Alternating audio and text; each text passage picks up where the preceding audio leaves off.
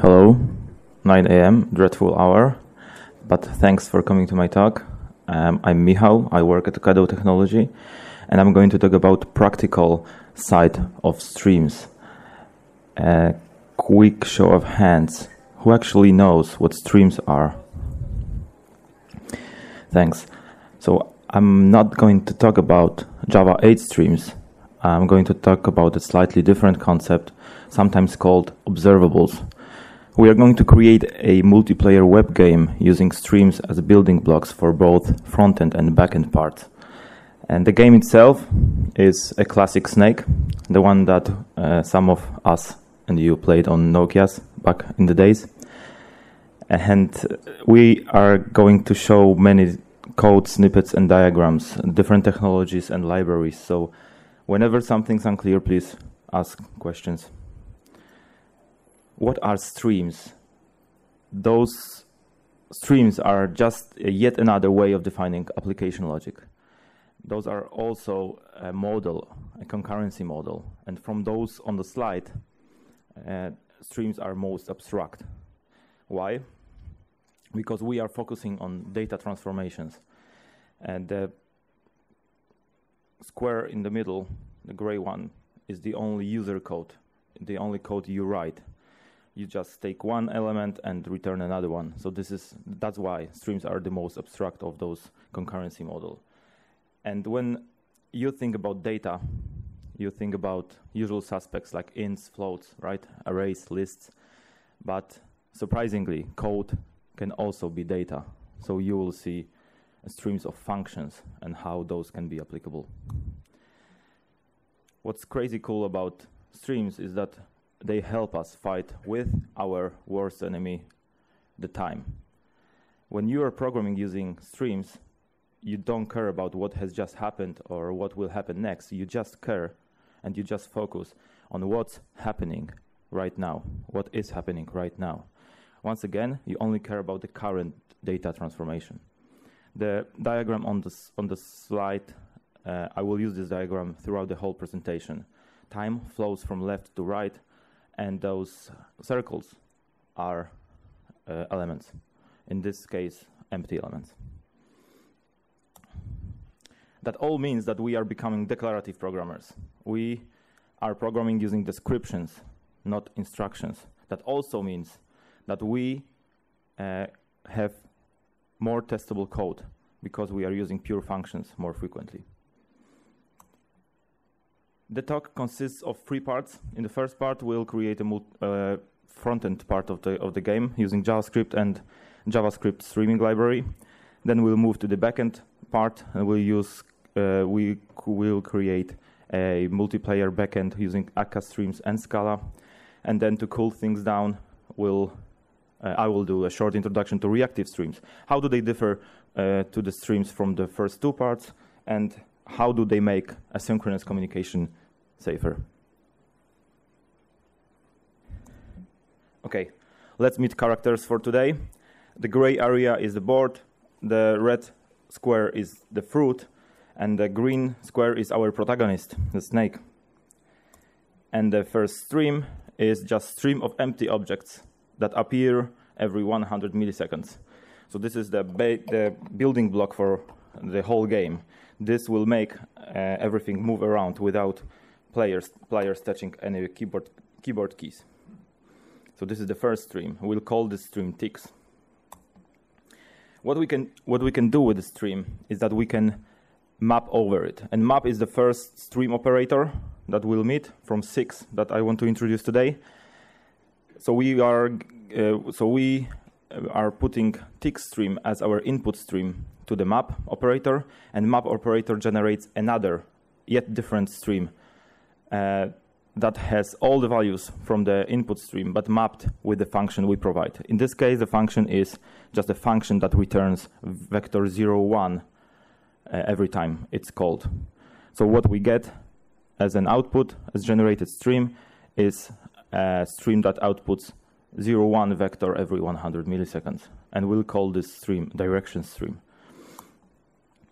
Then we can take this direction stream and scan over it. So this is the second operator. And I will do a short summary of those two operators uh, in the next slide. But for now, let's assume that scan is just an accumulator. So it accumulates value over time. That's how we can convey the information that changes over time without using any assignable variables. So what, what this means here is that vector 0, 0 is our initial value. And this function is called every time there is a value inside input stream.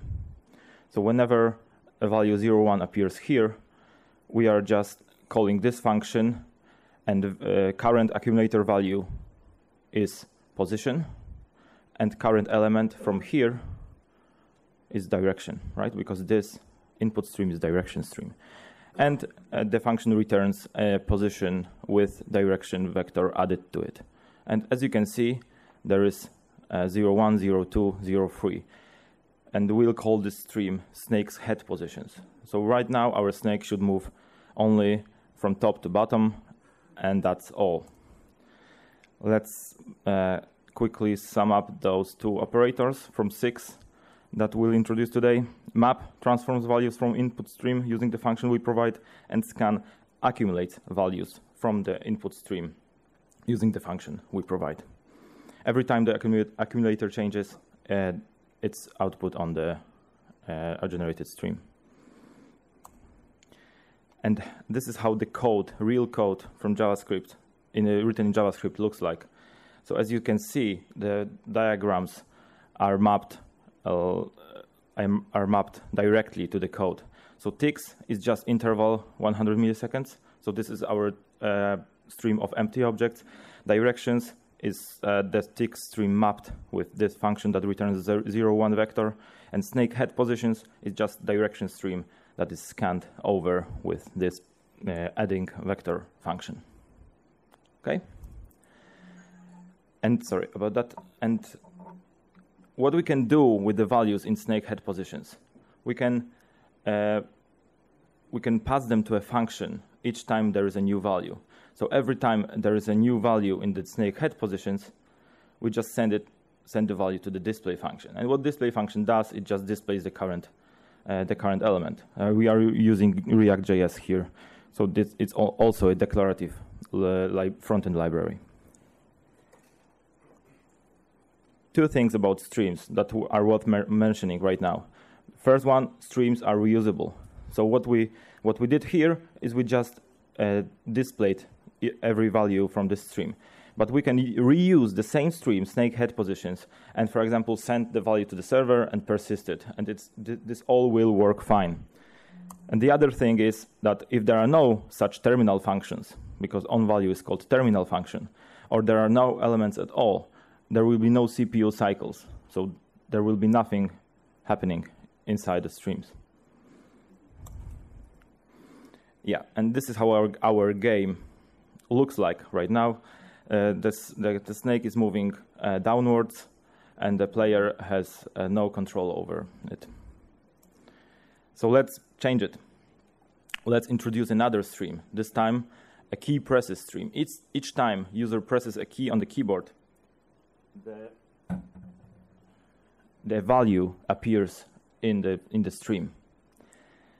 And the value, the object value is the keyboard event, right? So every time user presses a button, any button on the keyboard, the value appears in the stream. How can we use that? We can create a left key presses stream. And using the third operator filter, we can just filter uh, out all keys besides the left key, right? And what we get is left key presses stream. Every time a user presses a left key, we have a value in the stream. The same can be done for right key presses. So we can reuse the key presses stream and filter out all the key presses besides the right key. And the filter is the third operator, as I told you. Uh, it checks whether the value that appeared in the input stream, uh, the value matches or uh, passes the predicate p. And if it does, then it's output to the output stream. Okay, let's continue. Now the things are getting crazier. Keyboard uh, left left rotation stream is what we create uh, by mapping left key presses stream. So this is left key presses stream. This is input stream. Every time user presses a left key, this, the object keyboard event appears in this stream. We can map every value in this left key presses stream with this function. What this function does, it returns a function. Again, it returns a function. So what we get here is left rotation stream. And uh, just to wake you up, uh, what is left rotation stream? What it conveys?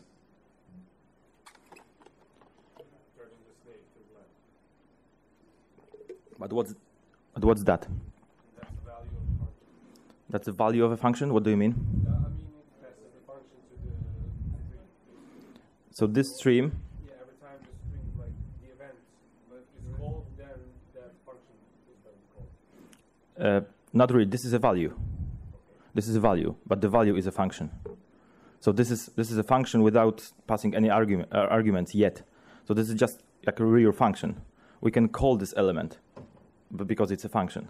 So what this stream has, it has functions inside it. Every every time user presses a, a left key, in this case, a left key on the keyboard, the generated left rotation stream will, will convey, will have, with, will output a function that we need to use in order to transform the direction. But the function is not used any, uh, uh, it's not yet used. The same, we can do a similar thing with the right rotations. So we can map right key presses and we'll get rotate right functions inside.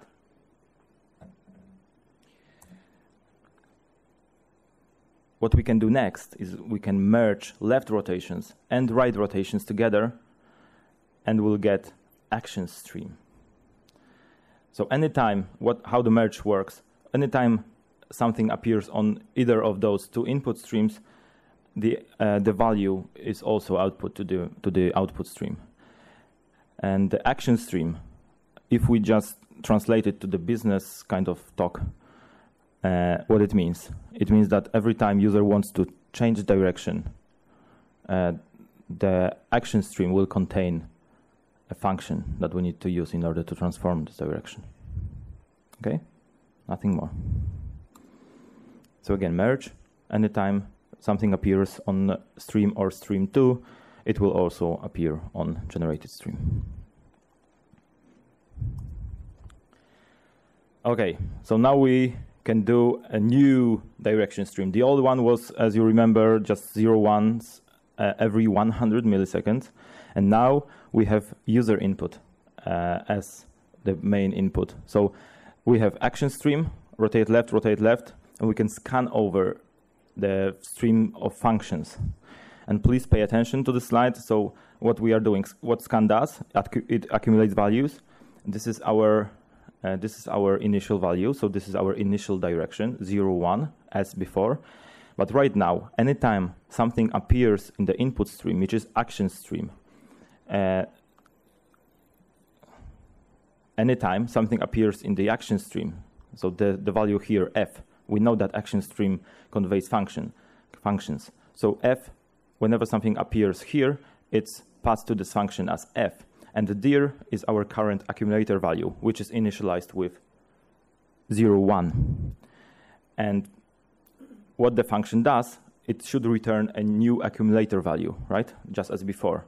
And in this case, new accumulator value is just a current accumulator value passed to the function, right? So we are transforming the current accumulator value, which is direction, with a function that is provided in action stream. And this function appears in this action stream anytime user presses a left or right key. Okay, any questions about that? Everything's clear? This this is the hardest part, so if you understand that, later things are far easier.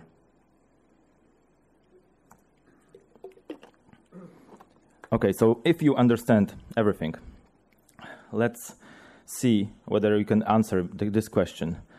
Uh, this is the old direction stream, uh, 0, 1 in each 100 milliseconds, and uh, this is our new direction stream. So what's the difference? What did, what did we lose? Sorry? Yeah, we lost time, right? What happens here uh, is that the direction in the in the old case direction changes each 100 milliseconds. Uh, direction changes doesn't change really, but uh, it's still output to this generated stream. So each 100 milliseconds we get the current value uh, current value of direction, and this causes our snake to move without touching the keyboard. In the second case, we have uh, user input uh, inside the stream, but the direction changes and is output only when the user changes it. So the snake will only move whenever you change direction, which is not what we want. If you remember correctly, when you change the direction in snake game, it should move towards this direction until it's ch changed again or until we lose the game. So let's introduce a new operator, a second to last, sampled by. What it does, it takes two streams as an input. The first one is value stream, and the second one is sampling stream. Anytime some, something appears in sampling, sampling stream, we get the last value from value stream and uh, output it. It's better shown using this kind of example. So we have our direction stream, at the top here. Anytime user wants to change direction, the direction is uh, appearing here. And we have our tick stream as sampling stream. So as you see, anytime there is a value uh, in sampling stream, the last value from direction stream is being uh, output here. And sometimes we lose uh, information, right? Because in this case, we appeared zero, we outputted uh, output zero one two times, and one two vector uh, appeared on uh, once. One one has never appeared. So what we got is we got a real direction stream. Uh, we have a direction changes user uh, by user, and we have timing uh, provided inside it. So this is what moves our game. Okay. Now the cool part is streams are reusable, and we reused direction stream in uh, in snake head position stream, and now we don't really need to change it. It will use just new direction stream, and the position uh, the position will be properly output. This is how it looks in the code. Um, I'm not lying. This is all we need in order to implement our business logic. So again, our key stream here, left, left key presses, every time user presses the left key, it appears here. Right is just uh, keys filtered with the this kind of predicate. Then left rotations return functions and uh, rotate left and right. And we can merge left rotations with right rotations and we get actions. And then we can scan over it and have directions uh, or new directions. So what you've seen on the slides and uh, on the diagrams is directly mapped to the code. So this is uh, what we have right now. Current implementation using 10 streams and five operators. Uh, so user can move around and the snake does what the user wants it to do. Let's make the snake bigger. We can uh, use another operator, which is sliding window. What, what it does, it just gets last n values from the stream, input stream, and output, outputs it, it as an array of those values. So if we have uh, our snake head position stream as input, we can uh, use sliding window 2 and we'll get uh, snakes of size 2 here, right? And the second thing be before the live demo of the front-end part is the quiz for you. How can we implement eating a fruit? What I want to do is why I want to have a stream which outputs a value every time snake eats a fruit. And fruit is just a, uh, let's assume fruit is just a constant value, so you have access to it. And what operator should we reuse and what stream should we reuse from those on the slide, from those which we've used so far? 20 seconds to, to think.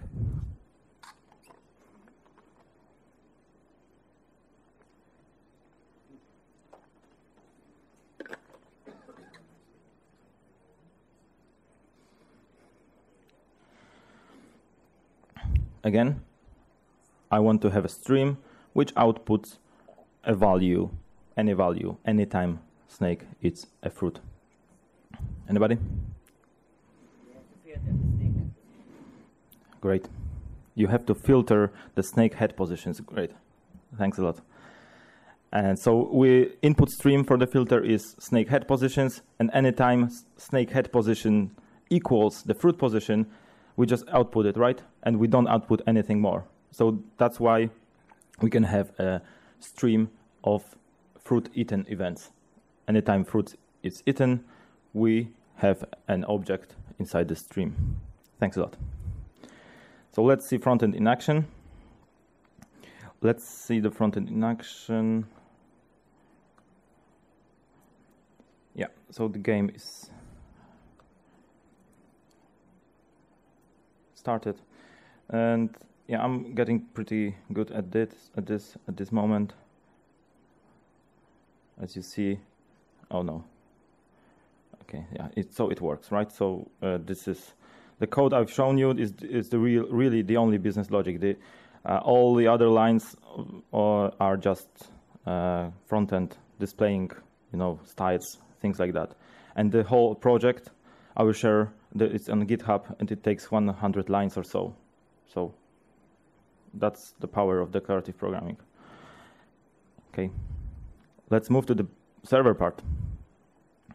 But before we do that, uh, I want I want to quickly wrap up how we did the front end part. We did it bottom up, right? So we just started with small building blocks and we composed them together uh, in order to create a game.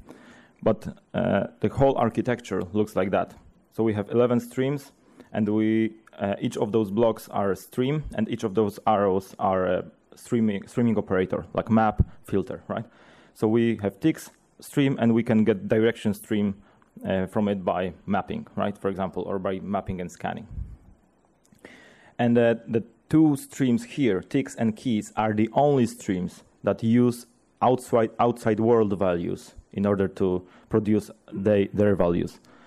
And the other streams are using uh, only other streams as input, no values from the outside world, which make them more testable. And uh, the ri right outmost streams are the streams whose values are used uh, by the outside world, not by other streams.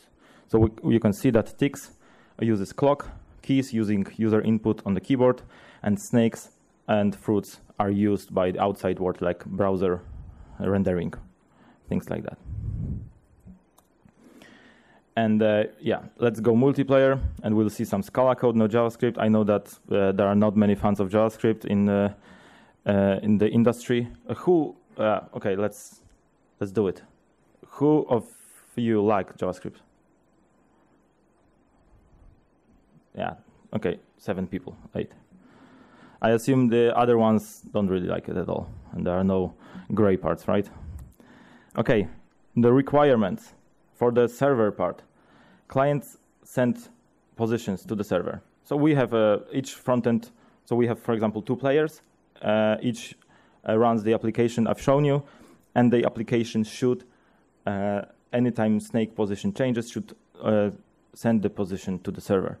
And the server is responsible for generating the fruits, right? Because it needs to know who's there first, and should keep scores and broadcast all these things to the clients positions of uh, the enemies, the fruits, and the scoreboard.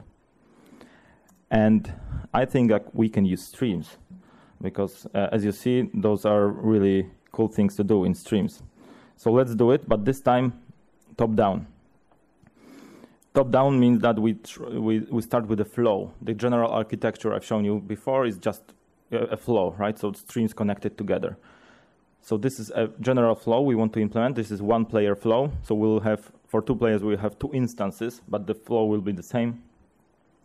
Player states here on the left, this is something that we need to uh, receive. And player states mean a name of the player and the snake position, all the, all, all the, all the squares that consist of uh, to snake.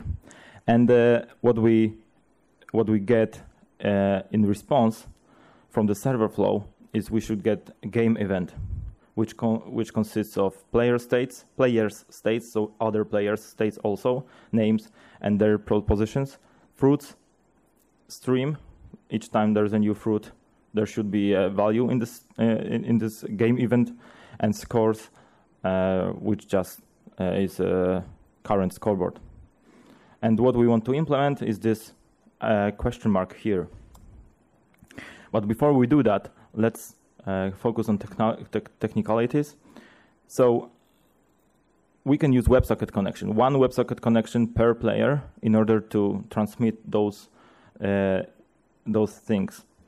Player states can be sent down the WebSocket con connection to the server, and server should reuse the same WebSocket connection, WebSocket, WebSocket connection and send back player states, fruits, and scores. And this is how it looks in uh, Akka Streams code. And who of you was on my talk yesterday? Okay. So this, uh, again, is uh, a route that we use in order to specify web, web server. But uh, what we get here is a helper function, handle WebSocket messages. What it does, it receives a flow, a real flow that is the implementation of the WebSocket connection. And this is just a business implementation. So this is our question mark from previous slide. And this is all the boilerplate you need. So you just bind to the interface and use uh, streams, so the flow, a connected flow of streams in order to implement the logic behind WebSocket. So anytime front-end part connects to our server with snakes uh, on snake socket path, it opens a WebSocket connection and uses Flow to uh, support that, to serve that. And this is the general architecture of the application. Client flow, the small things here you cannot see is the thing I shown before. So this is just the front-end part. This is the WebSocket here, and this is server flow. So as you, as you can see, we use WebSocket in order to uh, reuse more than one streams, but that's okay, that works fine player states are sent to the server and all the other things like other player states and fruits and scores are sent back. And we'll go, go through, we'll go through uh, those four squares in order to implement our uh, question mark here. So let's start with the fruit. So fruit eaten events can be just, directly moved from the front end part because uh, it's also uh, head position filtered and uh, we get an object. So this is directly uh, directly transferred from uh, front end to server, but just a different technology, uh, though the filter uh, operator works the same in both. Then we can use a, we can use this eaten event stream and map over it with a function that returns a random vector. This way we can get a new fruit. So this This can be a lit- li- little tricky, but this is just for demonstration purposes. So this random vector doesn't really uh, pay attention to where all the other snakes are, right? So it can generate value on the snake. Uh, on so yeah, it's not it's not very robust right now, but just just for the demo, it works fine. And because we need a head to eat the element, not uh, the tail. And yeah, so you can see anytime there is an event here, anytime somebody eats a fruit, we get a new value of the fruit here. This is how it looks uh, in Scala code. And what I need to introduce right now is this flow type here. So flow type is just a block with one in and one out. And the types of in and out are provided in the type parameter list. So the fruit flow, what it gets as input is list of player position. So a snake, the whole snake, all the positions that that uh, are snake positions, and what it gets out, it it's a fruit position. That's all, right?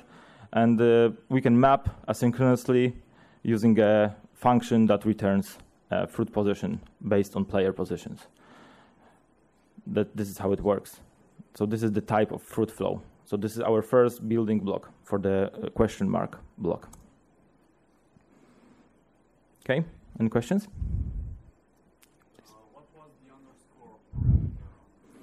what was the underscore parameter on this slide.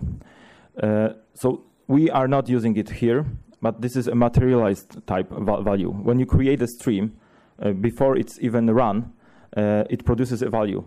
For example, some information, some metadata, but you can reuse this value in order to set up other streams. We don't use it here, but uh, all, but yours, when you create a flow, you can provide something like that in order to, to be more configurable, okay? fruits uh, are done. Now let's move to scores. We can reuse eaten events again and map over it with a function which always returns one, and we get a score update stream. Uh, what score update stream has is it has uh, value. Uh, each time the value should change, it has the uh, the int value that we need to add to the score, right? So it's one, and it, every time the player snake eats a, a, fruit, we have a value of one in the stream. What we can do with it? Scan. You are good at that. Really? Yeah, of course. We can scan over it with a simple summing function. Uh, initial value is zero, and the function here has an accumulator value of score of uh, score is accumulator, accumulator value, and up is the current element in the score updates stream. What we get is we get uh, anytime score changes for the this particular player, uh, we get a value of the current score. This is how it looks using Akka Stream. So again, you can see a flow type. The input type is fruit position, and we uh, return int from this flow.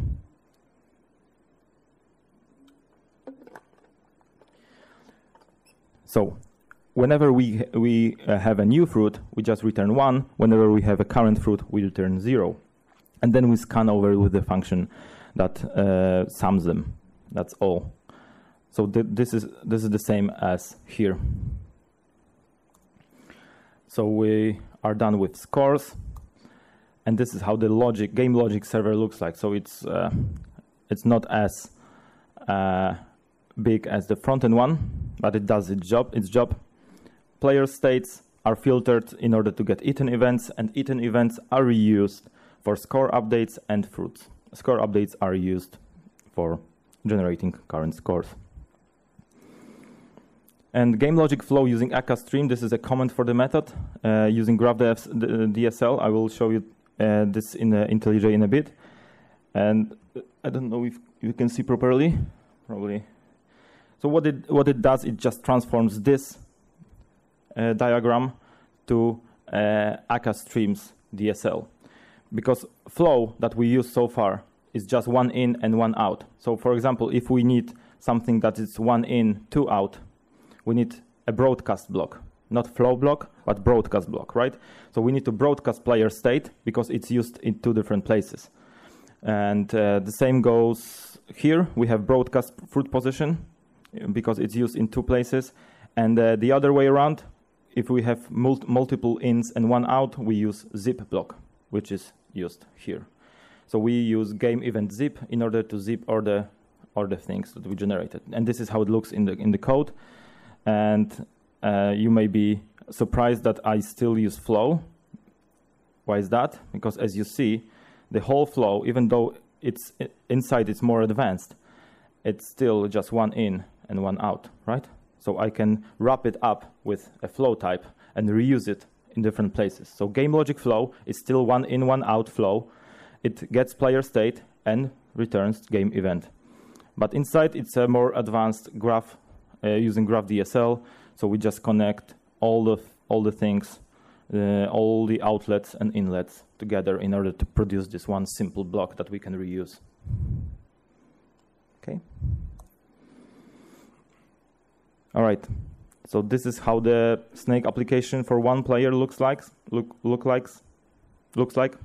Uh, client flow, server flow, and uh, fruit and scores are done. We just need to take care of player state states.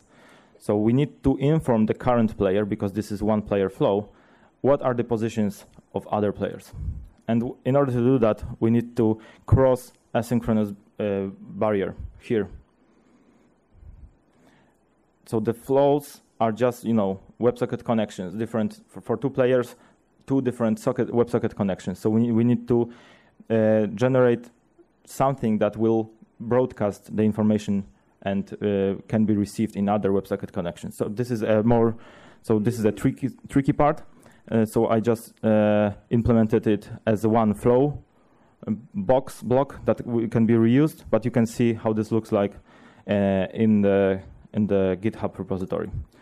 And uh, now we can connect all the dots together and create a flow which is passed to the uh, to the WebSocket, handle WebSocket messages. This is a flow which gets a message, which is a message is WebSocket message really here, and uh, outputs a message. So as you've seen before, one connection is, is reused to send, uh, send things to the server and send things back to the client. And we just log all incoming traffic, then collect the text from the WebSocket, mes WebSocket message, parse it to uh, parse the JSON, and convert it to player state, which is our case class that we use in in the in the flows. And then we pass it via game logic flow, which is all the advanced things that are scores and fruits then via game event broadcast, which is this uh, advanced uh, block that uh, just broadcasts uh, the positions to other players. And then we get game event back. So we just parse it to JSON, to string, and map it to text message, which is a WebSocket message. So this, this is our whole application, really. And uh, those building blocks here are defined in other places, can be tested uh, in other places, and we just reuse uh, reuse all the stuff here. Let's see it in action.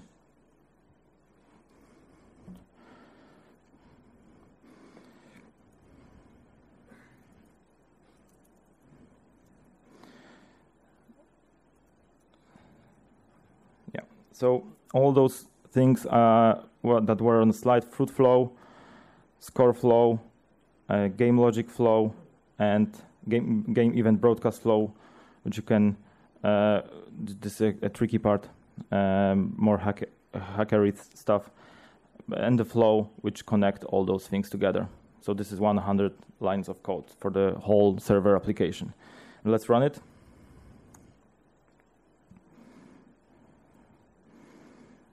And let's move back to the client here. Let's connect again. The same application as you see, but right now it shows score 0, 0 uh, I'm just one player, the other player ha hasn't joined yet.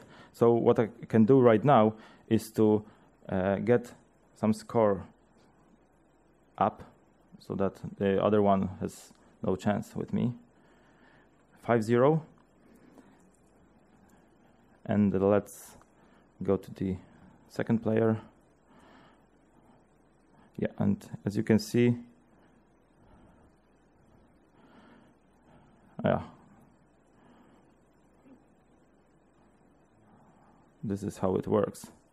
And when you go back to IntelliJ, you can see that there are some things going on here. So the log incoming here uh, really does work, and we got all get all messages here. Okay. This is backend in action.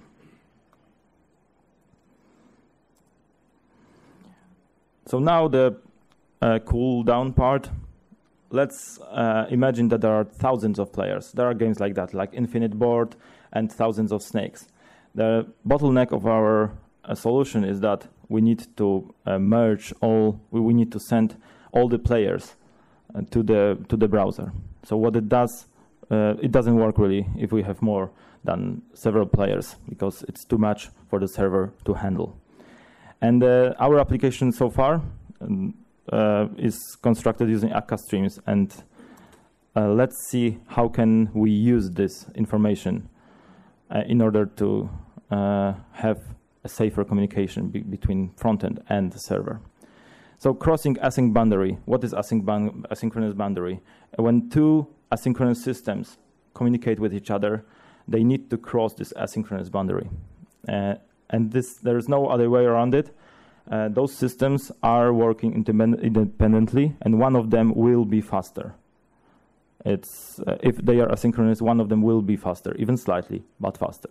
And we have two models that uh, uh, that we use in order to handle uh, crossing asynchronous boundary. One of them is push, and push uh, is not safe whenever subscriber is slower. Why is that? Because when a publisher publishes messages with a very fast pace, and the subscriber is very slow to handle them, then we will get out of memory at some point some of the buffers will overflow. And there are buffers everywhere. We need to be aware of that.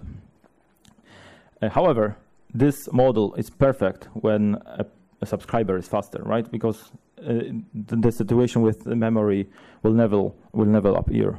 Publisher can be very very fast, but we know that subscribe, subscriber is faster. So uh, we have a perfect solution because the system works as fast as possible with no overhead. On the other hand, pull model is something different. Uh, we need subscriber needs to ask first before the publisher produces and sends down the element.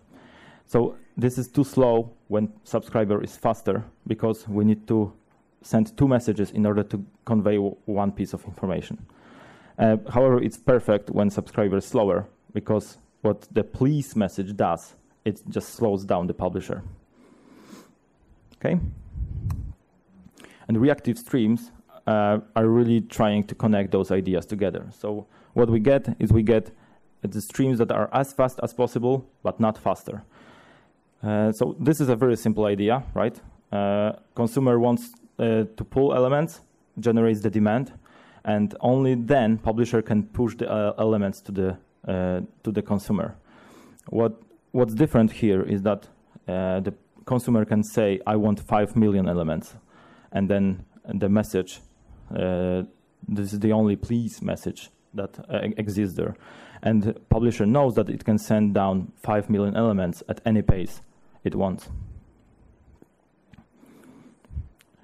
Sometimes reactive streams are called streams with supply and demand. And uh, you may have uh, encountered another definition, which is back pressure. This is the same thing, but the, uh, not the same thing. This is a similar thing, but a lack of demand means back pressure, right? So uh, whenever you say please or don't say that uh, you want to uh, want new elements, you are basically saying please don't do anything. So back, back you are back pressuring the the, the publisher. And example, we have four asynchronous uh, systems here, and uh, the publisher, the subscriber, and two processors. Processors are publisher one processor is publisher and subscriber in one uh, system. So uh, as you as you see, first subscriber nothing happens until subscriber generates the demand, right? So this arrow here means demand, and nothing happens. What what the system whole system does is that it uh, forwards demand upstream. So subs from subscriber to this processor, this processor forwards it to this processor, and to the publisher. Then publisher can produce the information, then generate the value, uh, or 5 million, or, or the message conveys an information about how many can the publisher really uh, publish or send or generate and send. And then after that, only after that, the publisher can send data downstream until the demand is satisfied. Okay? Now, uh, a simple question for you. What if uh, the processor here doesn't implement reactive streams? So it's just, you know, a synchronous system which can receive and send information whenever it wants without paying attention to demand. What happens if only this one, only this one here is not reactive streams compliant?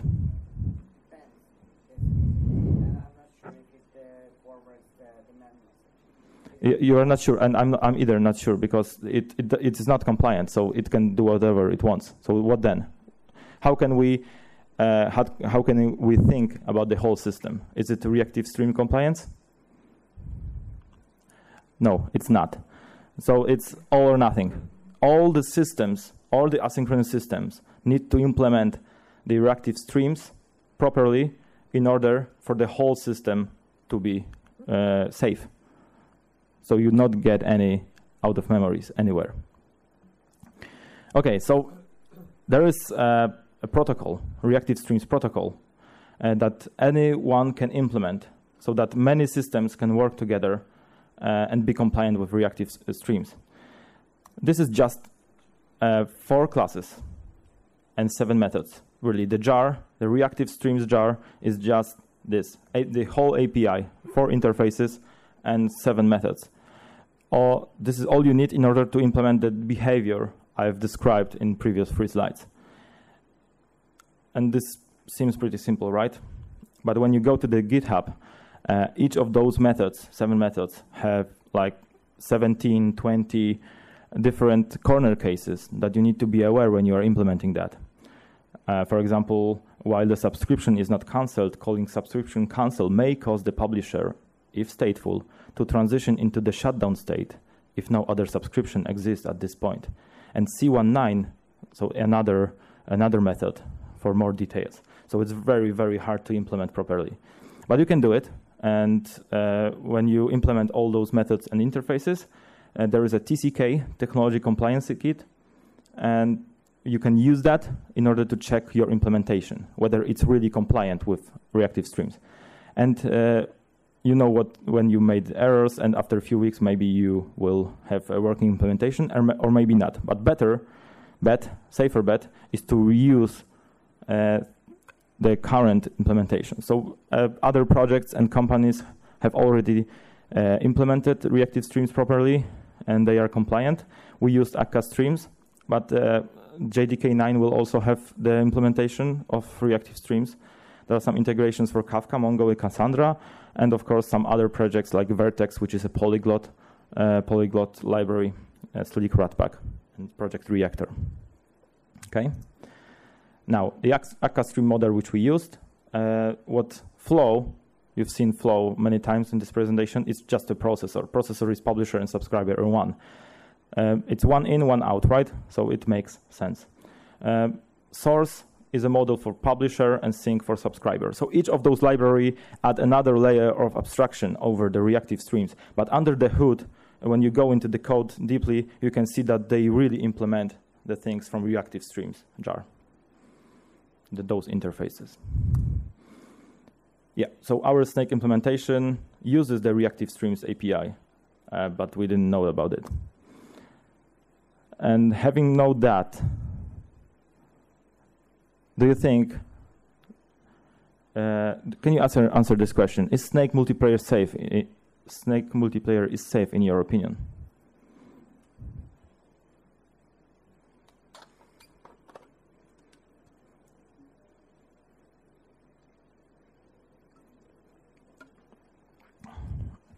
No?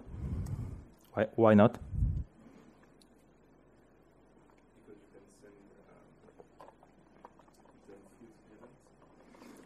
Exactly. So front end is pushing every 100 milliseconds, right? You've seen that. We just implemented ticks, and uh, uh, each time snake uh, position changes, it's pushed down to the server.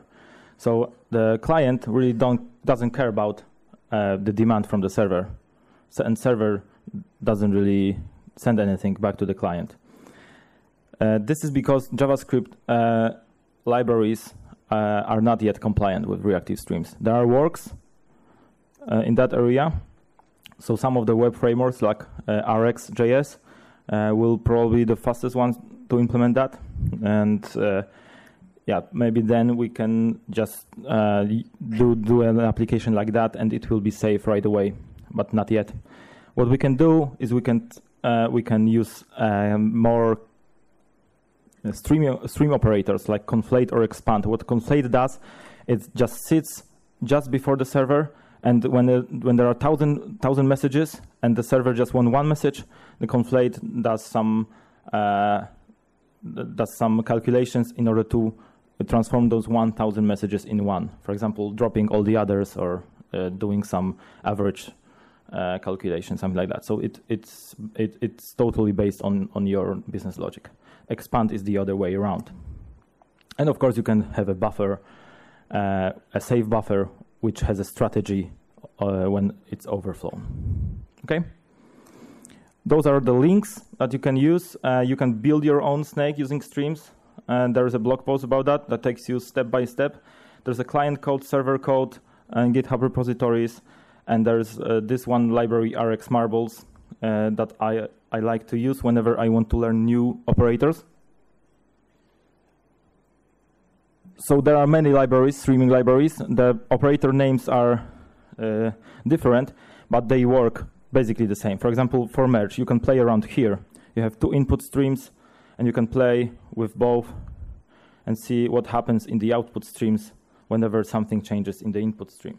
Like scan, right? The most difficult one, uh, which aggregates values. Values. You can see that, for example, 1, 3, 6, 10 is the sum, but when we move 4 over here, it, the value of the output stream changes. So this is a cool tool in order to, to learn about those things. Yeah, and uh, Akka streams, uh, Akka streams and Bacon.js on the JavaScript. This is what I used. Uh, thank you. Are there any more questions?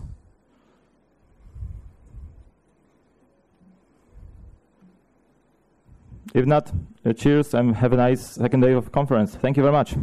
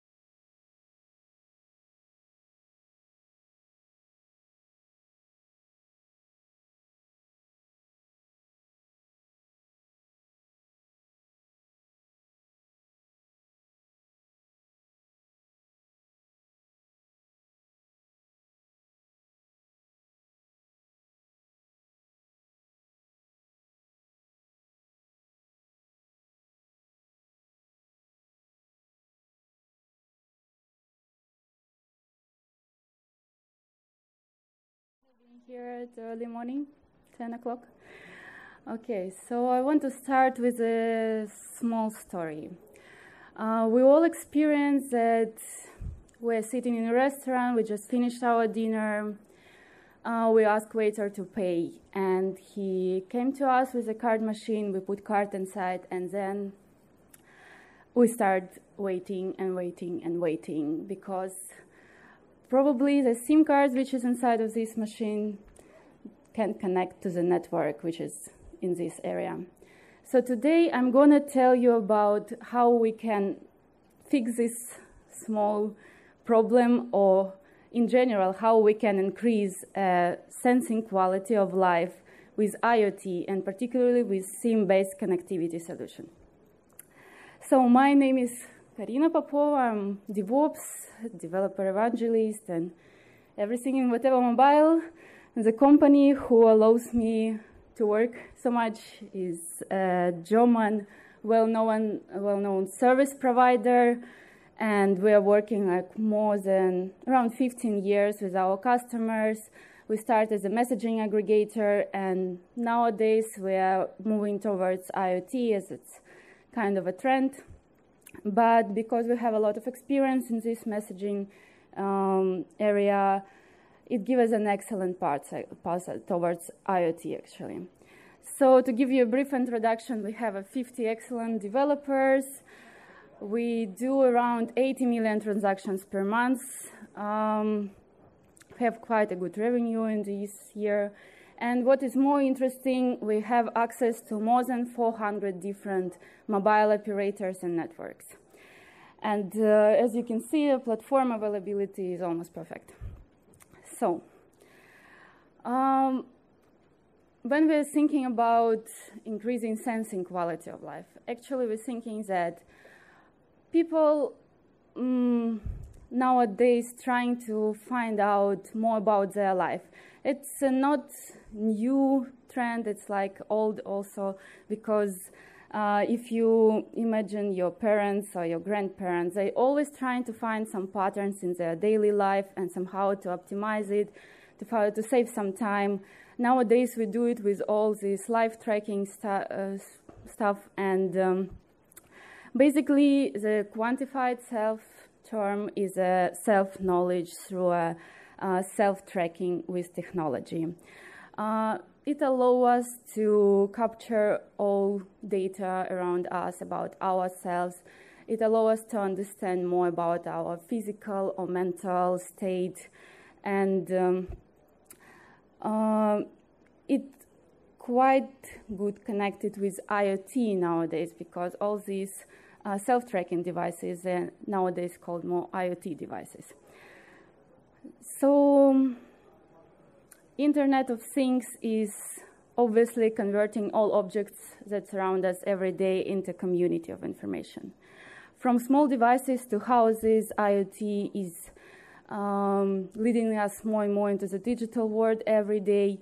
And for this purpose, different sensors are necessary, um, which turn all objects into data generating things, and sometimes they interact with the environment, uh, which help us.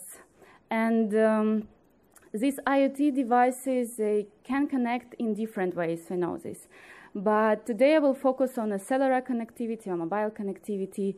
And um, obviously we know that Wi-Fi uh, reception is always limited to the uh, access point and it um, depend on some network configurations which you have to provide. And uh, cellular reception is actually everywhere around us and it does not require any uh, maintenance effort from the customer side. And um, Actually, when we think how many SIM-based devices we have around us, we can understand that with uh, uh, cellular connectivity, we can have a large investigation about almost each event in time and space, um, and uh, it gives us an um, excellent overview. And um, actually, some this spring I've been on a conference in US uh, uh, and IoT Slam conference, and there have been a question. They ask, um, do you still need a mobile connectivity for your IoT project as um, nowadays we have Wi-Fi and other types of connectivity. And surprisingly, 75% of all uh, owners uh, who participate, who has an IT project, they told that they required mobile connectivity. It's critical for them to have it. And the second question was, do you need a worldwide coverage for your project? And 63% told that it would be nice to have a possibility to work, to have their IoT devices in different countries. So mobile connectivity somehow becoming an integral part of IoT.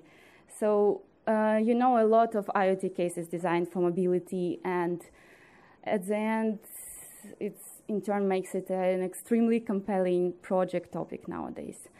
But um, if your device is bound to a single network, you obviously will not have a network coverage which you need, and the quality will be poor sometimes.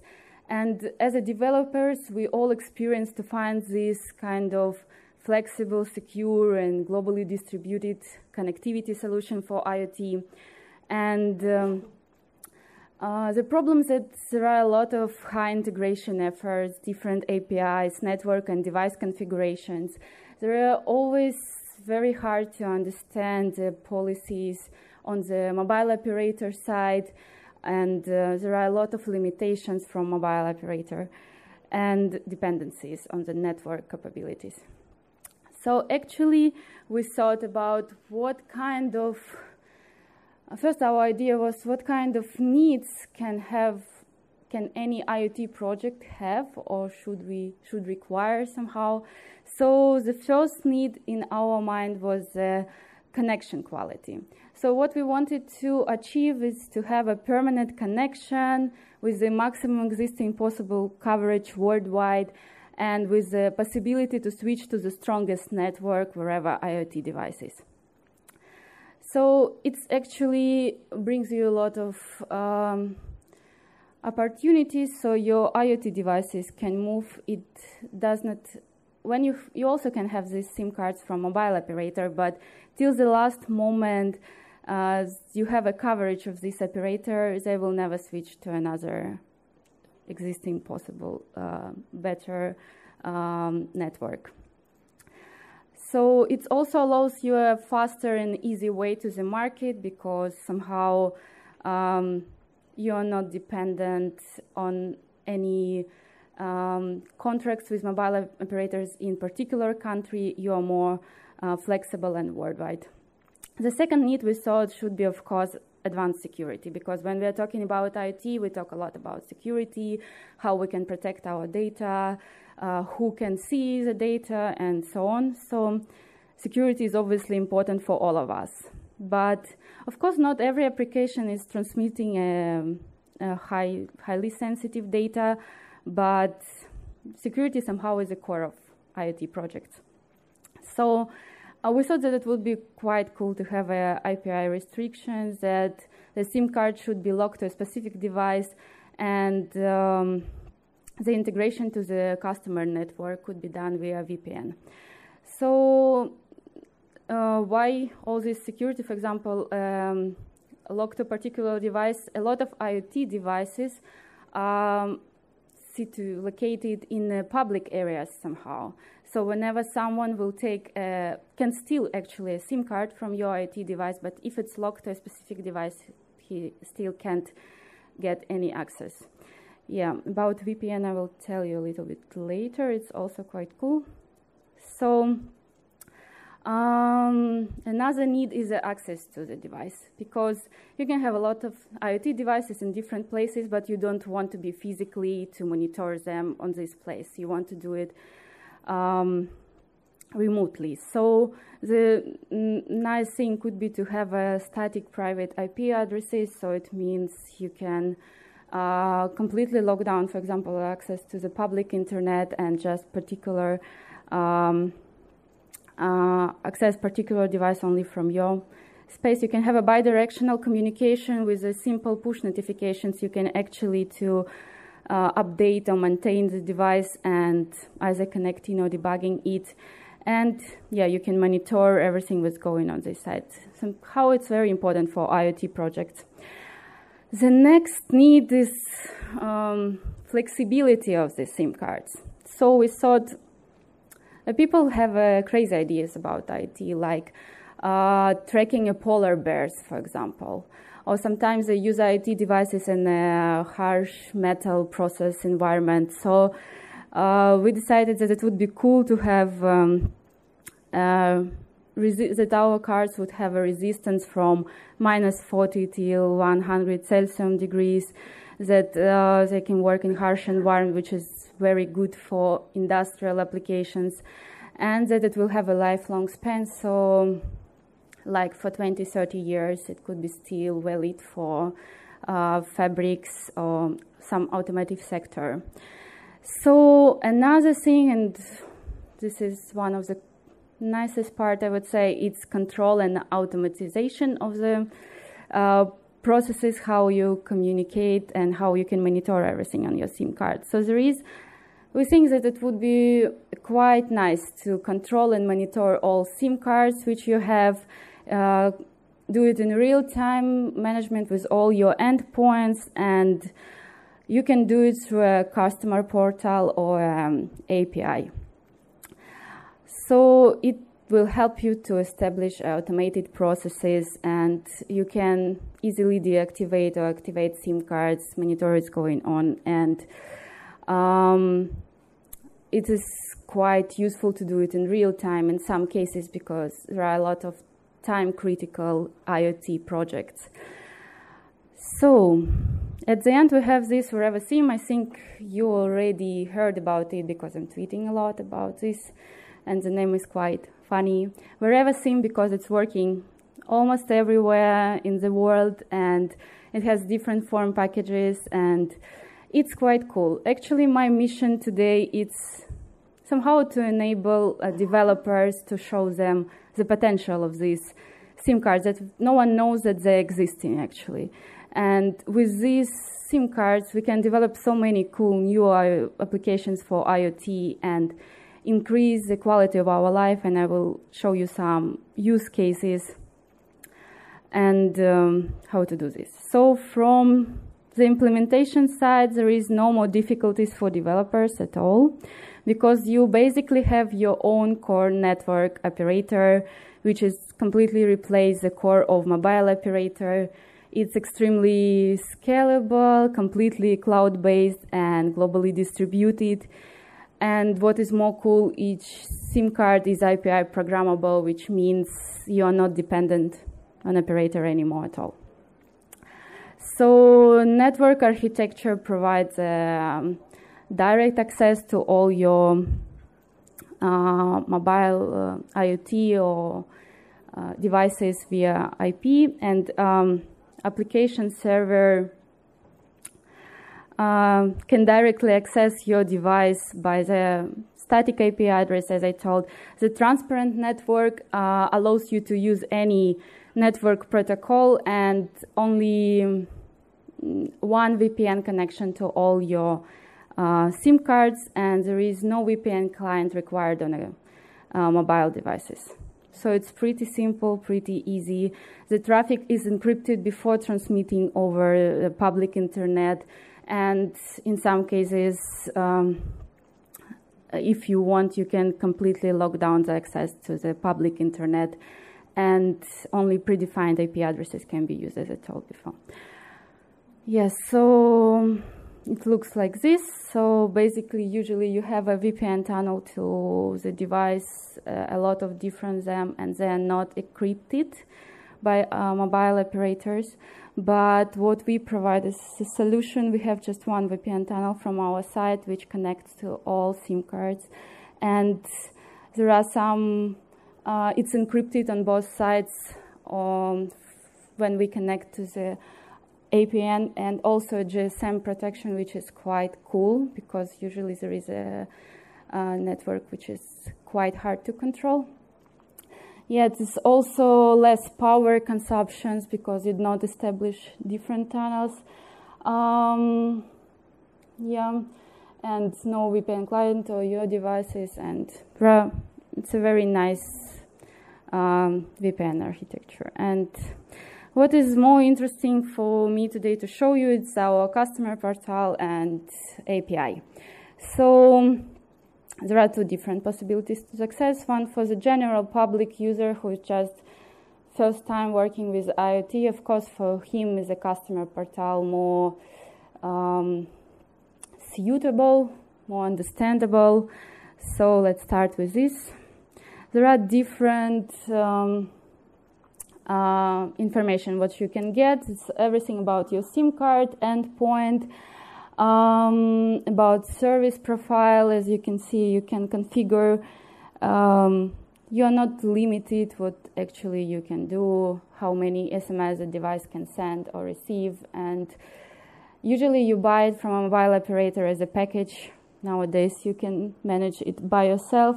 There is a tariff profiles, and what is the cool thing? We do a data pooling, which means that uh, if you have 10 SIM cards, one is using a lot of data and another one does not works once per month, you still pay one bill for all data which you are using, not for SIM card. And uh, there is different tariff profiles here for different countries. We have five tariffs for Europe, Asia, US, and then a global. So it's pretty easy. And um, the SIM card actually is always in kind of roaming mode. And, uh, but uh, it's working in a nice way that there is different gateways, uh, which means if your SIM card is in China and you have a German number, it will not send a signal as usually do. It sends to Germany and then waits um, back. Uh, there is a gateway in China, so it will be working very quick and immediately receive a signal. So what you can see from about endpoint that it's enabled, you can anytime disable it. Uh, you can see oh, necessary information about your endpoint. Um, the networks mm, is it attached to uh, which network it's attached. You can see a data usage and also costs which you're spending immediately.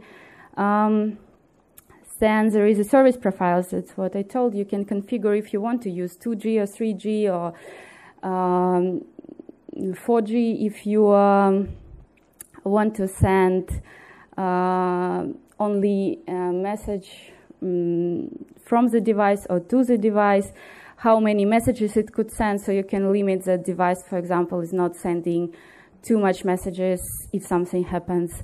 And um, from the um, API, API point of view, it looks like this. So with just a simple API call, you can get all information about the device and use it the way you need to use it. You can get an information about, of course, name, status, which tariff profile it's attached, um, which SIM card is inside, is it locked or not, which API address it's IP address it have, and uh, also location of the device of the SIM card. So if you want to patch your endpoint, you just simply uh, can change everything via API, and you starting with the name, you can enable, disable it, change profiles uh, even a time when you want to deactivate the device, for example.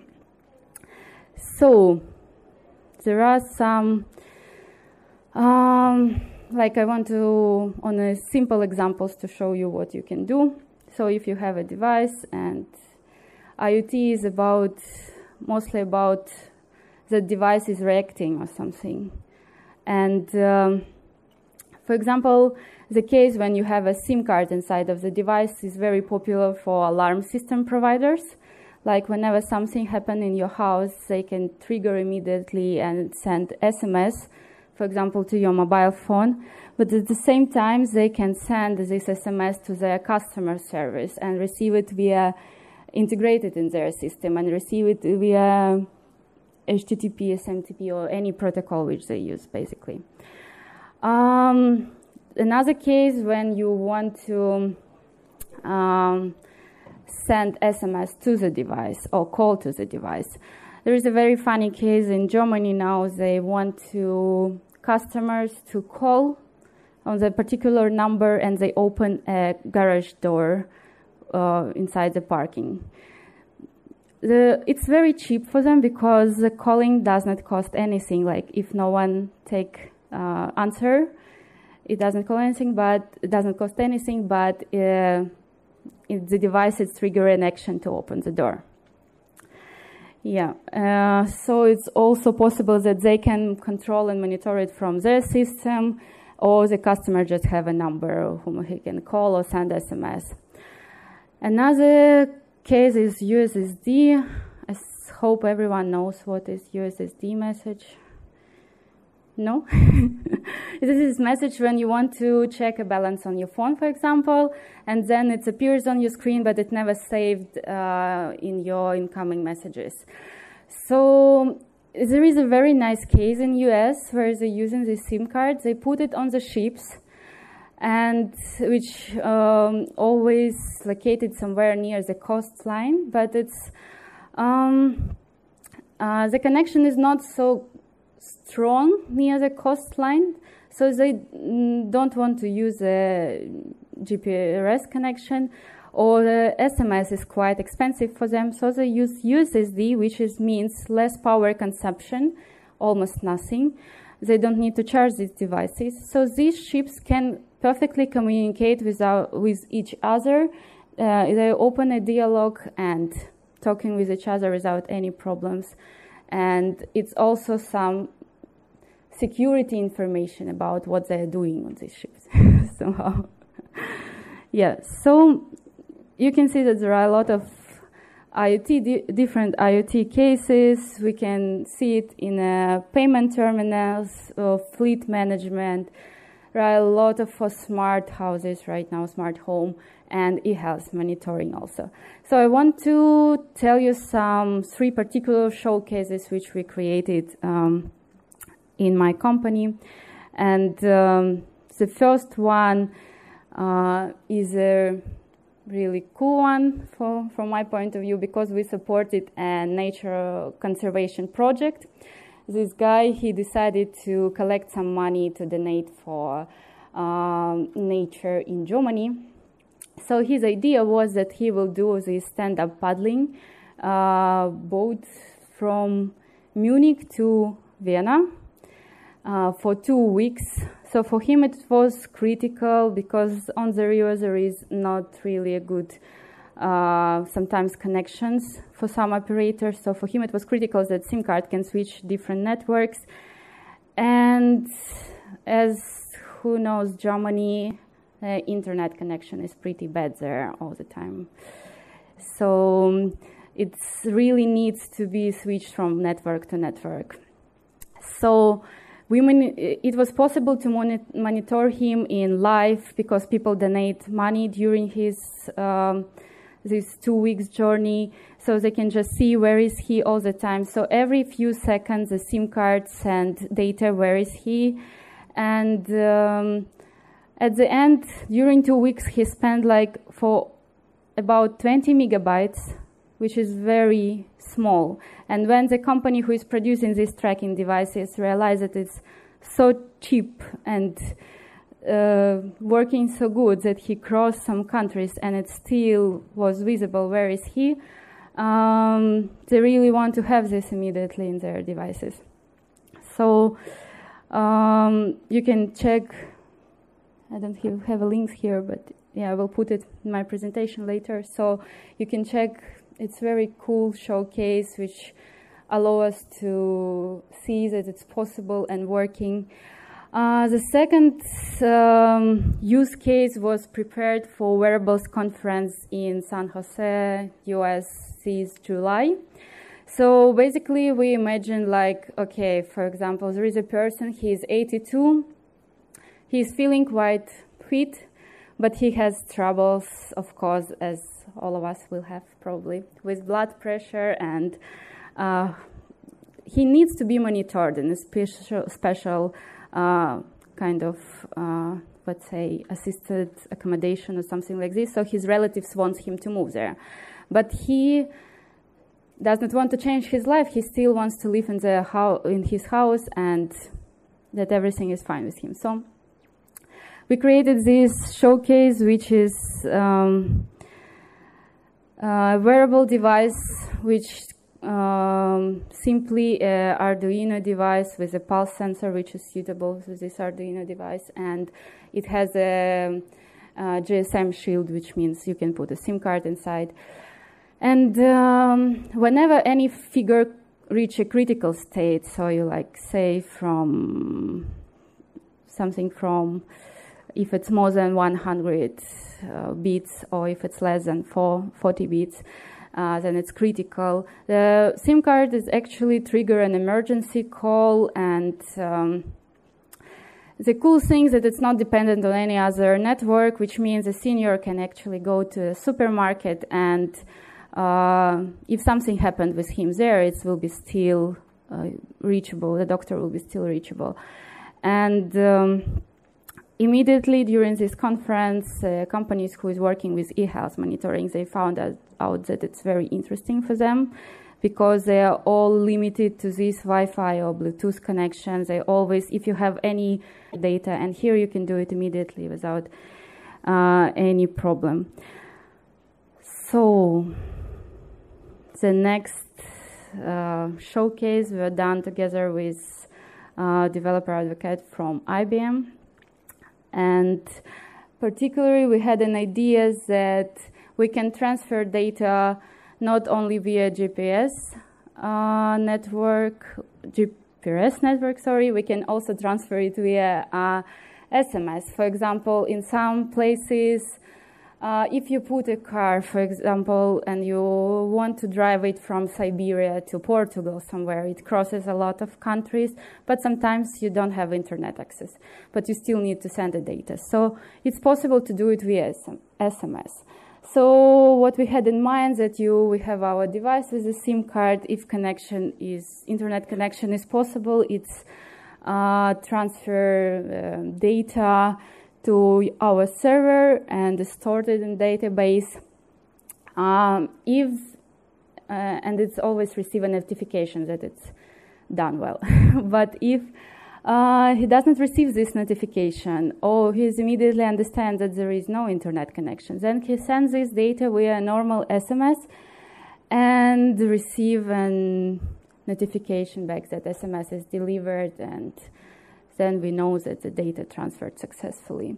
So in our case, a small showcase, we decided to uh, actually store all data in CouchDB and represent, on this map you can see all places where I had talks about Wherever SIM and it sends its location from these places.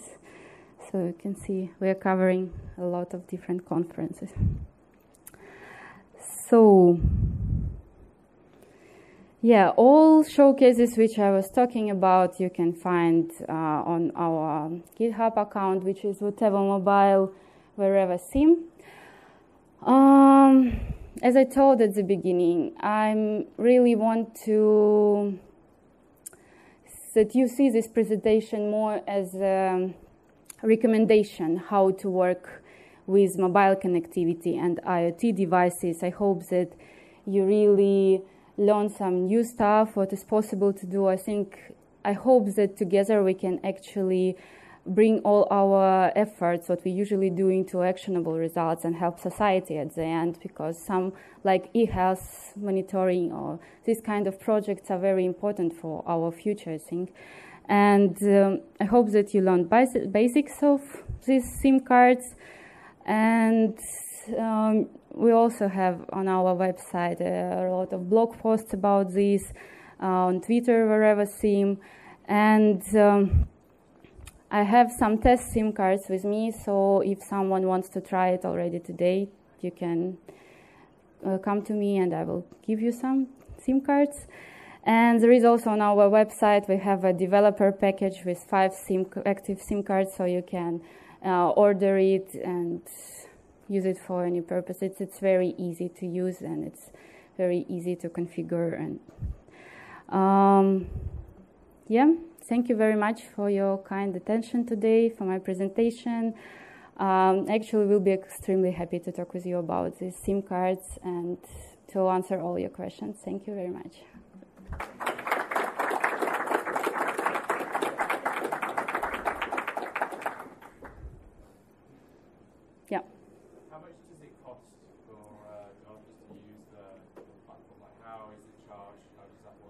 Uh, so basically, for example, this developer package, you pay nine euros for five SIM cards. Where is it? Sorry. Okay, somewhere here. And uh, first, when you buy a SIM card, you pay for a SIM card, something about one euro. There is a um, monthly fee, something also about one euro per SIM card. And then you just pay for amount of data you used. That's all. Uh, there is a different packages. You can pre-buy uh, data packages. Of course, it will be a little bit cheaper if you buy, like you know, you need 100 megabytes. You buy 100. It's cheaper than you just use it uh, normally. But yeah, we have a fixed price for all SMS. Like um, I don't remember the price, but I mean there is a little bit cheaper for Europe and there is a little bit expensive if you use like one cent more expensive if you use a worldwide option. Yeah. Any other questions? Please. Yeah. So you're covering all the countries because, uh, of course, there are always problems uh, with operators and stuff like that. So do you cover all countries in Europe? Yes. Yes. Uh, in Serbia, yes. And in some countries, we have like two, three operators which is possible to connect. At the beginning, I told that we have access to more than 400 operators, and as you know, we have about uh, 200 countries. So it means almost everywhere we are. Yeah. Please. Do you include the hardware for the SIM cards or in development? The older package? Okay. SIM cards? Only SIM cards. Uh, where can you find the hardware for you? on Amazon, for example. it's kind of, but it's working with all kind of IoT devices like Raspberry Pi, Arduino is a simple one for developers, which is more interesting. But with it, uh, they have a GSM model. Every time when you buy a Arduino device, there is a possibility to buy a GSM shield for it. For example, yep. sorry, how much is price, for example, for Serbia SMS? About, I can be wrong, but about four or five cents per SMS, something like this, and about one or two cents per USSD message, something like this. Yeah. Any other questions? Technical questions? Uh, huh? hey, I'm uh, maybe more use cases uh, you think uh, it could be covered by this technology. Uh, I mean, probably uh, most of the use cases uh, need to be where, I don't know, we want to track something uh, moving along through different countries or some, something like that. I mean, that's the best process. No, we, when we start, we thought that it's the best of. Like we always say, we are so mobile, we are covering, you can cross the borders. Yes, it's still possible, but then we find some clients who is like a big retail stores like DM or Rossmann, for example, and they have another problem. They have so many stores and they don't know what kind of operators in the small city in Germany somewhere is possible to access or not. So just they just want to have a SIM card which is possible to get connection everywhere.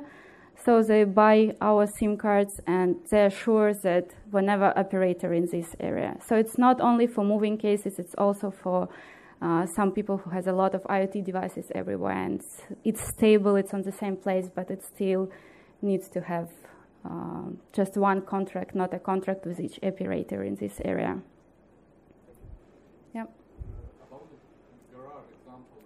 Uh,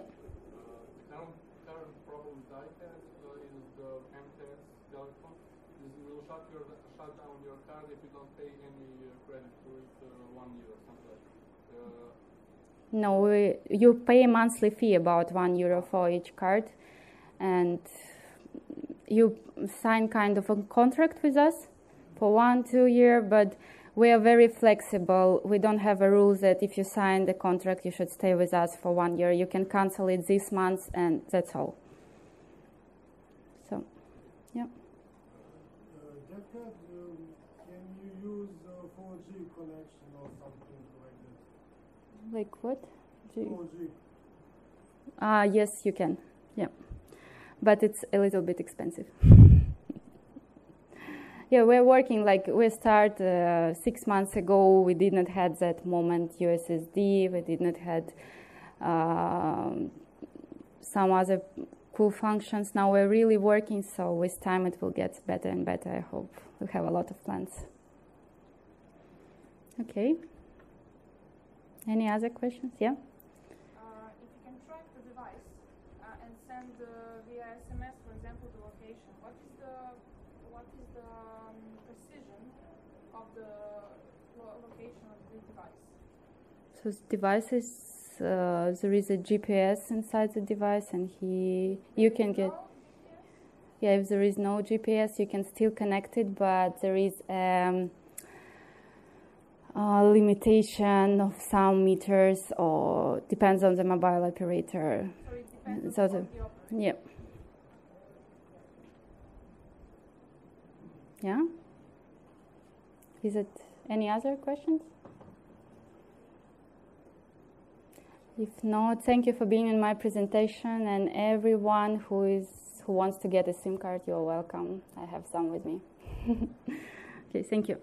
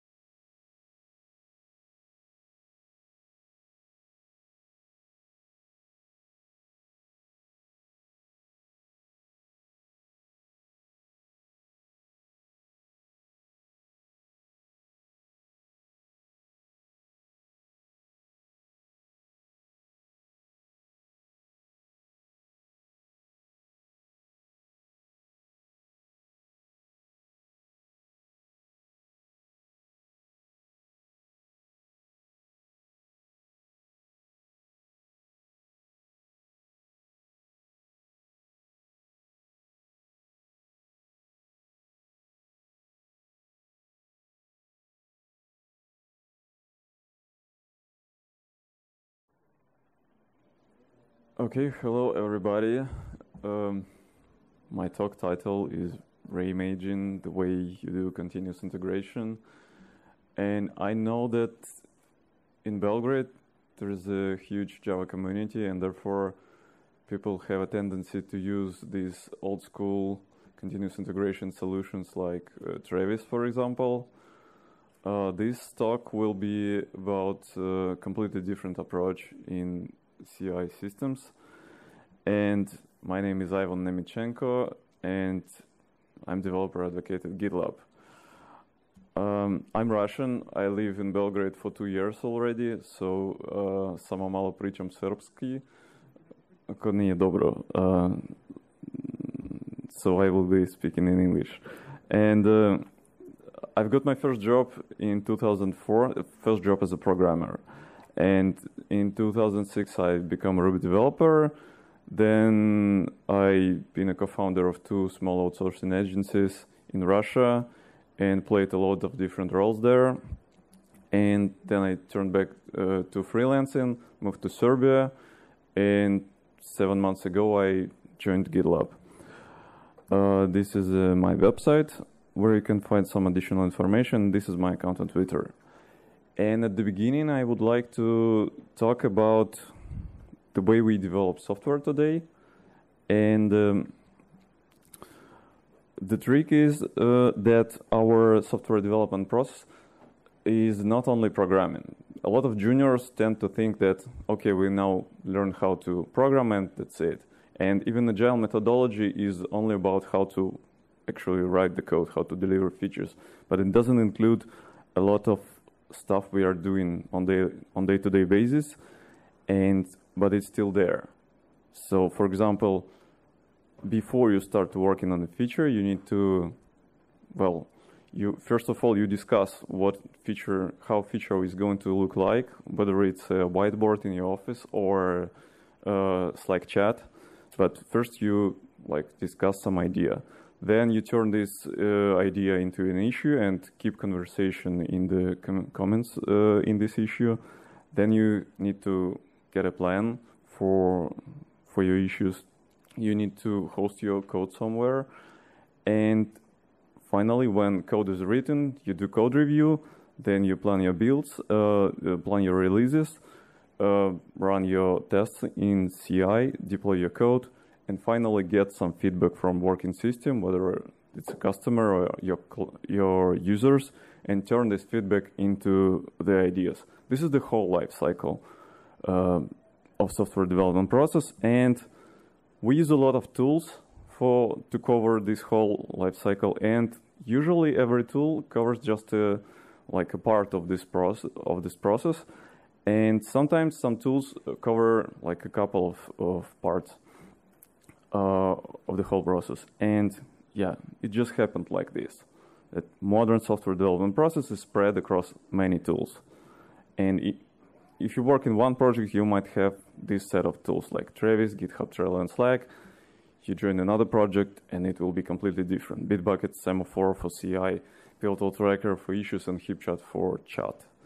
And in third project, you might have G Jenkins connected with GitLab and with Jira and we used to it. We kind of already okay with it, and we uh, sometimes we even love to try new new tools and explore them, but it doesn't look very productive actually. So mm, if you're not sure what GitLab is, I will just show briefly a couple of screenshots uh, how GitLab looks like. Yeah, and uh, and actually, GitLab already covers a bunch of the a bunch of the spots on this uh, on this picture. Uh, not all uh, of them are covered perfectly. For example, we recently re- released a very simple Kanban board so that you can like uh, move plan your issues in a Trello style. But it's it was just the first iteration, and we are going to improve it. And our master plan is looks actually like this. So we are going to make GitLab a place where uh, where you can do the whole uh, software development process, like it, it should be done in one place. You don't have to switch in from tool to tool. And ideally, when you deliver some feature to production, you should be still able to see the whole history of conversation from the idea to the issue discussion to the code reviews to the mm, testing CI and like the, the whole uh, the whole story. And uh, today I, will be talking specifically about GitLab CI, which covers these three parts: um, build management, CI, and deployment. And initially, my talk title looked like this, and I really love this uh, this title because uh, I could I could draw a lot of funny pictures like this, and I actually drew them. And but uh, I actually tricked you because uh, uh, I had a problem with this, with this title before because uh, only people who already know uh, what GitLab is were appearing on my talk. This is why I decided to change my talk title. And now I uh, please raise your hands those who are who were who didn't know that uh, my talk is going to be about GitLab CI. Okay, it looks like my trick actually working. Uh, yeah, that's that's that's good to know. But yeah, that was from the very beginning, and my intention was to show some not very conventional ways to use GitLab CI and to show you some fun stuff. But then I realized that uh, actually, since even if people use GitLab for code hosting and some project management stuff, they, a lot of companies still don't use GitLab CI, so it would be unfair to those who are not familiar with GitLab CI to show them advanced tips and tricks. So I decided to make my talk more practical and yeah, the real name started to look a little bit, a little bit more boring, but now it's more practical. And yeah, we'll be talking, we'll be breaking your bad habits of, uh, we'll see what kind of break, bad habits we'll be breaking. So during the day, you work on, you de definitely write a code, you have conversation with your colleagues, and you spend a couple of time uh, on the routine tasks, which can be automated and we'll be talking about those uh, about, about this habit of not automating the routine tasks. And I analyzed myself, like where did this fear comes, where did this habit comes from, and I realized that it comes from the from the fear of CI systems. That uh, some like some time ago, uh, in the past, I saw like a couple of CI systems, and I've become afraid of them. And there were, and I found four fears. And first of first one was that I need to learn how to install this system, like, and I already can imagine that I might might have spent a day on like the new CI tool installation. The second fear was that now I had to integrate this this new CI tool with the rest of my tool tools. And the third fear was that now I had to convince all my all of my colleagues to register in this new tool. And and the fourth was, okay, now I have to learn how to finally use this CI tool and how to configure it to run my builds. Um, and now we'll take a look how it applies to the GitLab CI. So continuous integration system uh, was merged into the main product of GitLab a year ago, so it's uh, relatively new CI system. And let's take a look. First of all, installation. Um, this is how you install GitLab itself. So these are just three commands, and it is important that uh, it installs from the packages. So it's you can choose uh, your operating system and install it from packages. Uh, you can also install it with Docker. As for CI system installation, it's already there. So no, no need to install anything. So we just scratching it. Uh, integration, no, no need to integrate anything. Uh, registration, the same, no need to care about the different, uh, the permissions in different system, the same permissions you have in GitLab, they apply to the CI as well. So only one fear left. This is learning how to use the CI tool. And this is where my uh, story starts. And I'm going to tell you a story. And you will see how easy and powerful GitLab CI is. And our story starts in a company called CatGrep Sophisticated Technologies Incorporated. And this company has a product, and the, the product consists of two files, file one and file two. And there is a very strict, super important business requirement that concatenation result of these two files should contain hello world. If it doesn't like this, then the whole software development department uh, stays without a salary for a month. Yeah, it's it's it's super serious. And uh, well, of course, there was one uh, guy in your team who wrote the test script for this kind of problem, and that guy got a bonus from the management. And uh, well, the whole software development team agreed that okay, we will of course launch the script before we actually deliver our code to the customer. But still, the whole situation didn't make you feel safe. So because like human factor can hit hard, so you decided to finally solve this this problem once and for all. And since your code was already stored on GitLab, and you decided to utilize GitLab CI and delegate this work of, of verification of your code to the GitLab. So let's let's finally do it.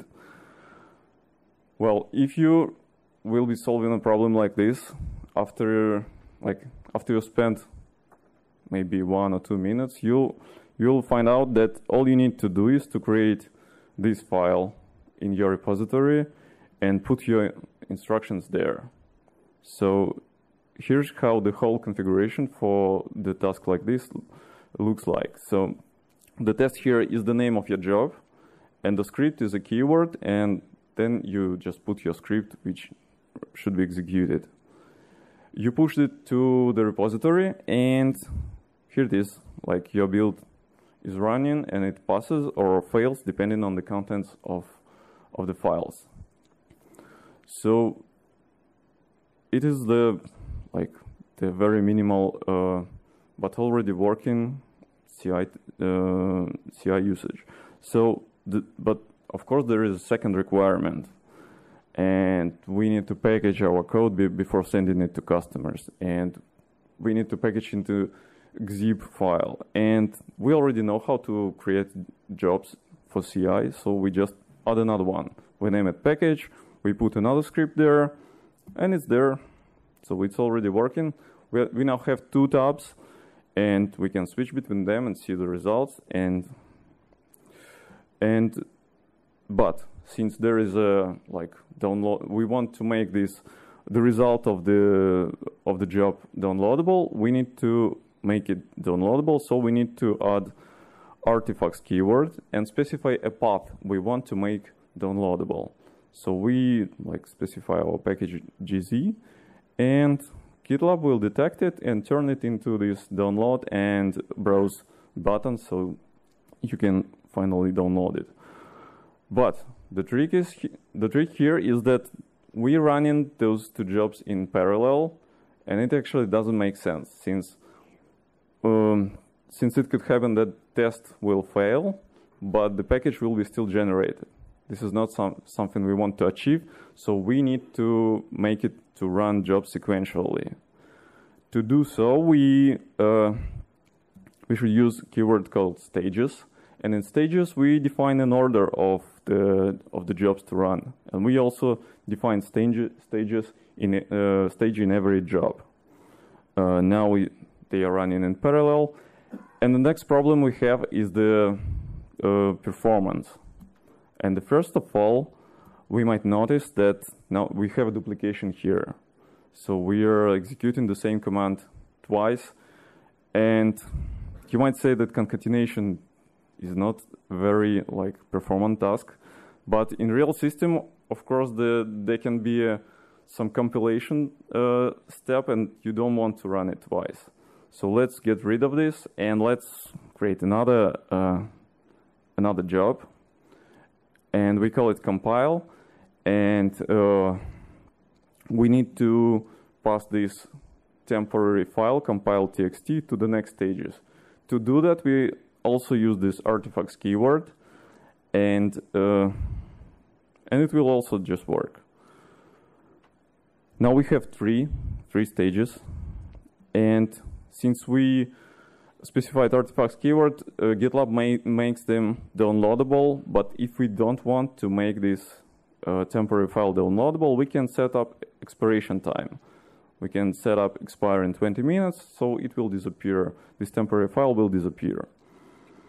The second problem, if we take a look at the logs, it looks like there is a Ruby 2.1, but we haven't specified anything related to Ruby 2.1. And it might look confusing, but the trick is that it comes from your GitLab installation defaults. And by default in gitlab.com, it is set up uh, to use Ruby 2.1 image. And since it contains a lot of Ruby related packages, uh, it takes time to download it and to launch the, the job. So we need to learn what Docker image to use to our CI jobs. And it turns out that there is a Linux called Alpine, and it's known by its compactness. And we can just add this one line, and it it will make uh, it will run all our commands in this uh, Docker image Alpine. And this small change drops uh, the execution time from three and a half minutes to 35 seconds. That's that's another achievement. So we just defined three stages. We passed. We learned how to pass files between stages.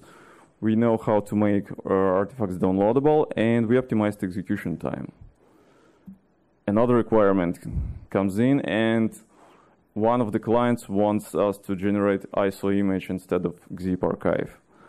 And now we need to learn how to deal with complex scenarios because, well, we could uh, we could generate them in parallel as well, but ideally we would like them to be generated in parallel within uh, within that last uh, package stage. So let's see how to do it. We specify another job, we call it pack ISO, and now the stage is different from the job name. We have two jobs, pack GZ and pack ISO, but the stage is the same. And by doing so, uh, they will be run, running in parallel inside during the package stage ex execution. The, the trick here is that the CI doesn't know anything about this mk iso fs command we are using to generate ISO image. So it's our job actually to to show uh, to provide this executable. So if you just uh, leave it like this, you will get an error. So we need to um, to install the software. And on Alpine Linux, it can be done like this. You just need to run this command. And you can pass multiple commands to the script uh, keyword. And uh, but to make it looking look better, we can use a keyword called before script. And by doing so, we made it making it more semantically correct. So the whole configuration now looks like this. And if I would show it, it to you at the beginning, I think it wouldn't make any sense. But for now, you should, I think, understand every single line. And the visual representation looks like this. So we put our code changes in, into the repository. They go to compile uh, stage, then to test. Then uh, the results go to, mm, to two parallel jobs, and then the results go to artifact section. Then of course, business has more stuff for us to do, and uh, now we want to publish a small website with those packages. And we want to put some HTML pages together with our packages to Amazon S3. And this is the command to do it. So since uh, GitLab CI is technology agnostic, it, it is it can launch every command you need to uh, to execute so at the beginning, the situation looks like this. So there's you, there is a GitLab uh, project, and there is a S3 bucket.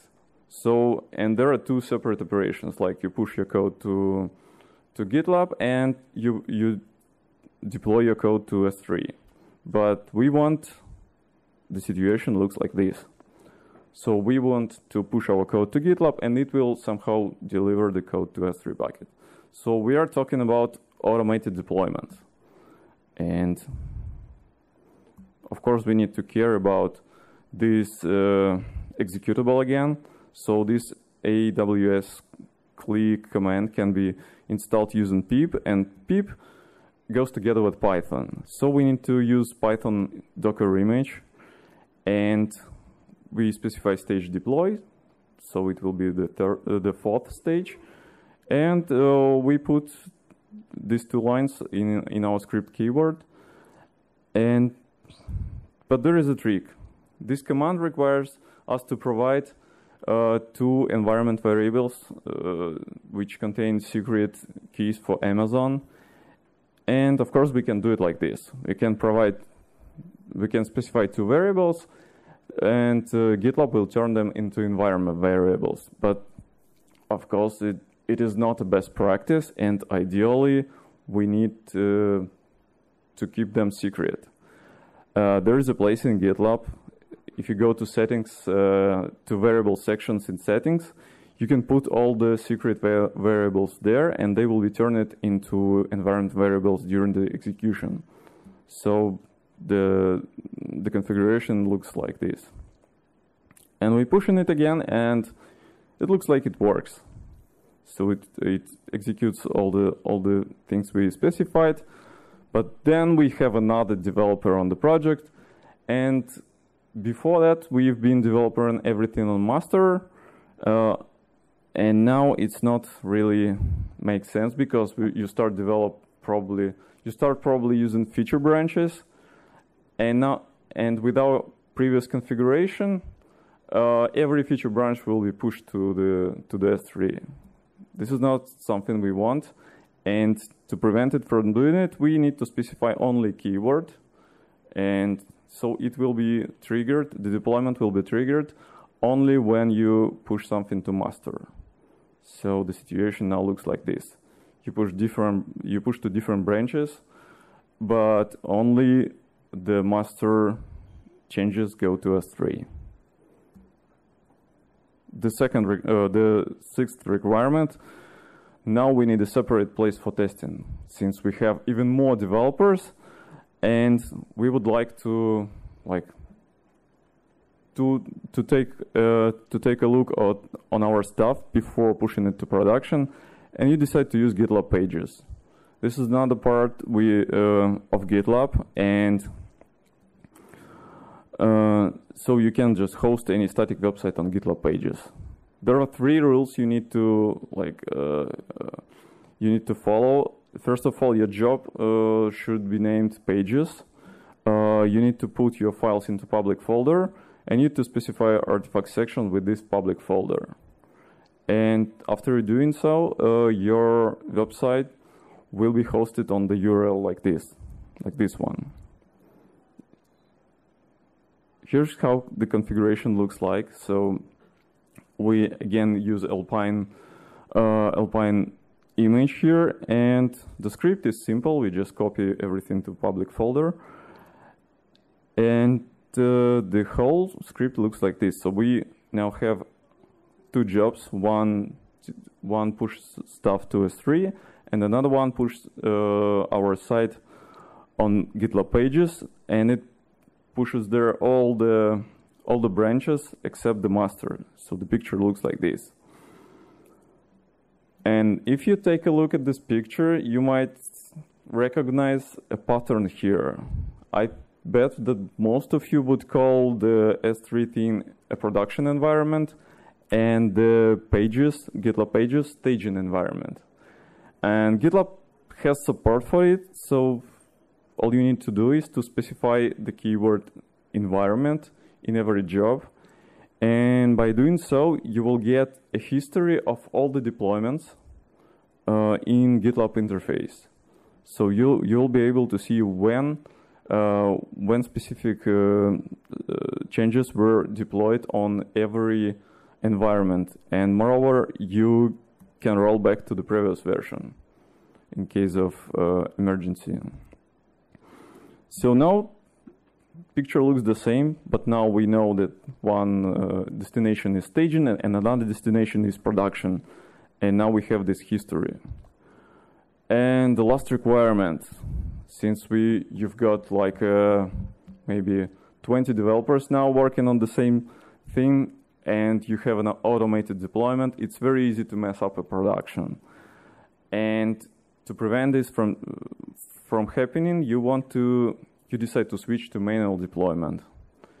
Uh, it is also done using only one keyword. You specify when manual, and after you're doing it, you will get this uh, this button. You click on it. So uh, the status of the, of your jobs will be skipped, and you can click every, uh, whenever you want to deploy. You can click on this button, and it will be triggered. And the last thing, so if you want, if you start to have like a hundred maybe of developers, uh, then you, it is a good thing to boot up an instance of your application per branch.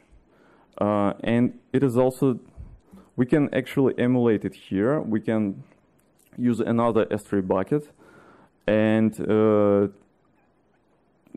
but the difference is that we not be copying all of, all our stuff to the root of it of this S3 bucket. We will be creating folders there and putting and folder names will be the our branch names. So uh, there's another GitLab version or like whatever you might need to and yeah, as I said, to simplify your configuration. So the summary. Uh, deployment is actually just a set of commands. And you need to provide, usually you need to provide the secret keys. Uh, and you need to specify where which branches should go to. And GitLab conserves, if you use environments, GitLab conserves the history of deployments, and you can enable manual deployment.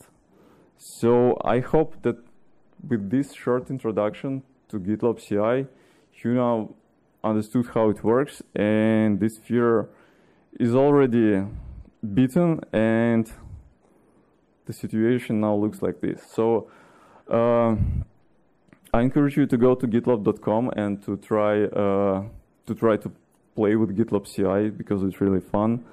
And if you want to like pass this knowledge to your colleagues, you can send them these two links. Those are like this uh, talk is compiled from these two blog posts. And i have a bunch of gitlab stuff. If you want some you feel free to grab uh, to grab some on uh, our gitlab booth down uh, downstairs and i'm ready to answer your questions and i can i think i can show a couple of uh, yeah, I need to mirror my. I need to show some real how real projects looks on uh, on GitLab. First of all, questions. Do you have? Well, you're welcome. Uh, so between stages, do you download the Docker image over and over again, or does it somehow cache if you're using the same image? There is a cache, but. Uh, so there is a caching uh, possibility. It uh, caches the image itself, but it takes time to boot it uh, every time. But and you can specify different images for every stage. Yeah, but if you're using the same image for a couple of stages, will it download it? No, the, it, it will be cached, so it will not be downloaded multiple times, but it will be booted up every time. If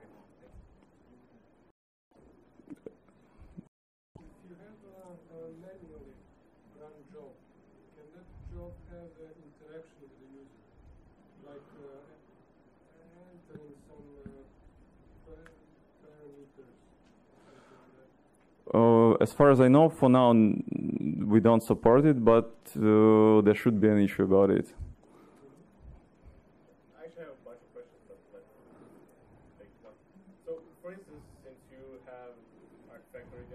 Mm-hmm. and you create an artifact and your developed, let's say, your developed version currently has uh, shebang in it.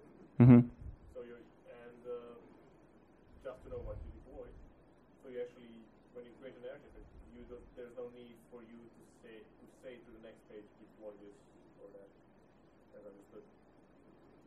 Mm, I'm not sure I understood the question.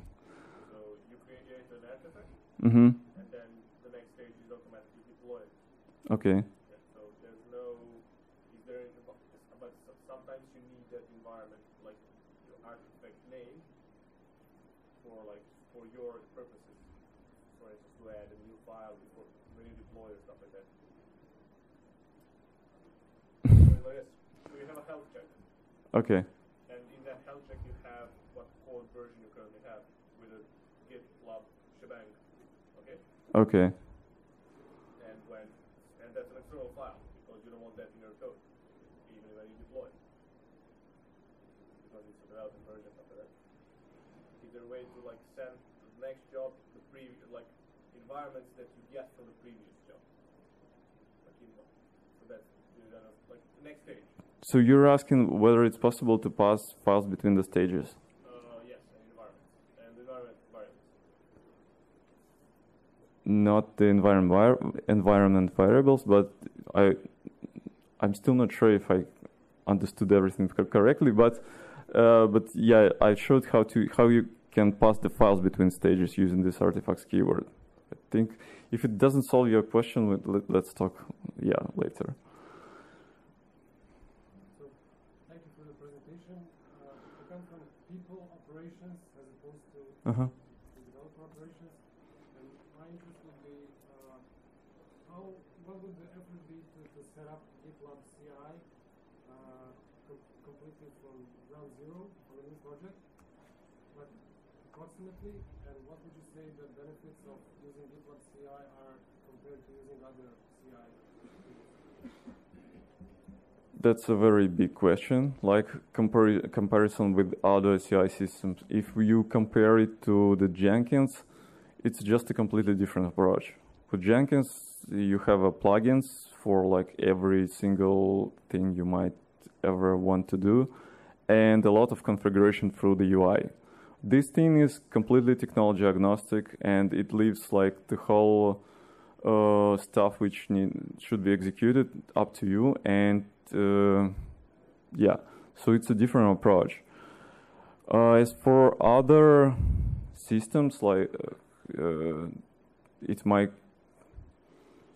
take a lot of time to compare one uh, one to another. For example there is a there are a couple of things which we are currently not providing. So uh, for example it is uh, we don't have integration with IDEs. So if you are used to like uh, to launch your uh, to run your tests uh, and see how they are executed inside your ID, favorite IDE, we don't have support for it, for it right now, but we also planning to do it. And another thing we are working on is uh, support for multi-project bu- uh, builds.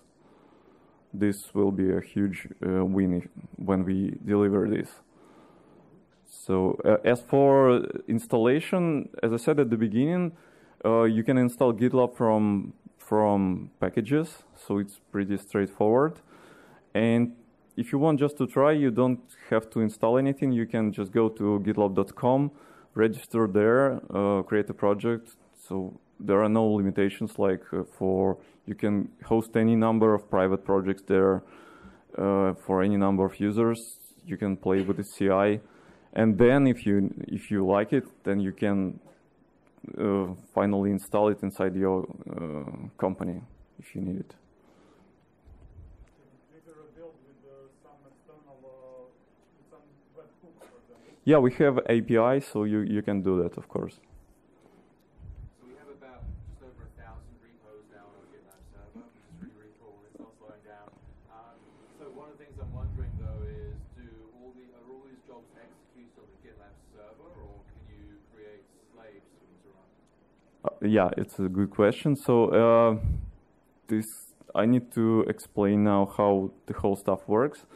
Uh, on a gitlab uh, so your jobs are executed on runners, and runner is uh, like uh, is a thing, well, which runs your job actually. And on GitLab.com we have a bunch of shared runners, like uh, those are machines provided by DigitalOceans, D- DigitalOcean. So whenever your your build is triggered, we boot up um, machines there and launch your stuff.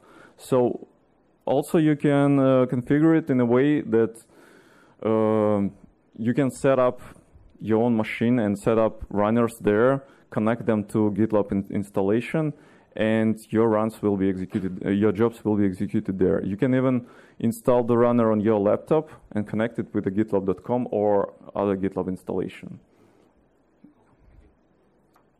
configure the runners to clean them, clean up after themselves. Yeah, there is a keyword uh, after script, so you can like specify all the necessary commands there. The bit trigger over bit. Uh, sorry? Um, like uh, yeah, dependency management. Like uh, you have a project which is built, and uh, after success, a success, uh, yeah, that will trigger over bit. Yeah, this, this is not yet possible uh, if you're talking about different projects. So multi-project builds are not supported yet, but our CI team is working on it right now.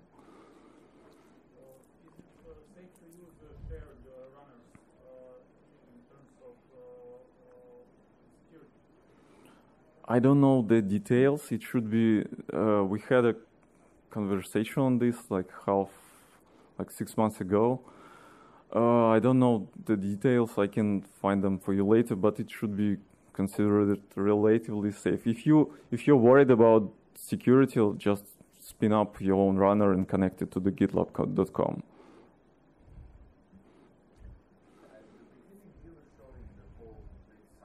Mm-hmm.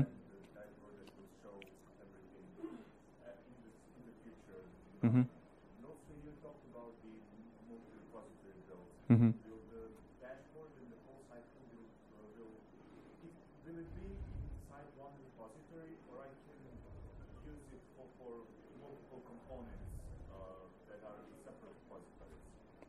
Short answer, I don't know. So we are like, uh, we constantly, uh, we don't have like a huge plan for a year up front. We, every month we decide what will be implemented. But the way uh, it would be implemented, most probably, it would be similar to the dependency injection pri- principle. So it won't be like you like in Jenkins. It will be a bit different. If it answers your question. More questions? No. Okay. Yeah, you can run. Uh, you can install Runner on Windows and yeah, execute jobs there.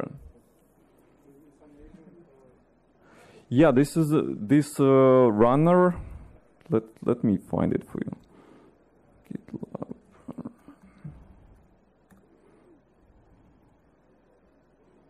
Yeah. Mhm.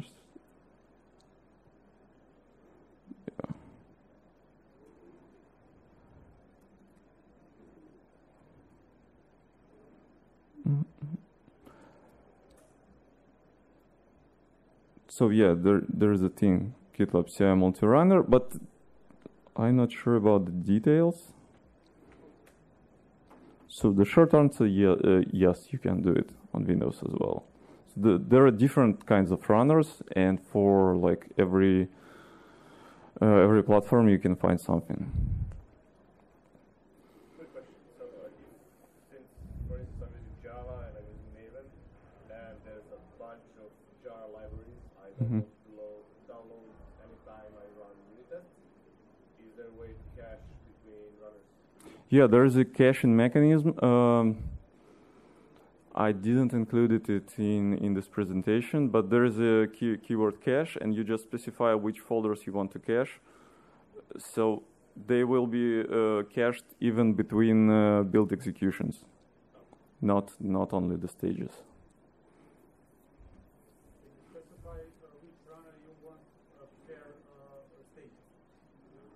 Yeah, you can. So you can uh, you can configure it uh, in a way that a specific runner will be used for a specific job.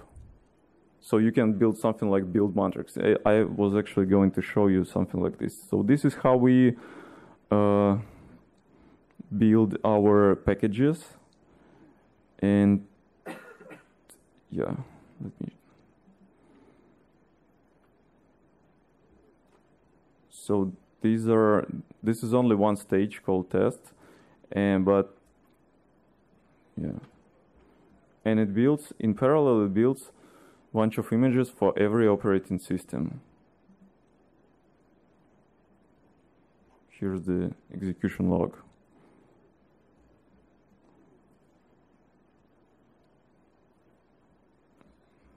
And another. This is a uh, this is how we use CI for our GitLab Community Edition project, and it looks a little bit more complicated and the configuration itself also looks complicated. I will just show it to you so you will see that uh, what kind of stuff is possible. Uh, repository.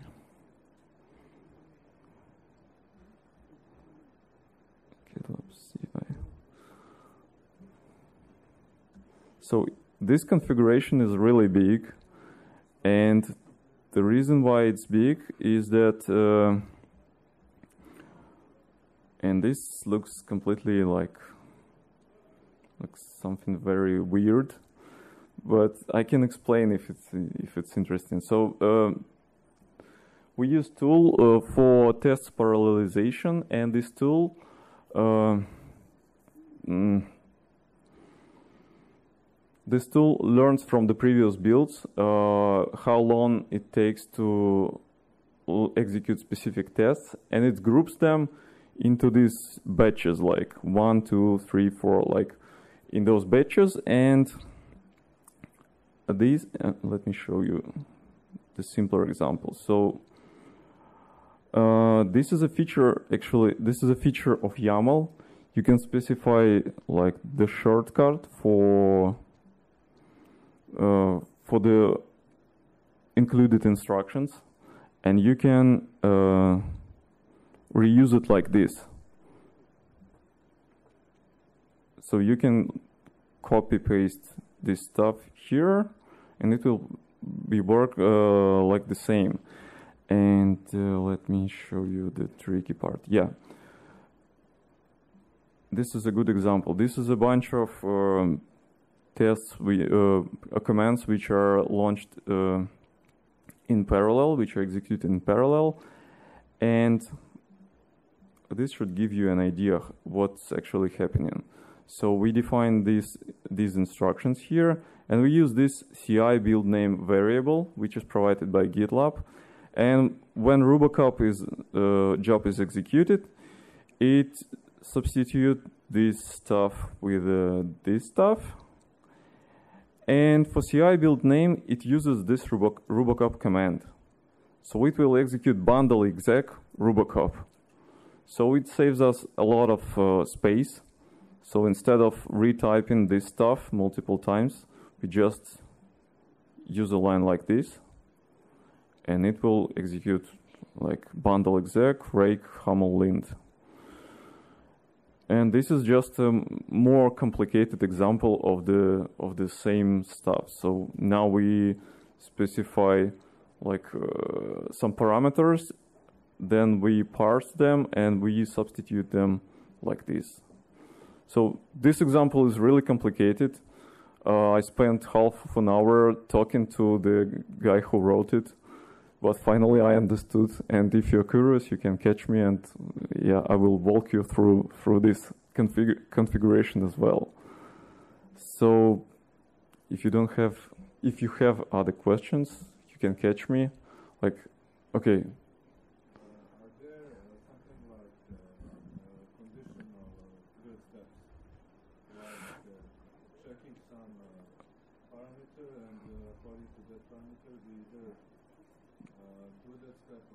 Good question, thank you. So this is another thing I wanted to show you. So this is exactly what you can see here. Uh, you can use variables like you can define default uh, value for some variable, like here.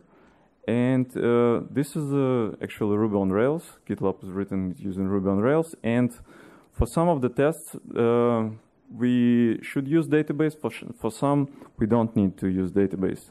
So what we can do, we can specify this setupdb variable to true by default and override it in the, in, inside the jobs. And when this will be in, installed or executed, then you will see this. Uh, this is actually what what you want to have. This is a conditional execu execution of this line. That's just another trick you can use. Okay, I think we should stop here. Feel free to reach me after the talk. Thank you.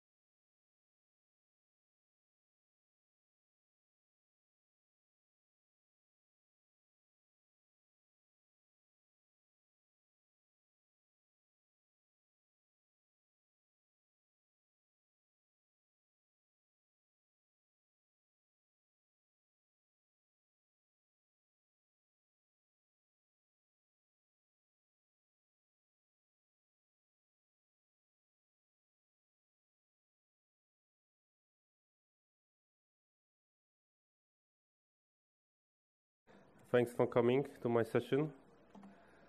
Uh, starting session after the lunch is always challenging. There is only one time when uh, it might be more challenging, which is before the lunch.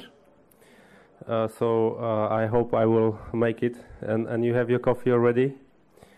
Uh, so in next about hour, uh, I'm going to share with you uh, my and my team experience with implementing uh, large mobile solution uh, combined with uh, some backend BPM integration. Um, my name is Jar Jarosław, but in, I'm, I'm, Polish, so in Poland my name is typically called Jarek. so my name is Jarek. Um, I'm we can say I'm solution architect uh, in uh, services uh, department at Red Hat.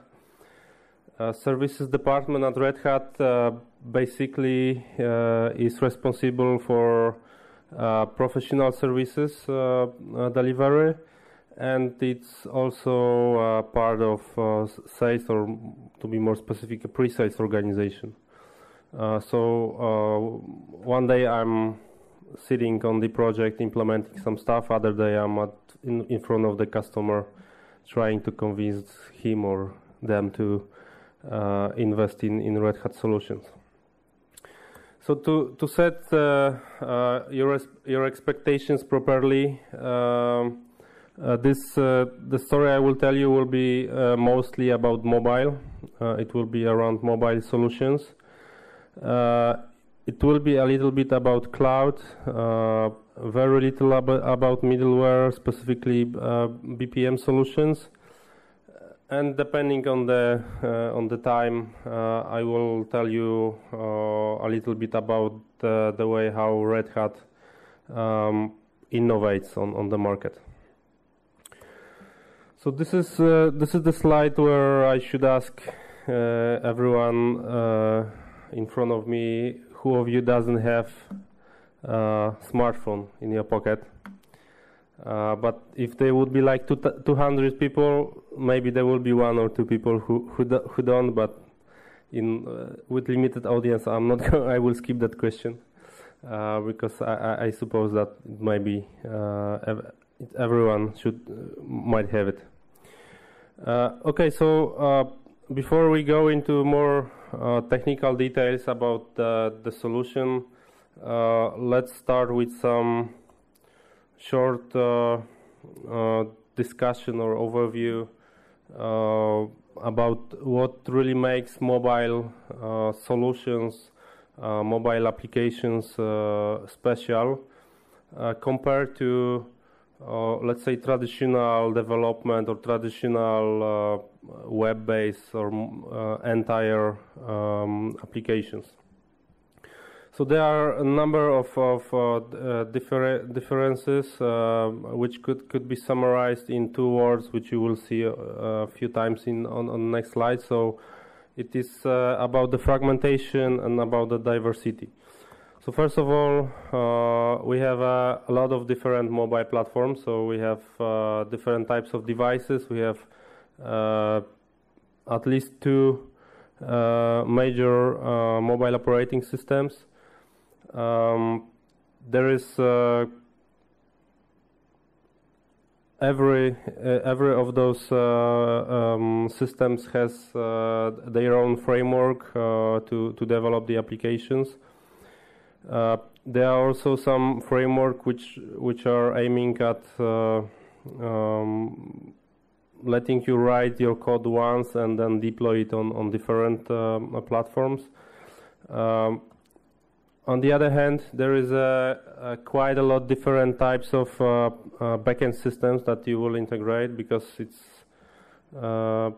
obvious thing that your mobile application will have to communicate with some backends that you host or uh, your partner hosts. Uh, those backends could be modern or old-fashioned. This could be uh, they could run on premise in your data center. This could be some cloud uh, solutions. Uh, could be anything. Uh, another thing which I really started to, to, to mention is the fragmentation of toolkits. So, so there are many different uh, frameworks that you can use to develop applications. Uh, you have different types of applications. So you have native applications, you have some uh, mobile web applications, you have those framework um, where, where you can uh, write code just once and then deploy it to, to different uh, mobile operating systems. Uh, there are also some um, IDEs, uh, development environments with, with some built-in frameworks. So there is really a lot of different technologies that, that you can use. And this is uh, uh, very much connected with the diversity of development teams. So uh, each of each, each part of your solution could be of your mobile solution could be basically built in different technologies. So uh, you might have really uh, different teams. Uh, also, in la large organizations, quite often those teams are separated geographically. So, so they might be you might be really kind of part of some kind of virtual team. Um, what is also quite um, um, specific to, to mobile is that uh, there is much larger frequency of upgrades and new deployments uh, of your uh, of, of your applications and also of, of, of some some of, of some backends of your application. So um, this is also something that must be considered when you uh, plan and implement your solution. That there may be uh, much shorter life cycle of, of your application. There, there might be some much more frequent um, um, releasing. Uh, so you have to start thinking about some uh, agile or DevOps uh, methodologies. Uh, next thing is, uh, of course, the security concern. So in general, in general, especially if we develop business to customers applications, we will not have a, a, full control over the distribution of our application. So it means that basically everyone could uh, get access to our application. So we have to think uh, how to uh, develop the application securely. And the last thing, uh, which uh, is quite often, is uh, uh a pressure from the business, uh, uh, from the stakeholders, from the business owners of, of, of the projects, to have a really um, to, to, to, to deliver very fast and, and very often and frequently new features, cool functionalities, cool user interfaces. Uh, with our applications. So all those uh, uh, all those um, facts or challenges uh, needs to be needs to be really considered when you start the development of uh, of, of uh, mobile mobile platform or mobile solution. so having in mind all those all those challenges, let's start thinking how we can build the, the, the, architecture of, of our uh, solution. So uh, we can start with typically well-known n-tier architecture, which is used for, for many years to build some um, um, uh, web, in most cases web-based or, or n-tier um, uh, applications. Uh, typically in this architecture, uh, we are going to use uh, uh, application server. Uh, however, the, the first challenge that you, you might uh, face here is the fact that the, the majority of application servers, especially those which are longer on the market, um, they they implement blocking I/O uh, architecture, which basically means that uh, every request uh, until it will be processed uh, will consume some uh, resources, uh, which means that uh, the scalability of of the application server instance might be or will be limited, and this might create challenges related to building some scale-out architecture. Um, of course, we might um, take the approach where uh, we will try to replace just the uh, front-end uh, layer. so we keep backend as it is based on the application server, and we just um, develop a new front ends uh, which consumes some some logic which is exposed by uh, by the middleware. However, uh, with that approach, again, especially if we if we develop uh, business to consumer applications, uh, we need to think how uh, we will handle traffic which could be hundreds of thousands or, or millions of of, of, of, of, clients, which might translate into tens of thousands or hundreds of thousands requests per second that will be hit will be hitting our infrastructure.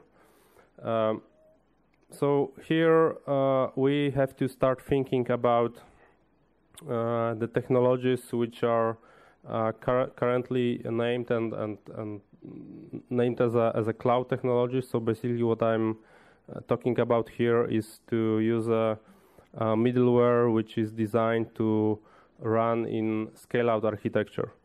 Uh, as you can see on the slides, uh, uh, we have here a, a BPM. Uh, so BPM platform, I will spend now two minutes on, on that. so business process management system essentially is a, a system where you can model and automate uh, business processes. So if you work with a corporate customer, they typically uh, all they do um, in, in IT, they, they automate processes. Uh, for some processes, they will use some packaged ERP systems, but for some, uh, especially for processes which are uh, changing frequently or uh, they span across different systems, uh, they, they might need to use um, dedicated platform where those processes will be um, modeled and uh, automated. So BPM system uh, typically is used when the customer is facing uh, at least one of those three um, challenges. So they, they need to have a, a better visibility of their uh, of the process of who is doing what, when, how long, and so on. Uh, second thing is, uh, which I already mentioned, is about agility. So when we have processes which are changing very frequently, uh, they might not fit well into packaged applications where uh, which typically cannot be updated too, too often, too frequently. And the last thing is about the consistency. So we want to be sure that the process, the, the instance of process will be processed exactly in the same sequence of, of step, no matter who is uh, who is doing that. And for for that uh, purposes, uh, uh we as a Red Hat uh, uh, offer a solution called BPM Suite. Um, this solution essentially consists of two major components. So we have a uh, modeling tools, so the tools where developers or analysts can uh, design the process, uh, draw the model um, using the BPMN N2 notation. And then there is an engine where you can deploy the process and automate that process. Uh, so the engine, uh, because we are talking about long-running processes, so the stateful processes where we need to have uh, when where we need to have a to save a state of the process between some steps. Uh, is using database, relational database. Uh, this database uh, also uh, can store some uh, key performance indicators, so, so, some statistics of our processes, so that we have we, we, can use dashboards to visualize visualize the process to to monitor the the business aspects of the process.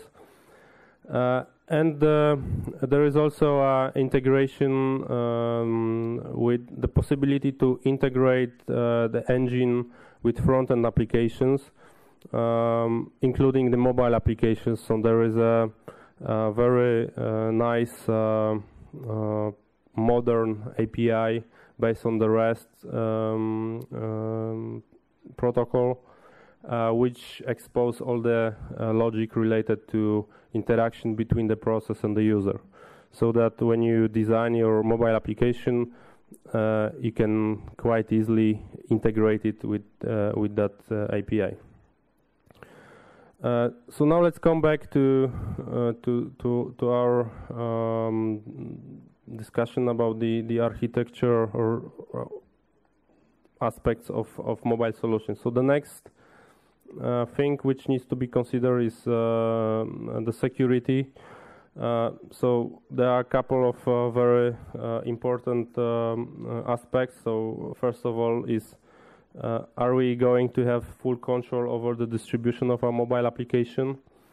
Um, then there, there, there will be uh, there, there is a question about how we how the application is going to communicate with the, the backend. So what what kind of um, te techniques or protocols we are going to use.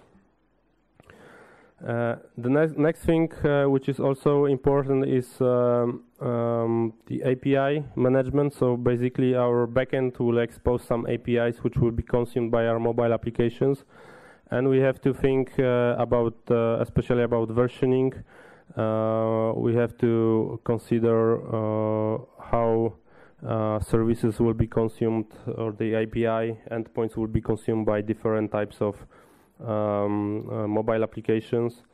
Um, the next thing which also is part of, of, of, of the solution uh, is to have a, a, platform where we will be able to uh, to, create a common build process which will uh, let us link um, separate sub-projects. So uh, sooner or later you, you will have a dependency where specific version of your mobile application will depend on specific version of some APIs in the backend. So uh, it's uh, important to have a platform which will be able to take care of that because uh, at, at scale it might be really a big challenge to be able to um, to, to, test and to, to deploy um, version of mobile application which will be connected with uh, a specific API. So uh, moving into uh, the, the, the real solution, um, so th there are a couple of things uh, that uh, we uh, discovered uh, as a crucial components of, of the overall architecture. So first of all, um, we um, we really re recognized uh, and, and we experienced that uh, traditional application servers with, with blocking I/O model they do not really fit well into that infrastructure. Uh, they don't really fit well as a, this backend part of the solution. Uh, and for that, uh, there is for for a few years uh, there is a new uh, type of uh, middleware designed, which is called MBaaS, which stands for Mobile Backend as a Service. and these are solutions which are designed to deliver two types uh, of functionality. So first of all, they are based on uh, non-blocking uh, I/O model, and secondly, they uh, support uh, scale-out uh, kind of cloud architecture. And we, as a Red Hat, we currently use two solutions. Uh, so first of all, first of them is Node.js, uh, which I think is uh, quite well known. Um, so the, the framework, which I think was built originally by Google, and, and now it's very popular uh, to uh, implement the middleware. and second one is is Vert.x, which is developed in Java, where we as a Red Hat has a quite large contribution and uh, uh, it could be also used to, to build this kind of uh, solutions. However, this um, so using just th this technology as a as a backend is not not enough. Um, so the next thing that we um, recognize as a as a best practice in this area is to really have a um, to try to build uh, as as lightweight mobile applications as possible. So it means that uh, uh, it's much better to have a majority of kind of core technologies uh, running here as part of this middleware. So you don't see really that this is this is really all the, the middleware. Uh, so uh, basically, the things like um, uh, security, the things like uh, data synchronization, things like data caching, um, all those uh, uh, functionalities, they should be implemented in in the backend, and um, and the you, you, should try to to, to avoid uh, building too much uh, logic into the, the mobile applications. And uh, all those all those experiences and, and, best practices they they are really um, uh, aggregated by, um, by by us by Red Hat, and uh, they are implemented and delivered as a one platform uh, which is called uh, Red Hat Mobile Application Platform. Uh, so this platform consists of, of three three major components. so this blue part is um, developer part.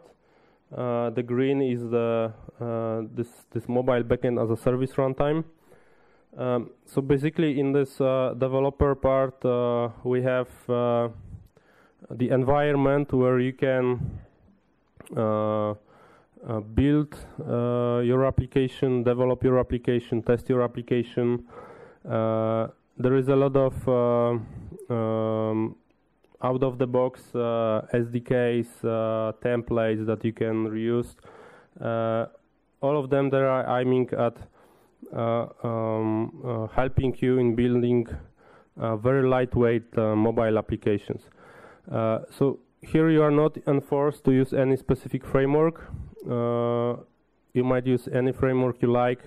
Uh, this platform is not really developer environment where you will code your application. This is a, a platform which delivers some frameworks, uh, uh, SDKs, uh, and which many will manage uh, life cycle of your of your application. So this is the the second part. Um, so I will I will show you uh, how how this how this is looking like from from the developer perspective. Uh, in general, the idea is that developer on his uh, workstation will have just the IDE with the framework he likes, where he just codes the application and then the code is committed into the uh, platform and on the platform uh, we have all the build, uh, testing, uh, staging uh, and deployment uh, processes implemented and automated. so this is a this is a developer part. The second part is mobile backend as a service. So we deliver a lot of out of the box connectors, and, and frameworks implementing different fun uh, functionalities.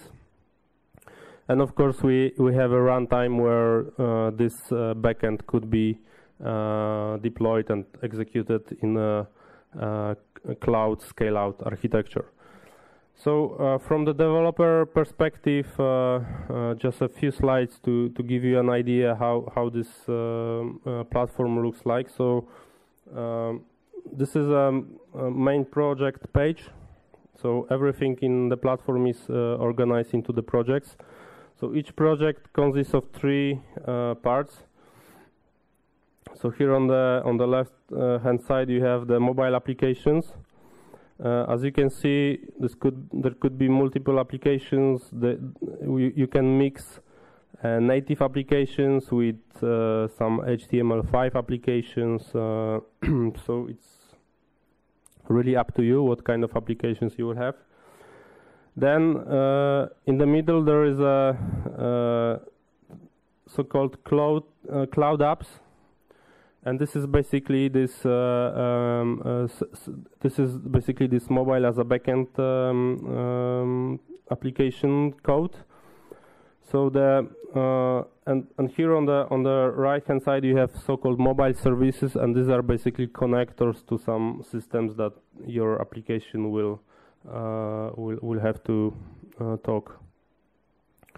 Um, so uh, this part here is deployed in the cloud-like uh, infrastructure, uh, which I will discuss later, and basically it also adds this uh, this code into the uh, into the application and, and delivers the functionality to to integrate with with backend systems. So all this uh, this and this are uh, written in uh, Node.js. Um, so, so this is the the, the, the framework that we use, which, as I mentioned, is non-blocking I/O uh, has non-blocking I/O model. so, uh, so first thing is to really create that structure. Uh, you might build each of those applications from the scratch in the platform. However, you can uh, import um, your existing uh, applications. Uh, especially, we talk here about the mobile applications because this is typically what is being developed outside of the platform. Um, when the when your application is um, uh, imported, it is also technically possible to to implement uh, to develop the application on the platform. Uh, what you can see here is really all the screenshots. They are from web browser, so you you, you work with the platform uh, using the web browser. Uh, but you know this kind of editors they are not really very useful. The things which are useful, for example, is Forms Builder, uh, which lets you build form um, uh, based application so if you have application mobile want to build mobile application which consists just of some forms which are just reading sending some data to backends uh, you can uh, build it here from the scratch using drag and drop editor. Um, however the thing is he, uh, that uh, what we really focus on is to have a, a source code of your application here so that we can have a control over a build process of your application. So we have a, a cloud build form uh, farm, sorry, uh, which uh, you can leverage to to compile and to to build your application. So um, this is uh, if, if, you are experienced with mobile development, uh, especially over the time you will um, experience that there are many versions of, of, of mobile frameworks uh, delivered by um, uh, mobile um, uh, OS vendors. And in order to be consistent to, to be to have a control to avoid to install specific versions on on, on, on developer uh, environment you can leverage that uh, build uh, build farm. so when you build your application, this this is this could be mobile or, or backend application. You can define the life cycle of it, so so you can define staging environments um, and, and the pipeline delivery pipeline for your application. So so so basically you can uh, create a staging environment and execute different uh, kind of tests. And what is also very important is that you can link here um, specific versions of, of uh, one application with another. So you can specific you can define the dependencies where you will say that um, my mobile application in version X has to or can run only with some service, uh, so with some cloud um, application or with some MBaaS service in version Y. Uh, and then, uh, uh, yeah, and of course, uh, uh, when when you are ready to um, to to to move your application into the live, uh, there is number of uh, ways how you can do it. So you can, for example, automate the process of deploying your mobile application into the uh, public um, uh, store. So, so there are some um, integrations with uh, some popular um, uh, open mobile application stores that where you can automate the process. You can also build a, a private store. So if you are um, creating applications, mobile applications uh, for for your employees or for some closed organization, uh, you might uh, um, you might uh, create a private store store as part of the platform and distribute uh, applications via that that store. um, and the last thing here is uh, is MBaaS services. So, so as I mentioned, there is a quite uh, large library of out-of-the-box services that you can leverage. So connectors to different technologies. Uh, as I mentioned, it's all based on Node.js. So uh, basically, any uh, Node.js um, library uh, could be deployed here and exposed as a, a service. Uh, and could be um, integrated with mobile application. Uh, what is uh, here very important in the in this platform is the execution environment for for this mobile backend. So it is uh, based on the technology called, called uh, OpenShift. Uh, so this technology is a cloud um, uh, has a cloud uh, architecture, so scale out architecture. It is based on the uh, Docker technology and and Kubernetes um, cluster um, manager. Um, so this is uh, this is part of the larger solution that that we as a Red Hat offer, uh, uh, which basically aims at um, um, running uh, Docker-based applications in clustered uh, enterprise-ready um, environment.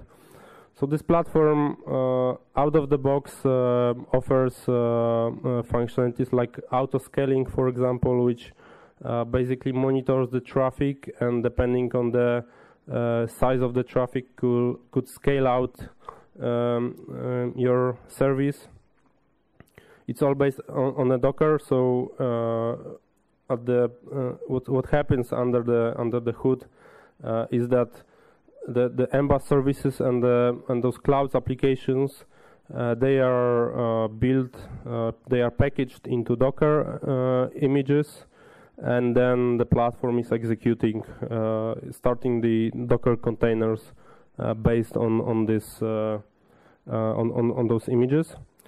Uh, and the platform itself is, is really very generic, so, so you can run basically any kind of Docker container. Um, you just need the image and, and then you can run it and uh, run it in, in, the, in the clustered scale out uh, environment. So I, I suppose most of you know Docker. Um, but uh, in in uh, what is role of, of, of, Red Hat in, in Docker? So Docker is a project, is an open source project, and Docker is a company as well. So we are uh, the second contributor in the Docker project. Um, however, we use Docker only as a um, consistent packaging format. So uh, we, we leverage Docker technology to build Docker images uh, we we use uh, Docker uh, runtime in in our Red Hat Enterprise Linux, but all the orchestration. Um, uh, um, devel developer um, so de dev support for DevOps automation in, in development uh, is uh, is developed by our, ourselves. Uh, as I mentioned, uh, for Cluster Manager, we, we, we collaborate with uh, Google on, on Kubernetes. for DevOps support, we, we, we build a lot of our own um, technologies and solutions. Um, okay, teraz some uh, some um, uh, proof points. Uh, um, so so you might ask why should we use this technology and uh, this approach and, and not anything else or why don't we build it ourselves? So first of all uh, there is a Forrester uh, wave uh, report uh, which was released over a year ago. uh, and uh, in this report, uh, we are, as you can see here, on the top right position, which means that we have the strongest strategy in this area. So basically, we have the the, the most complete vision of, of the platform. Um, I, I, believe that this year should be even we should be even higher because uh, we have we have added some some new important functionalities into the into the platform. There's also quite a lot of uh, customers who are already using uh, that platform. Uh, just to name two of them, uh, actually the one I cannot name, but maybe you might recognize the the uh, operator of the rail infrastructure in UK is using that platform to manage their portfolio of, of mobile applications they, they, they create both uh, uh, business to business and business to customer applications. so they have different types of um, users, internal, external. So so they they, they are managing all the infrastructure using using that platform. Uh, there's also a lot of use cases where this platform is being used for um, uh, workforce management. So uh, uh, there are more and more companies who employ their workforce with some um, smartphones or tablets. Uh, and and when those employees they uh, they do they do some work um, uh, somewhere outside, like in this example we have the elevator service, but this could be any type of service uh, that works somewhere in the in the field. Um, it's quite easy to to design and, and to run the the application, which will be able to monitor and to uh, register the activities of the employees uh, um, on, on, on that platform, and uh, and this is this is a use case which which has been implemented by by number of uh, by number of our customers. So this uh, basically concludes the, the, the the part about the uh, about the, the, the mobile platform itself. Uh, you have any questions now about regarding the technology? Something unclear for you? Uh, so I will spend a few minutes on the mm, more let's say generic topic, uh, which is about the the way how Red Hat uh, innovates.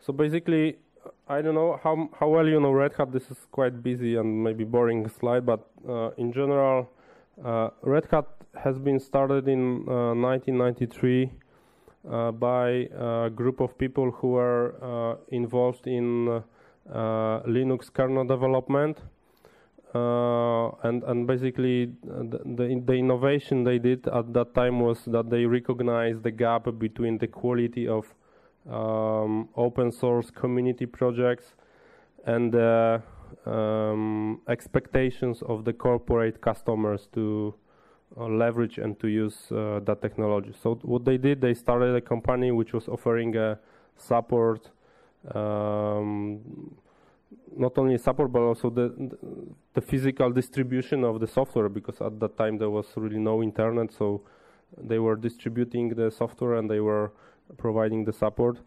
And and this is basically more or less the model uh, that we uh, keep uh, until now.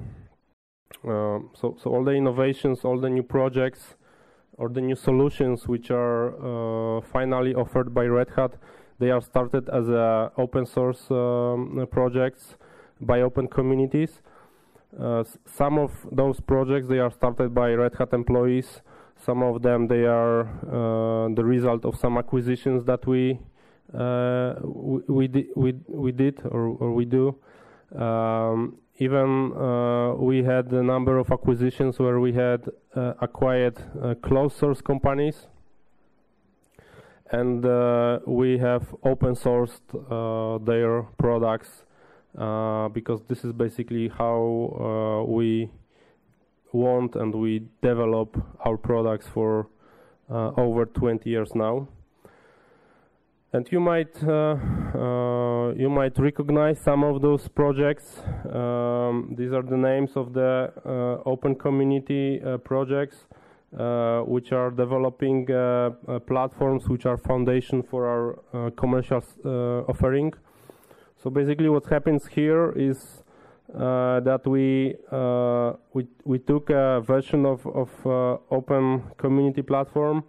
We um, uh, st stabilize that version. So we fix all the issues. We uh, stabilize the code. Um, also we, we we do some security audits some legal audits and finally we produce our own binaries so separate binaries uh, of the products which are offered to customers uh, in a subscription model so without any uh, any uh, license. And what is quite uh, interesting, at least for me, uh, recently, a few few weeks ago, basically, Red Hat was named by Forbes as uh, one of the most uh, innovative companies.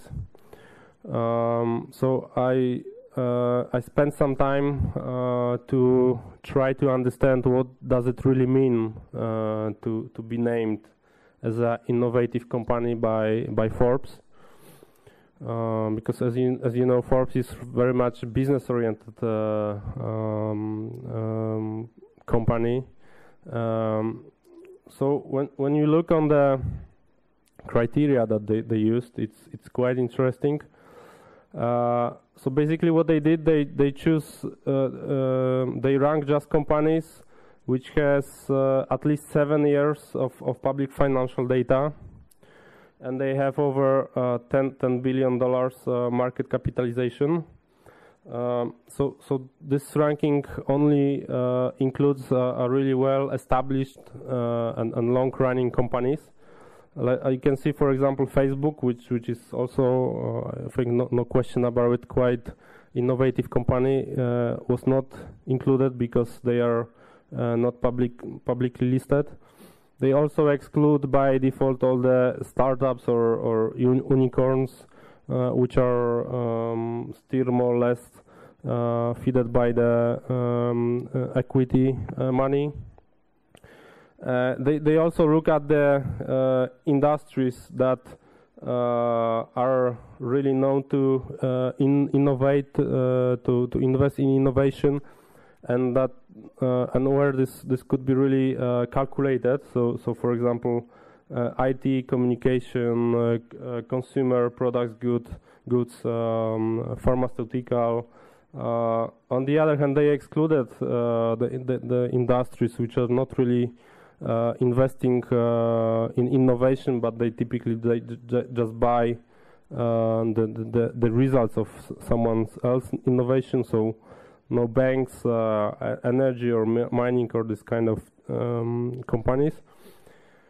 And finally, they did some calculation, which is called innovation uh, uh, premium, which basically um, is checking or is, is um, calculating uh, how well the company uh, monetize the innovation. So uh, how um, effective is the company in uh, commercializing innovative solutions. And now I have a question for you. Who, in your opinion, uh, might be the winner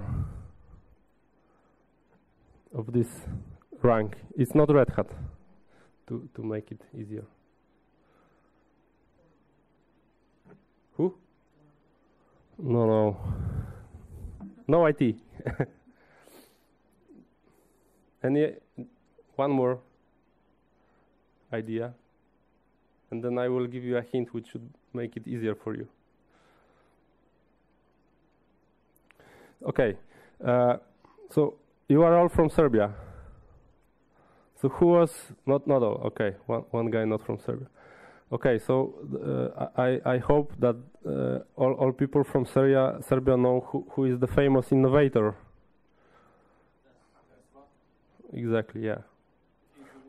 Not he. it's Tesla Motors. So this is the company uh, which has won that uh, that ranking, which I also find quite quite interesting to be uh, to be positioned uh, with with that company. Uh, the last thing which is interesting in this ranking is a, a question: Who from IT is um, in the top 50 list of of that ranking? So there was Oracle. Any any other idea who might be there?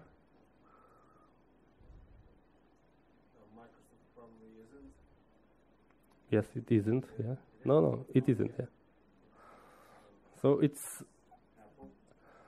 uh, it's also uh, quite interesting for me that uh, you will not find here any traditional uh, supplier of, uh, of, of, of a technology for uh, enterprise customers in in let's say in general, but also in, in our region. So actually Salesforce is the only brand that, that you might uh, know and might be using, which which was uh, which is really ahead of uh, Red Hat. Um, so I think it's it's quite it's quite interesting. Okay, so that's all from me. Thank you very much for your time. I hope you find it uh, interesting and useful. Uh, if you have any questions, comments, uh, you can reach me if you manage to note my my email address. Thank you.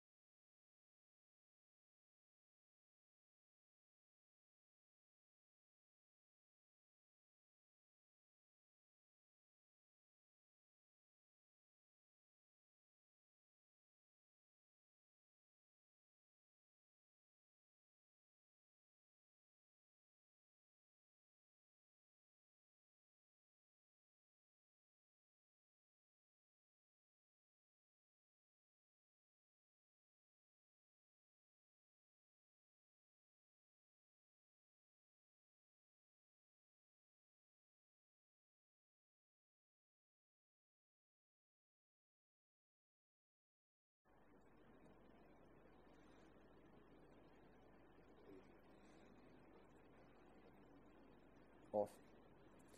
Uh, hi, guys. Uh, thanks for coming to this talk uh, in such a large number. Um, my name is Stepan, and today I'm going to be talking to you about uh, how to deploy uh, your applications with Mina. Um, in our application, we have a 20-something person Rails team. I am one of their leads, and we've been doing Ruby and Rails for the last eight years now. Um, we have about 150 to 200 uh, Ruby projects already, and we are growing. So that's cool. Um, so what does it mean when we say we want to deploy an, an application? Basically, it means you do some coding and you want that new code to appear on your website or uh, on your mobile app, whatever. So you need a you need a way to get that new code somewhere on the server.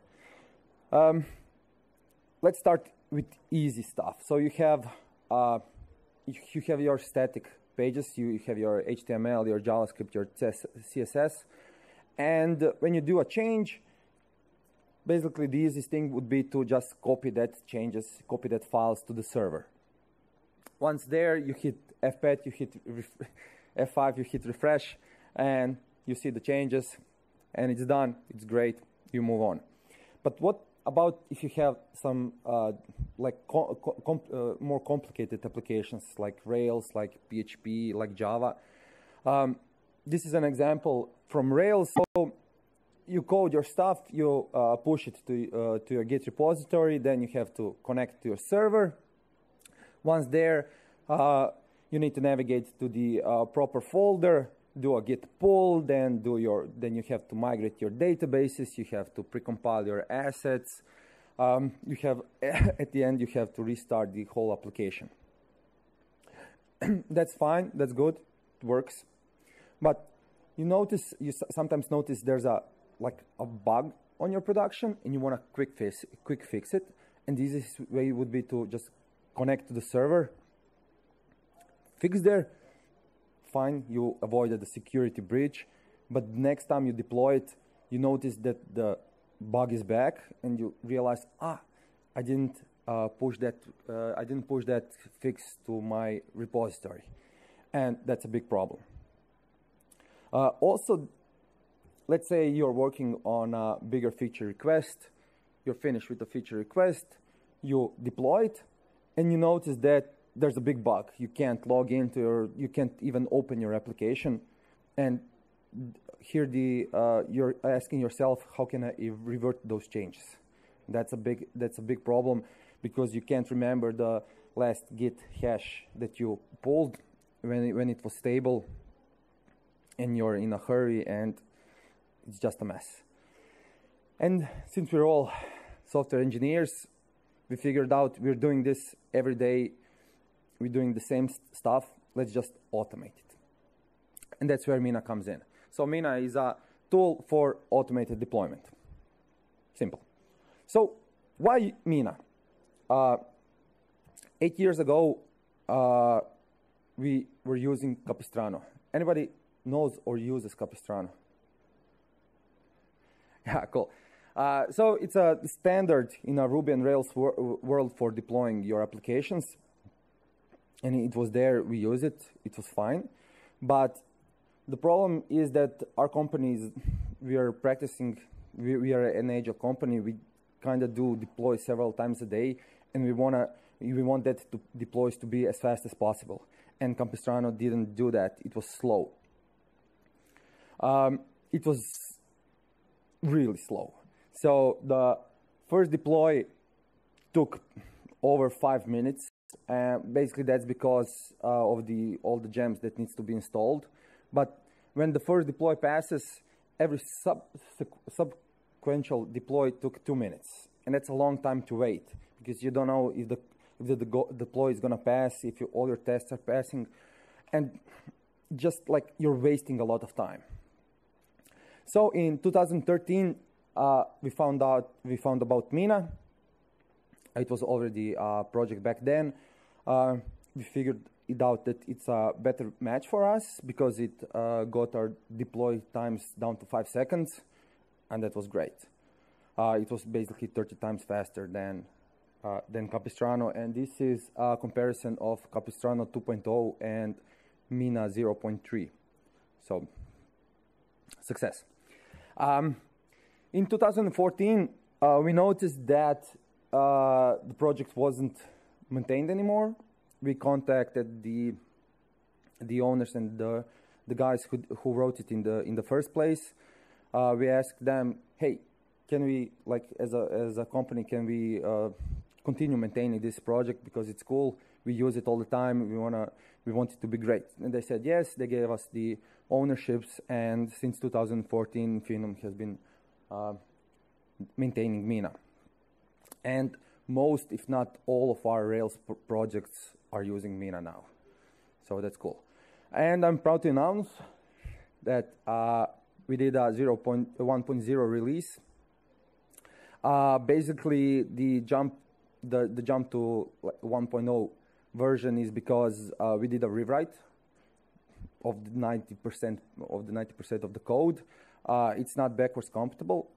So uh, we did an internal survey and figured out that it wasn't in a greatest state. Let's just do a whole rewrite. Let's make it better, and for the future, and for the better like usability in the future. First up, what Mina is not. Mina is not your Ansible. Mina is not your chef. It's not your puppet. It's only a small part of it. It's the part that you use that you're deploying your application with. Uh, it is not your Docker. It's not your Vagrant. Mina can be used to deploy those things. It can be used uh, to deploy Docker images and uh, all other virtualization tools, but it's not a tool for virtualization. So, yeah. And for Mina to work properly, your server has needs to be already set up. So you need to have your DevOps guys uh, do all the all the stuff um, for it. You need to have uh, secure communication between yourself and the server, which means uh, public and private keys. Uh, there shouldn't be any passwords required, so better to turn them off for better security. All the software that you're gonna use need they need to already be installed. So if you're using Git, Git needs to be installed. If you're using Ruby, Ruby needs to be installed. PHP, so so on, so on, so forth. And um, at the end, you need to have a special deploy user that's sudoless that only does the deploy stuff. So if if you have any actions you don't want like your scripts to do, just create a user that can do that. So it can break any other parts of your system of your um, of your server. Now, what Mina is? Mina is a tool to make a deployment a joy. Uh, it's a wrapper around Rake. Uh, Rake is a make for Ruby, and it has tasks and it's quite powerful. So why not use it? In its essence, Mina creates big shell script from your settings, from your uh, configuration files, and then it sends that whole script to the server in one SSH connection. Uh, Capistrano used to do this uh, one, uh, one command per, per session, so it would open up, each time a new, uh, new, com new command came, you would open up a new SSH connection, and that's, that's why the, those two minutes, that's why deploy took two minutes, because of the, all the um, SSH handling stuff, and it was just a, like drag. Uh, and Mina does this basically in a one SSH connection, and that's why it's fast. Uh, it has an understandable file tree. Uh, so it's organized like this. You have your releases folder where all your current and past releases are stored. You have a link, current link, that points to your current release. Uh, the SCM folder is here for your versioning control uh, information. And uh, at the bottom, the shared folder is a folder where you want to put all the stuff you do not want to lose be between deployments. As deploy, as every other deploy, every new deploy is created in a new folder, you need a way to share those. you need a way to share your production logs. You need a way to share your um, user uploaded stuff if you're not using S3 and that kind of stuff. Assets, all your gems. You don't want to bundle install uh, your gems every time. Mina is also easy to use. and I'm going to show you an example now. Uh, so you have your project, it's production ready. Uh, you do mina init, which creates a deploy RB configuration file.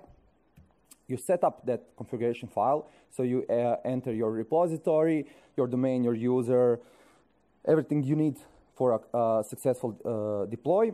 Then you need to uh, enter setup, so all that configuration, all that file structure would be uh, created on the server, and then you do deploy.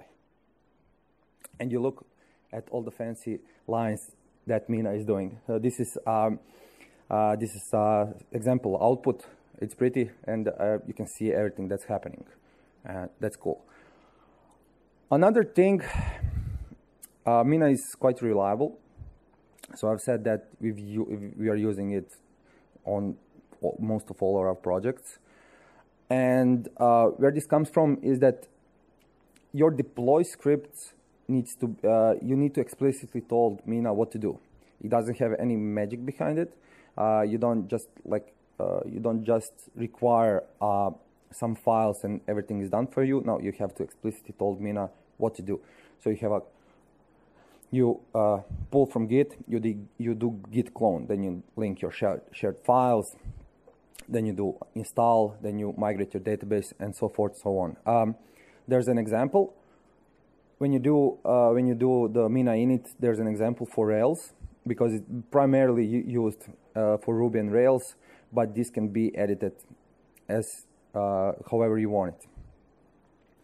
Uh, behind the scenes, the deploy script looks like this, and uh, I just want to point out that if any of these stages fail, uh, it's not gonna, it, the current release is not gonna point to a failed release, but it's gonna clean up af after it and you, you, have to do uh, your, you have to rewrite it, you have to fix the, the bugs that, fix the errors and then try to deploy again. So it won't mess up your uh, stable release.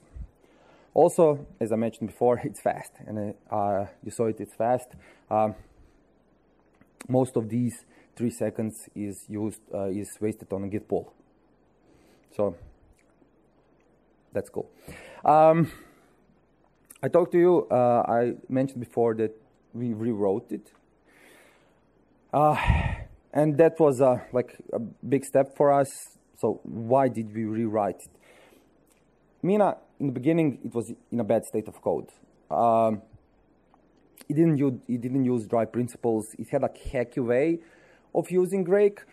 Uh, and most of all, it was very difficult to add new features to it.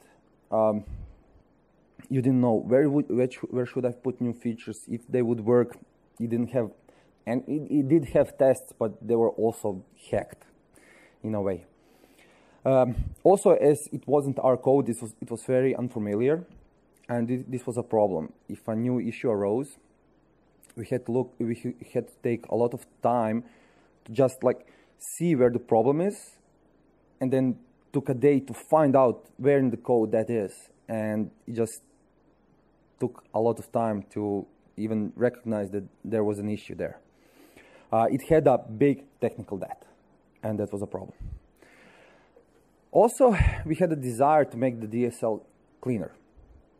And by cleaner i mean uh, by this. Uh, this is uh, an example task that uh, you used to write and it's kind of unreadable. So uh, we have here set default, so you're gonna set some variables that you're gonna use in your tasks. We figured out why use set default, just call it set, right?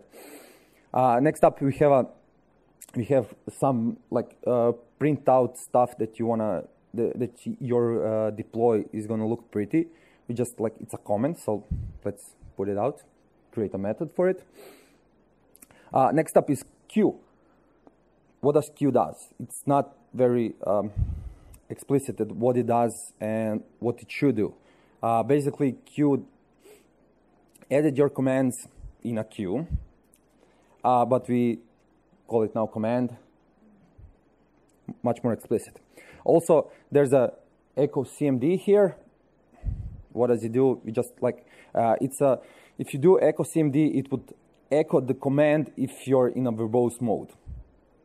So we just integrated that inside of command. If you if you're in verbose mode, I think you wanna see all your commands uh, that you're deploying. Uh, next up, we have some arbitrary variables here that you or some other plugin uh, set up. You do not know if that's a DSL command. You do not know it's a, if it's a variable or whatever.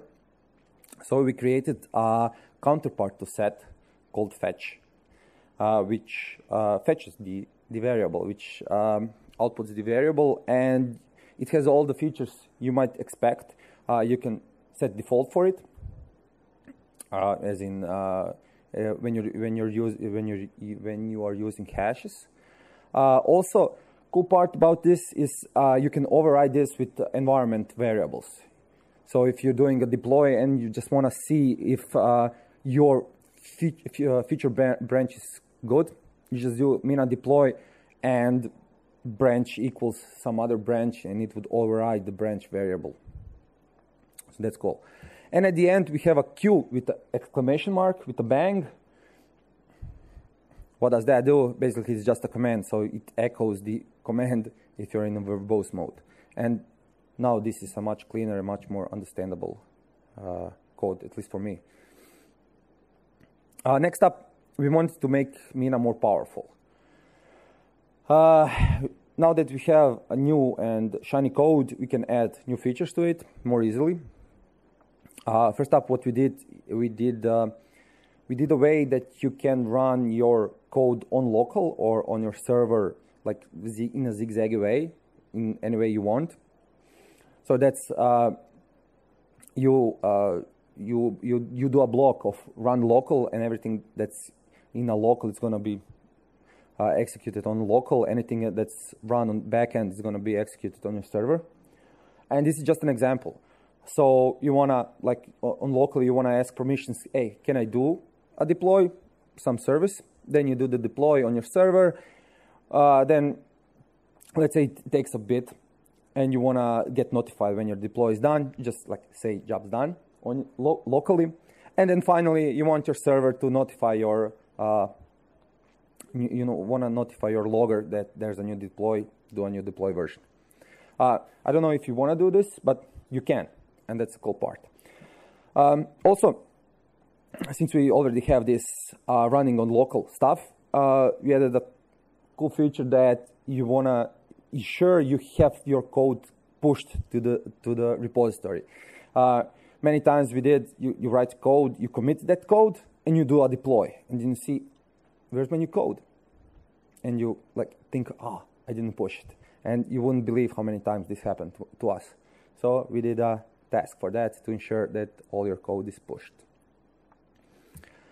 Also for Rails, uh, as we are a Rails development uh, agency, we need this to be faster. Uh, basically, uh, old Mina didn't uh, didn't cache your assets, and on each time each time where when you would alter at least even one line of your assets, it would precompile all your assets. That was a problem because if you have a big application, that takes a lot of time. So we made this faster by taking advantage of the asset cache. And now we have this. So now uh, this is a comparison between Capistrano 3.0, which did uh, upgrade of its own uh, internal internal like procedures. It now does one big SSH connection, but it sends command one at a time and waits for the response. So it's still slow. And Mina is much faster now. So 10 times as fast. So that's cool. we already uh, have some integrated plugins for it, basically because it's written Ruby and it's for Rails. We have Git, we have Rails, and for uh, plugins for most of the Ruby managers. Uh, but there are third-party plugins. You know, uh, community already did um, some of those plugins that they wanted. So there's a plugin for Passenger, for un uh, Unicorn. Uh, there's a uh, plugin for syncing your data, remote and local databases. there's a plugin for Vault. If you want to store your secrets in a safe way, and you should, you should use that. and there's like y- uh, there's no reason to not write your own plugins and just uh, send us the link to the new plugin and we'll add it to our list. Of course, as with many tools, Mina is not perfect. Yes, no tool is perfect. Uh, it can do parallel execution. So if you have multiple servers running, running your code, you need to uh, deploy your code sequentially. Um, as Mina is built, is it's building one big uh, script. We can't know if some of the commands in that script is going to fail, and when it fails, we don't know how to, um, like, we don't know how to uh, tell the other uh, parallel executions, hey, stop now, don't do this, something went wrong. So if you have multiple servers, you have you probably have a bigger application, and then you should use Capistrano for this. And that's uh, like be reasonable about it. Um, there there are no ser server roles. It's just one server, just one backend. You can do this with task, but you would have to write your own task. But it's not integrated in Mina as such. And also, the whole point of this is that Mina can do only what your deploy user can do. So if your deploy user can't restart your, uh, let's say, Nginx services, then Mina can't do that either. And uh, I already talked about this. So you use Mina, uh, use Mina if you have a smaller project, if you have one server, if you uh, change your code a lot and you need to output that code to uh, to the web faster, use Mina. If you have multiple servers, if you have a bigger application, probably better way would be to use Capistrano.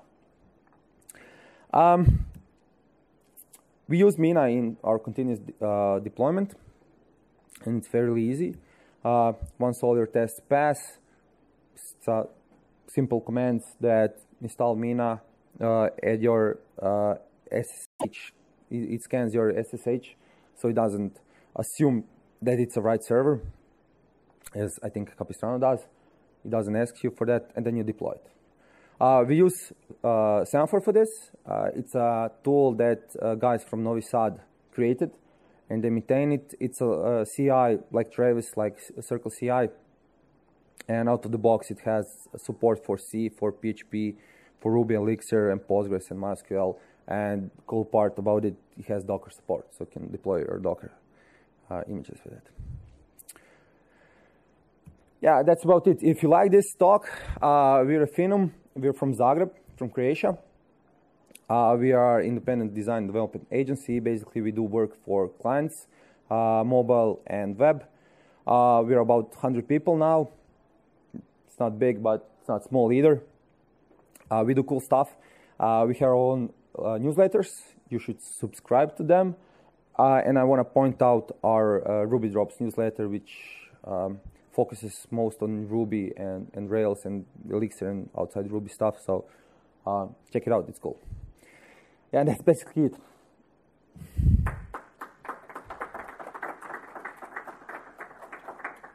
Are there any questions?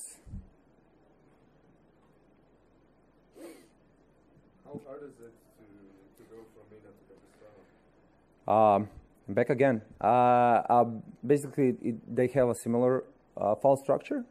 You can do it, but it would be a better way just to create a new folder and use your use Capistrano to deploy to a new folder. It would be much simpler and faster. But basically, they're same. Um, yeah. No. Okay, then hit me up on uh, Twitter if you have any more questions. That's it. Okay.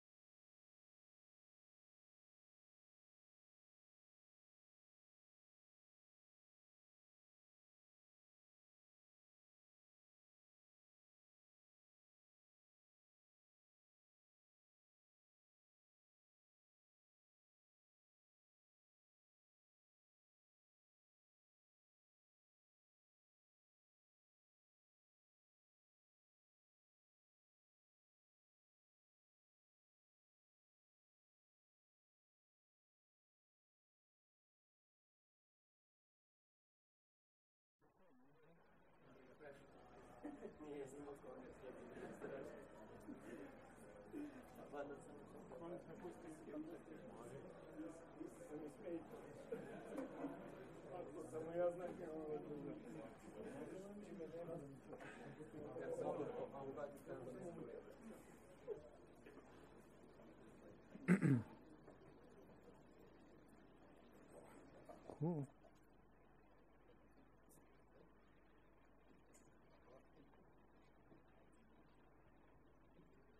My stuff?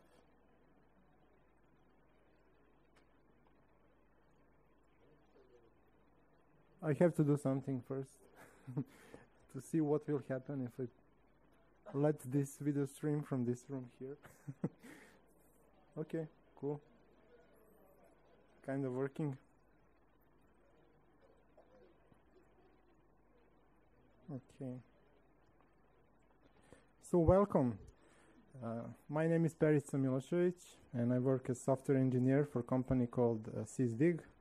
And one of the things I'm going to present here is an open source tool that my uh, company works on.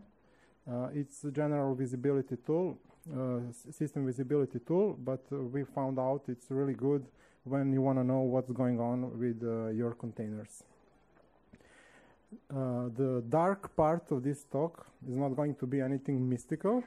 The dark part uh, will be because we are going to look a lot at my terminal and it has like a black background. So that's why this talk is going to be dark.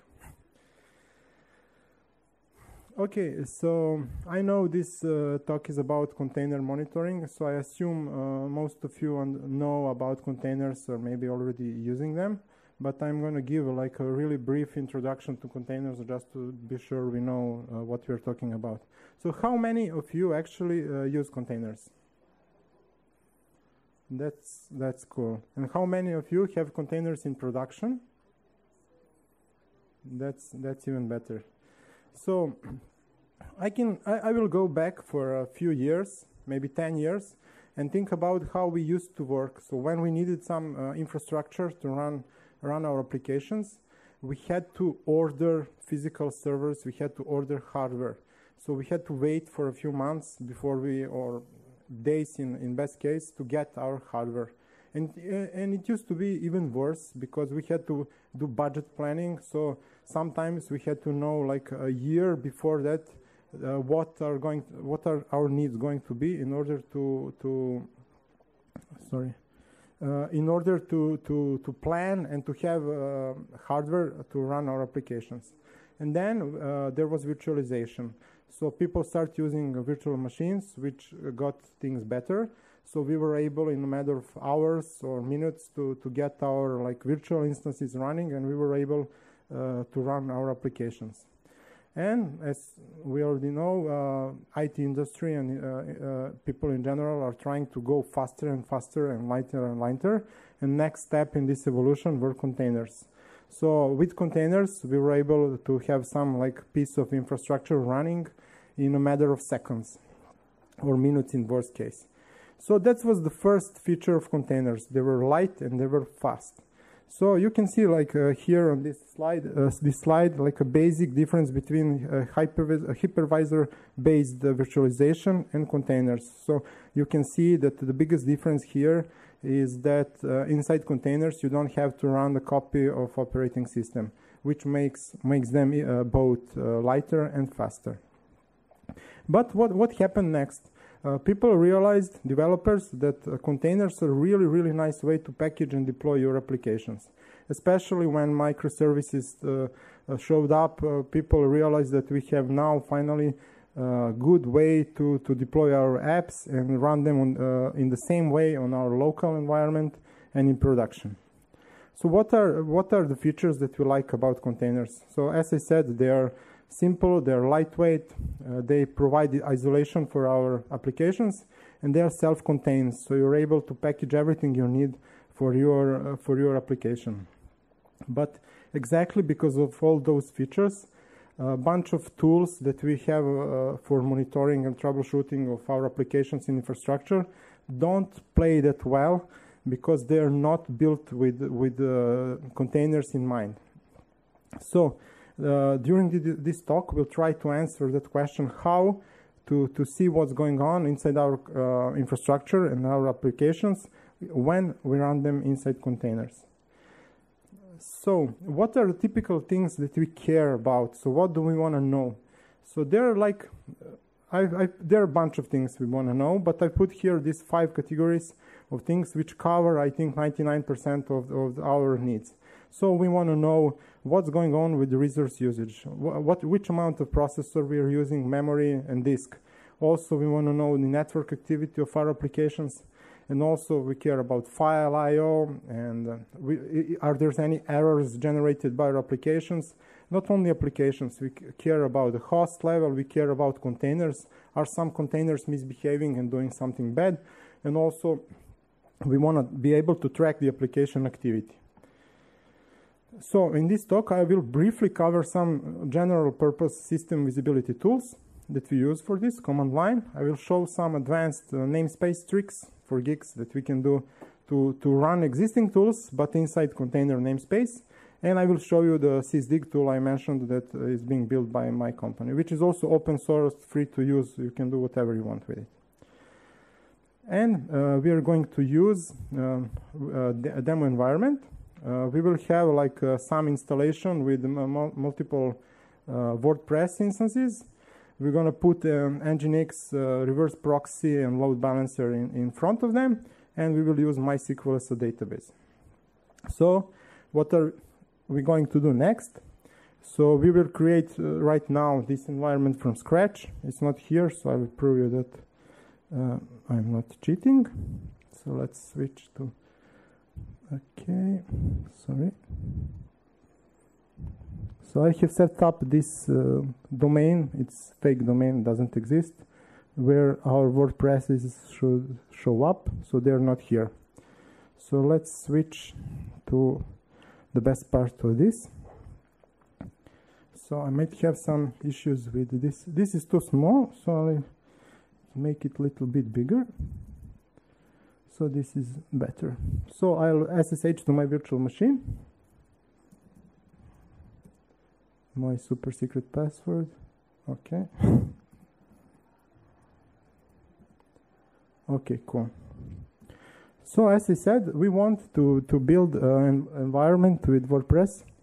So I, I have issues uh, with this microphone but I think it will work. So I have built this uh, this uh, configuration can you see, can you see the, the letters? Are they big enough? Okay, cool. So as you see in this config file, I have configured Nginx, WordPress, and MySQL. So with just just basic information here. So I'm gonna use this to to run it. I'm gonna use Docker Compose and say app and go to background. And that's it. We have our infrastructure up and running. So let me see if containers are there. Cool, it's, it looks like working.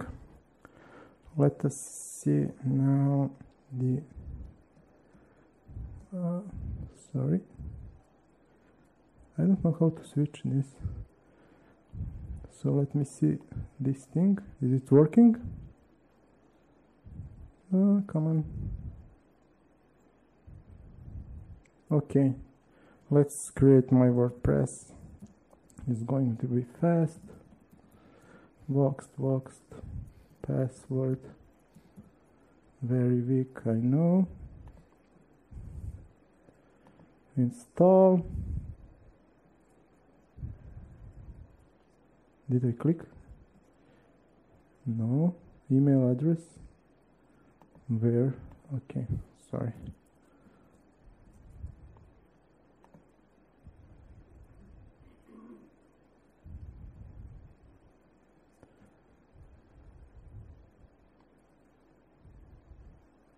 okay.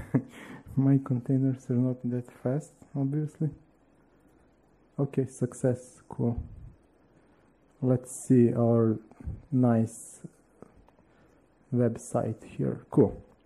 So we will switch back here. So since I know I'm gonna have like a bunch of visitors the next thing I want to do is to scale up this WordPress from single instance to, to multiple instances so I'll use docker compose scale wordpress equals 4 and that's it. So now I have my nice demo infrastructure up and running. Let me see what's going on. Do we have everything? Yes, so our containers are here. So next, I know something is going wrong and uh, I want to see what my containers are doing, how they're behaving, and what options options do we have when we know like let's let's start with the with the first uh, first thing that we care about, and that's resource usage. So what options do we have when we, we look at resource usage? So the, the common thing that user, users do is using top. So let's run top here to see what tops show us. So cool, top is a well-known tool. It shows us processes, shows us the amount of memory they're using, CPU and such. Let me sort this by memory. Cool, I, I see a bunch of Apache processes but I have no idea to which container they belong. So what we can do here, since top is not built for such use case, so there is something we could do. There is a thing called C groups, and that's a feature uh, in kernel that is used to used to build the, the do you see them? Yeah. Sorry, can you? Ah, okay. Cool. So now we have C groups. Now let's see this uh, last column. It's cool. Now we, we can see that uh, these uh, processes belong to some container and we can see even the container ID. So this is a bit better, but I'm still not able to see uh, the, the resource usages per container. So what are our options here?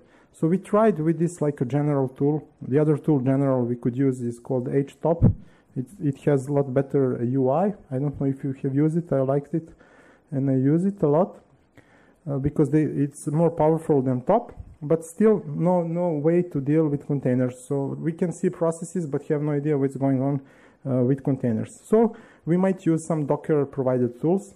It's the first thing that we could do is Docker PS. So you saw it in the beginning. Docker PS tells us which containers exist and uh, their IDs. So this is like an input thing that we could use for other more interesting stuff. And the first thing that comes to my mind is Docker stats. So what we do with Docker stats? So uh, you have to provide the container names that you wanna you wanna see, and then when you run it, you get this. Uh, okay, the the resolution is a bit bad, so you, the lines are broken, but it gives us ability to see CPU usage, memory usage, net network I/O, per container. So this is a bit better. The another good point about Docker Stats, it, it, it has nice REST API that you could use and to do some automation and pick pick these metrics through REST API offered by Docker Docker Stats. So it's nice when we detect some container uh, misbehaving here. For example, let's say that our I don't know WordPress is not behaving well. We have another another uh, thing it's docker top so let's stop this one and run docker top for WordPress 1 so uh, this is more like PS uh, not like top and it accepts the same syntax that we can use for PS so let's ask for more data. We have added aux and let's see now. Okay now I'll scroll a little bit to see just the displayed columns. Now we can see, like for a container WordPress, we can see which processes are running inside container and amount of memory CPU usage they're using. And also, uh, we can see the PIDs of processes, which is which is cool and can be used for some some other stuff. So I'd say that for seeing just basic resource usage information, the, the tools that we get with Docker are not that bad, so we can do like basic stuff, understand uh, which what are containers doing and what's happening inside containers. But what about our next item? It was the network activity. So what we can do to, to understand the network activity performed by our containers.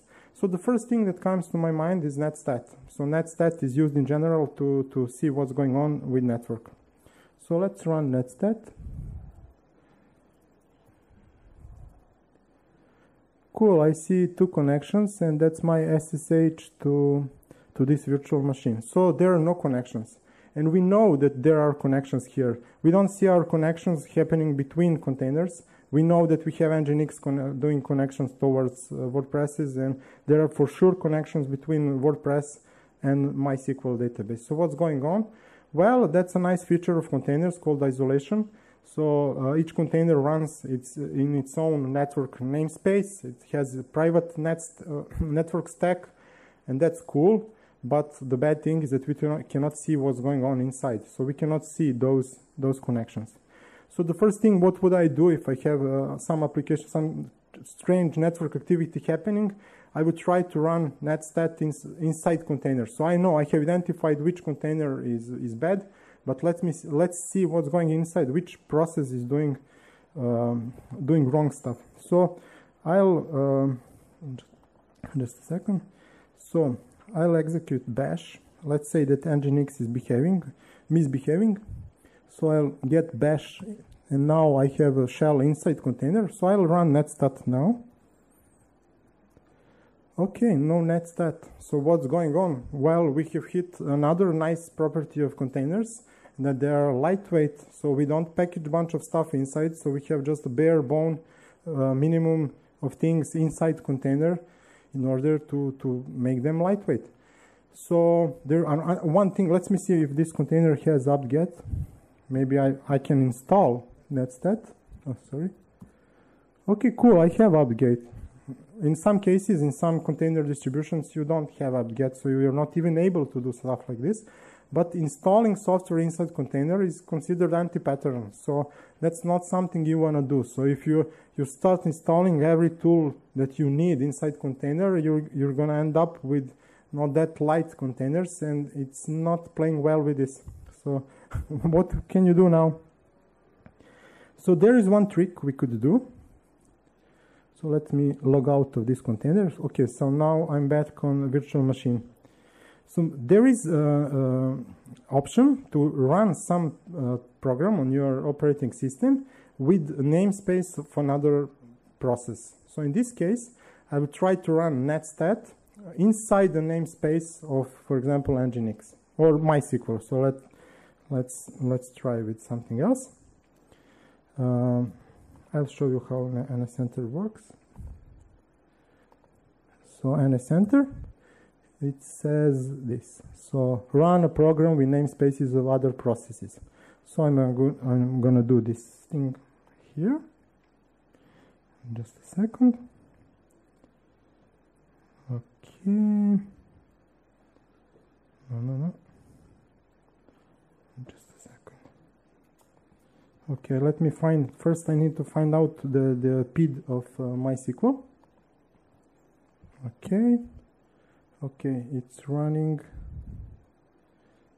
Uh, this is speed I think I don't see now. Okay. Ah. Oh, okay, sorry, yeah, yeah, thanks. This was too large. I didn't run that number of processes. Okay, let me see what's going on now. So you see, I'm I'm saying like this. Okay, I want to enter the namespace. My target is the that uh, PID, and I care about network namespace. That's why I say net. So let me see what's going on. Okay. Okay, cool. Now I see MySQL uh, connections coming from different WordPress instances. So my MySQL is running on this IP address, and I see that like four, five, six, so four, four WordPress instances are accessing uh, MySQL. This is cool, I can see something, but this is really far from what I would like to see. So uh, imagine the situation when you have something going on wrong, uh, really strange with your network, some application going crazy, doing some outbound traffic or, or similar it's really hard to detect what's going on, which process. There are not many options you can do in order to, to troubleshoot such a situation. I'll just briefly show you uh, uh, three tools intended to be used for, for file I.O. activity. The first one is called IOTOP. So IOTOP uh, displays the uh, file I.O. activity per process. Again, no containers and also no file names. You don't know which files are those process, uh, processes accessing. Another thing we could use is fatrace. Okay, this thing shows the files, but not much information about the the band, uh, you, uh, the the amount of uh, reads and writes. And another thing we could do is IOSTAT. Oh, sorry, IOSTAT. So it, it provides some general information about the system, and it also provides the amount of uh, reads and writes uh, per second per device. So again, not something we could use for containers. So uh, the typical uh, tools that we could use on a, on a Linux box for network and file activity are not that good. So what are what are our options here? Now, let's go step back. I will show you, this is a really nice slide showing the operating system and different layers of operating system. So in order, this slide is done by uh, Brendan Gregg. It's a celebrity performance engineer from Netflix. And uh, it shows uh, different tools which you can use to, to understand what's going on on different layers of operating system. So in order to have comprehensive understanding of what's going on, you'd have to monitor practically all these layers and interactions between, between layers to understand where the problem exists. Of course, it, it requires a lot of knowledge and the, the information you can get from doing such things is overwhelming. And I'm going to show you what uh, we at SysDig did. So the, look at that guy up there. It's called SysDig and it's on this system called uh, interface layer. What does what does it mean? So sys, uh, SysDig monitors the interactions between applications and operating systems. Uh, and in 99% of time, it's about system calls. So whenever some application needs to do something on operating system, it, uh, to do something, they have to ask something from operating system, like open file, open network connection, and stuff like that. So sysdig is on that layer and monitors that. So uh, this uh, there is a command line tool that you can download for it's open source and free called sysdig, and it captures uh, events and allows you to do different kind of filtering and different kind of uh, to run different kind of useful scripts on top of capturing events, and that enables you to get interesting information out of it. Uh, in terms of features, I would say it it has some of the feature of features of strace, TCP dump, LSOF, and it has Lua scripting on top of it. So you're able to write custom scripts in Lua and process the events. Uh, besides that, it has nice uh, user interface, similar to the one I showed in uh, HTOP. And the most important thing for me is it, it, has native support for containers. So I'll briefly show you the architecture of uh, sysdig. So this is very simplistic view of an operating system, not the, the, like the one I showed previously. And it shows you some apps running, some of them inside container and some of them outside. So as I said, on this uh, layer here, the sysdig uh, kernel module intercepts all the activity. And what do we do with that activity? And in user space, we have application that is used to analyze to analyze that activity. What is nice, it can be run in a standalone application, but it's nice, it can be run also as a Docker container, so it plays nice with the whole ecosystem. It has to be a privileged container, uh, but it, it works okay. What is important to say, uh, this kernel module and sysdig runs on thousands of servers in production. It's extremely lightweight and people keep it all the time in production because the, the, the uh, serious effort was put into making it performant and uh, it since intercepts everything that happens on operating system it can really slow down everything so that's something that we really took care about to make it performant and not to slow down the machine so i would say that the, the performance penalty of running sysdig is really trivial. So let's see what we can do with sysdig. I'll show you. So I'll start with very simple stuff and then I'll make it better and better. So it's interesting to see what can be achieved with just, just by monitoring operating system calls. So let's run sysdig. Now we will see everything, which is not good because we see practically every operating system event happening on, on, on my machine. So what what we should do with this because I, I I'm not sure like is there anything useful we can get out of it. So the first thing I said we can do a bunch of filtering out using using SysDig. So we can filter out some events. So it can be a little bit better. So let me see what what can we use to filter things. So it really depends on a, on a type of operating system event. It can be something. So if it's some event related to files, then we have some file metadata to we can use to filter events like file name, I don't know, process accessing it st stuff. So there are a bunch of things you could use to filter events.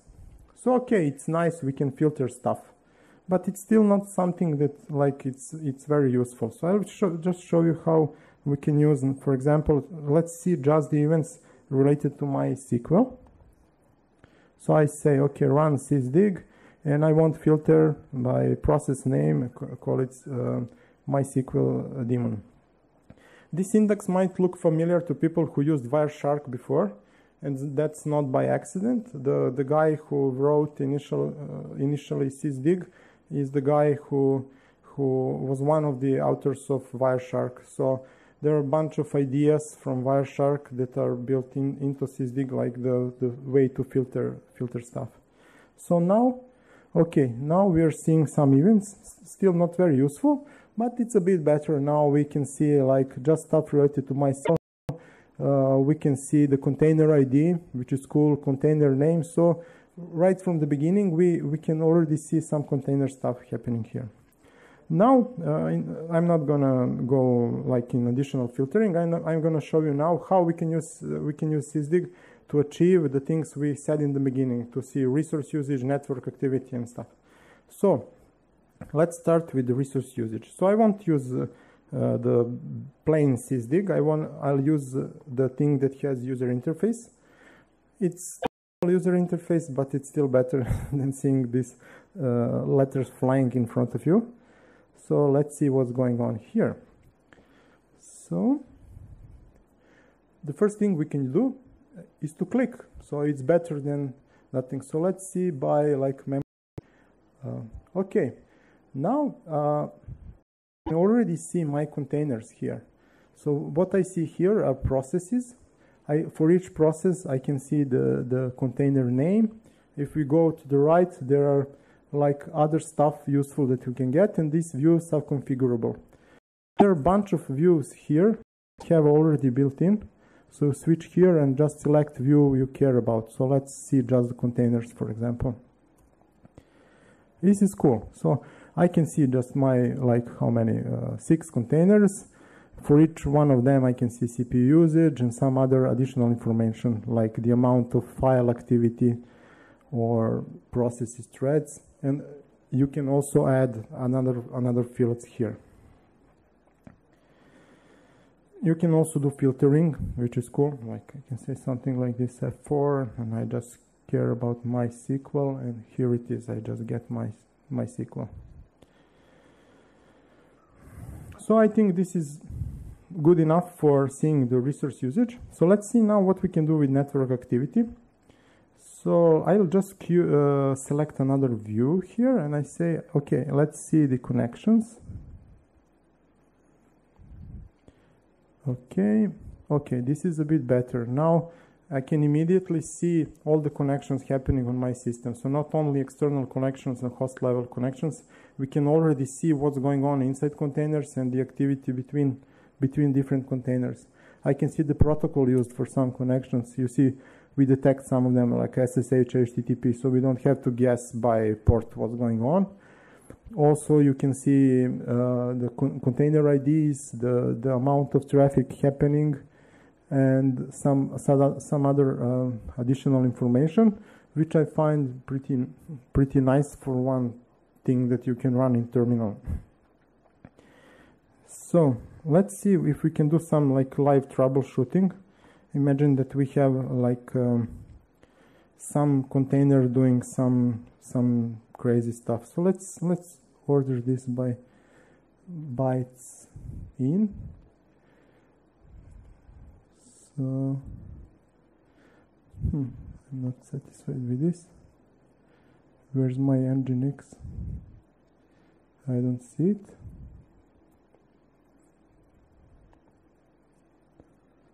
Bytes out, SSH. So let me see, let's start with containers. So I can filter by container now. Let's, where is Okay, I'm now seeing processes of only of that container. But let me see if I can see connections only.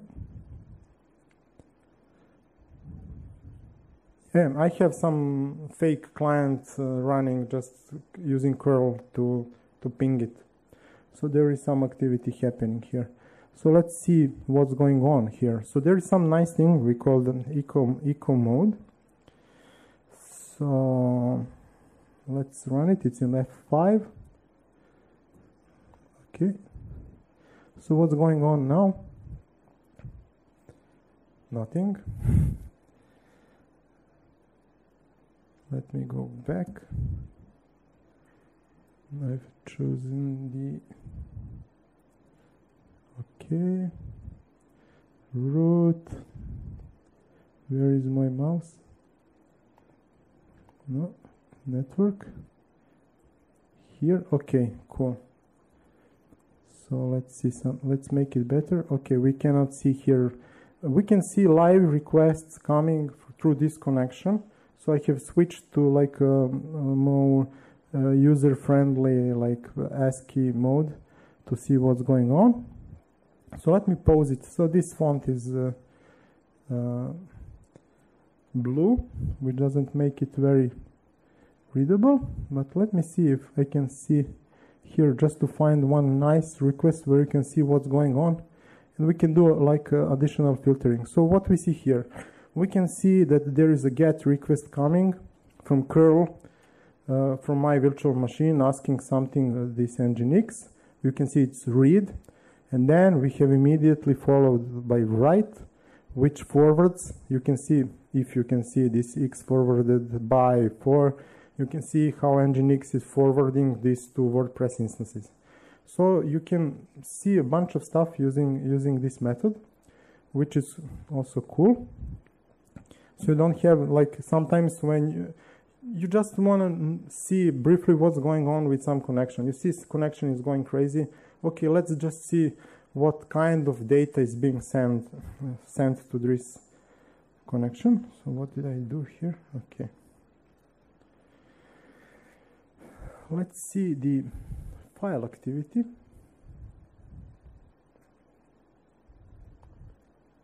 Am I too slow or too fast? Maybe.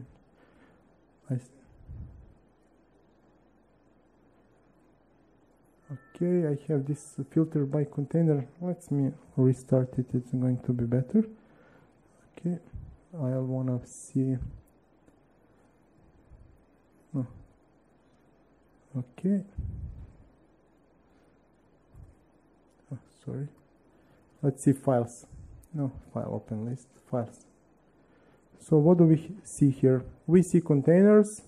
We see which files are being accessed.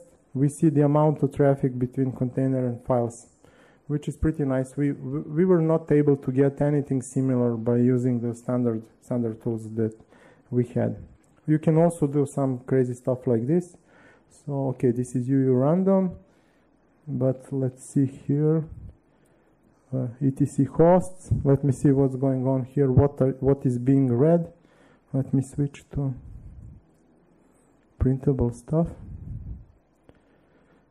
Okay, I can see the, the content of my host file inside container, which is captured live from something not even running close to that container. It's running outside in another container, and we can see pretty much everything going on inside, which is a bit scary.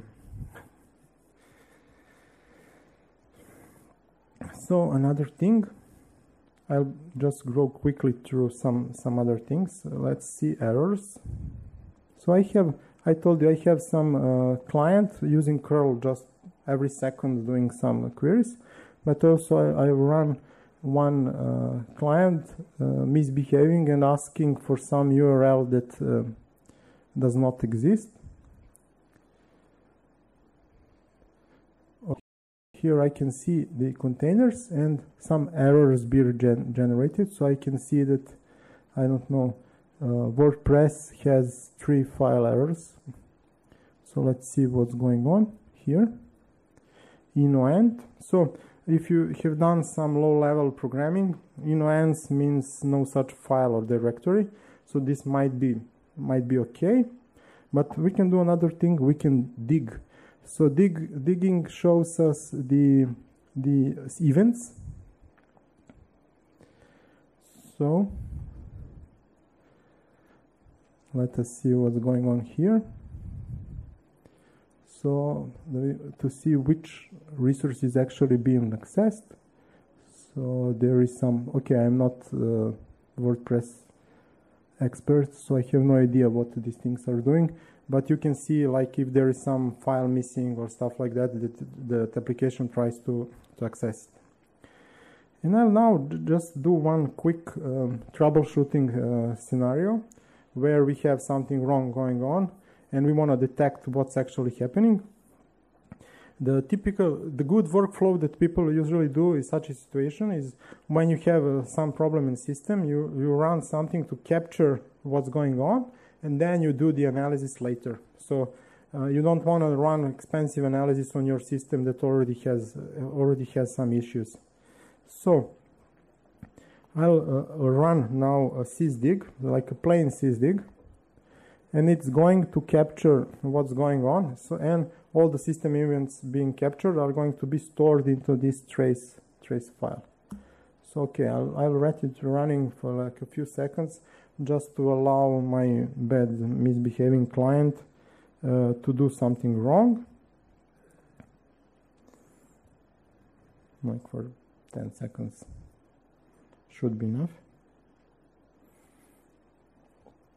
Okay.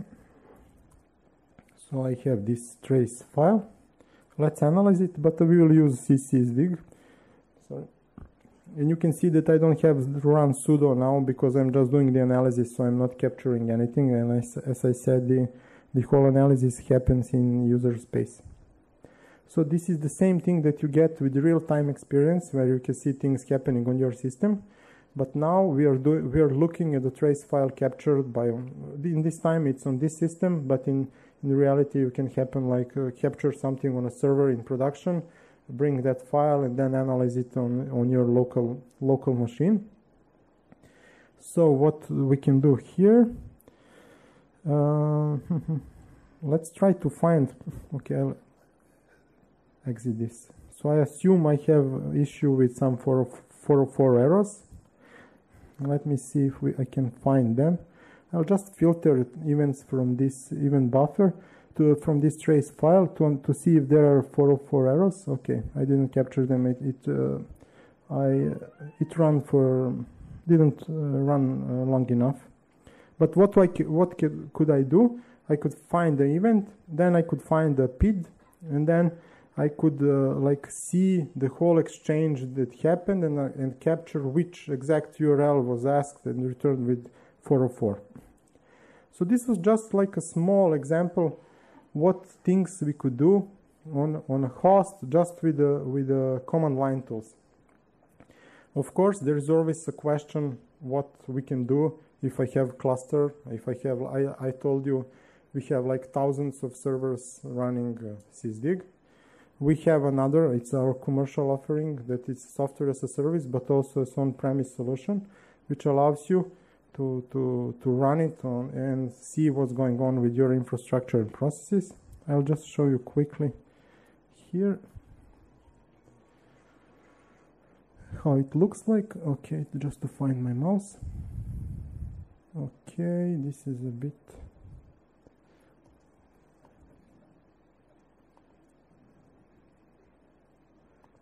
just a second.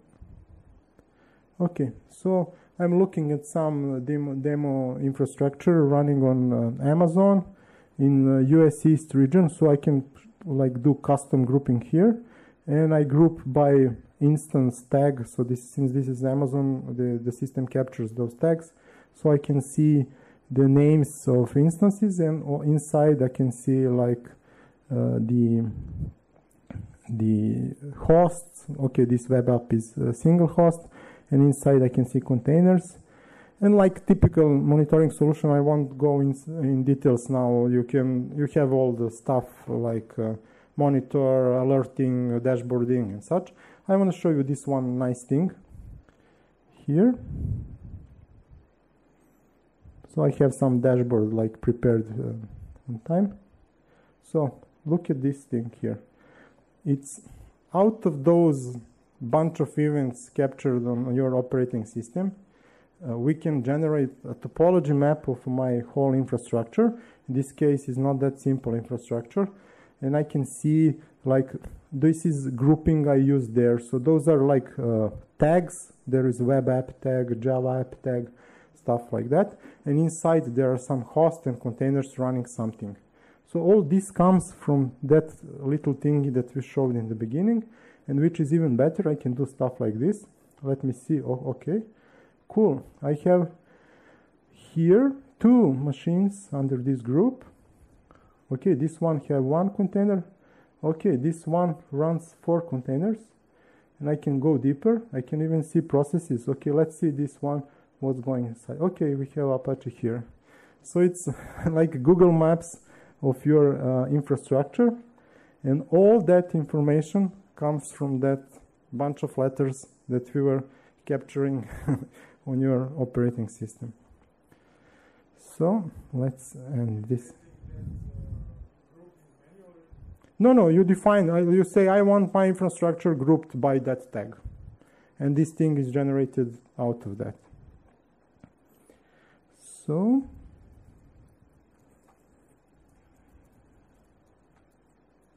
okay. this is Q&A if you didn't understand.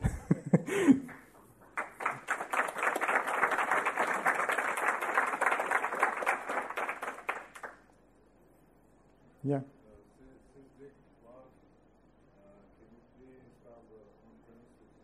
So the question was whether Sysdig Cloud works on premises, and the answer is yes.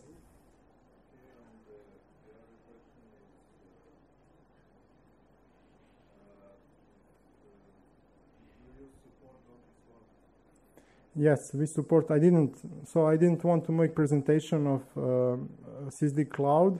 I just want to show you what our open source tool, tool is able to do. Um, but yes, on commercial offering, we have full support for all orchestration frameworks there. It's native. You can like automatically get things grouped by Kubernetes, pods, namespaces, Docker Swarm stuff. So we we tend to support all of them out of the box and bunch of other stuff. But as I said, this is not like part of this presentation here. Yeah. Yeah.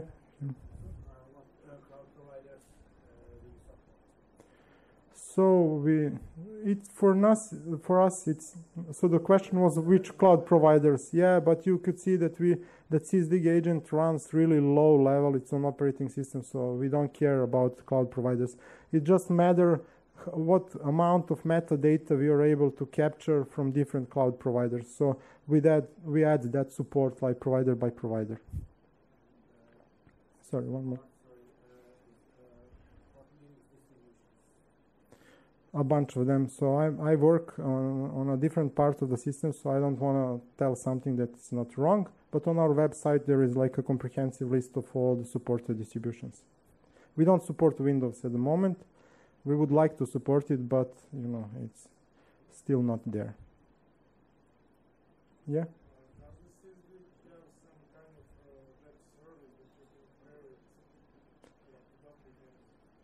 Yes, if uh, you're asking about sysdig uh, command line tool or the cloud. Command line, no, there is. It's not like a service. It's a tool that generates output data, and in in a Linux way, you would create something that consumes the data. So there are few options there, but what people people initially do is do some custom Lua scripts that process that and can do a bunch of other stuff uh, with it.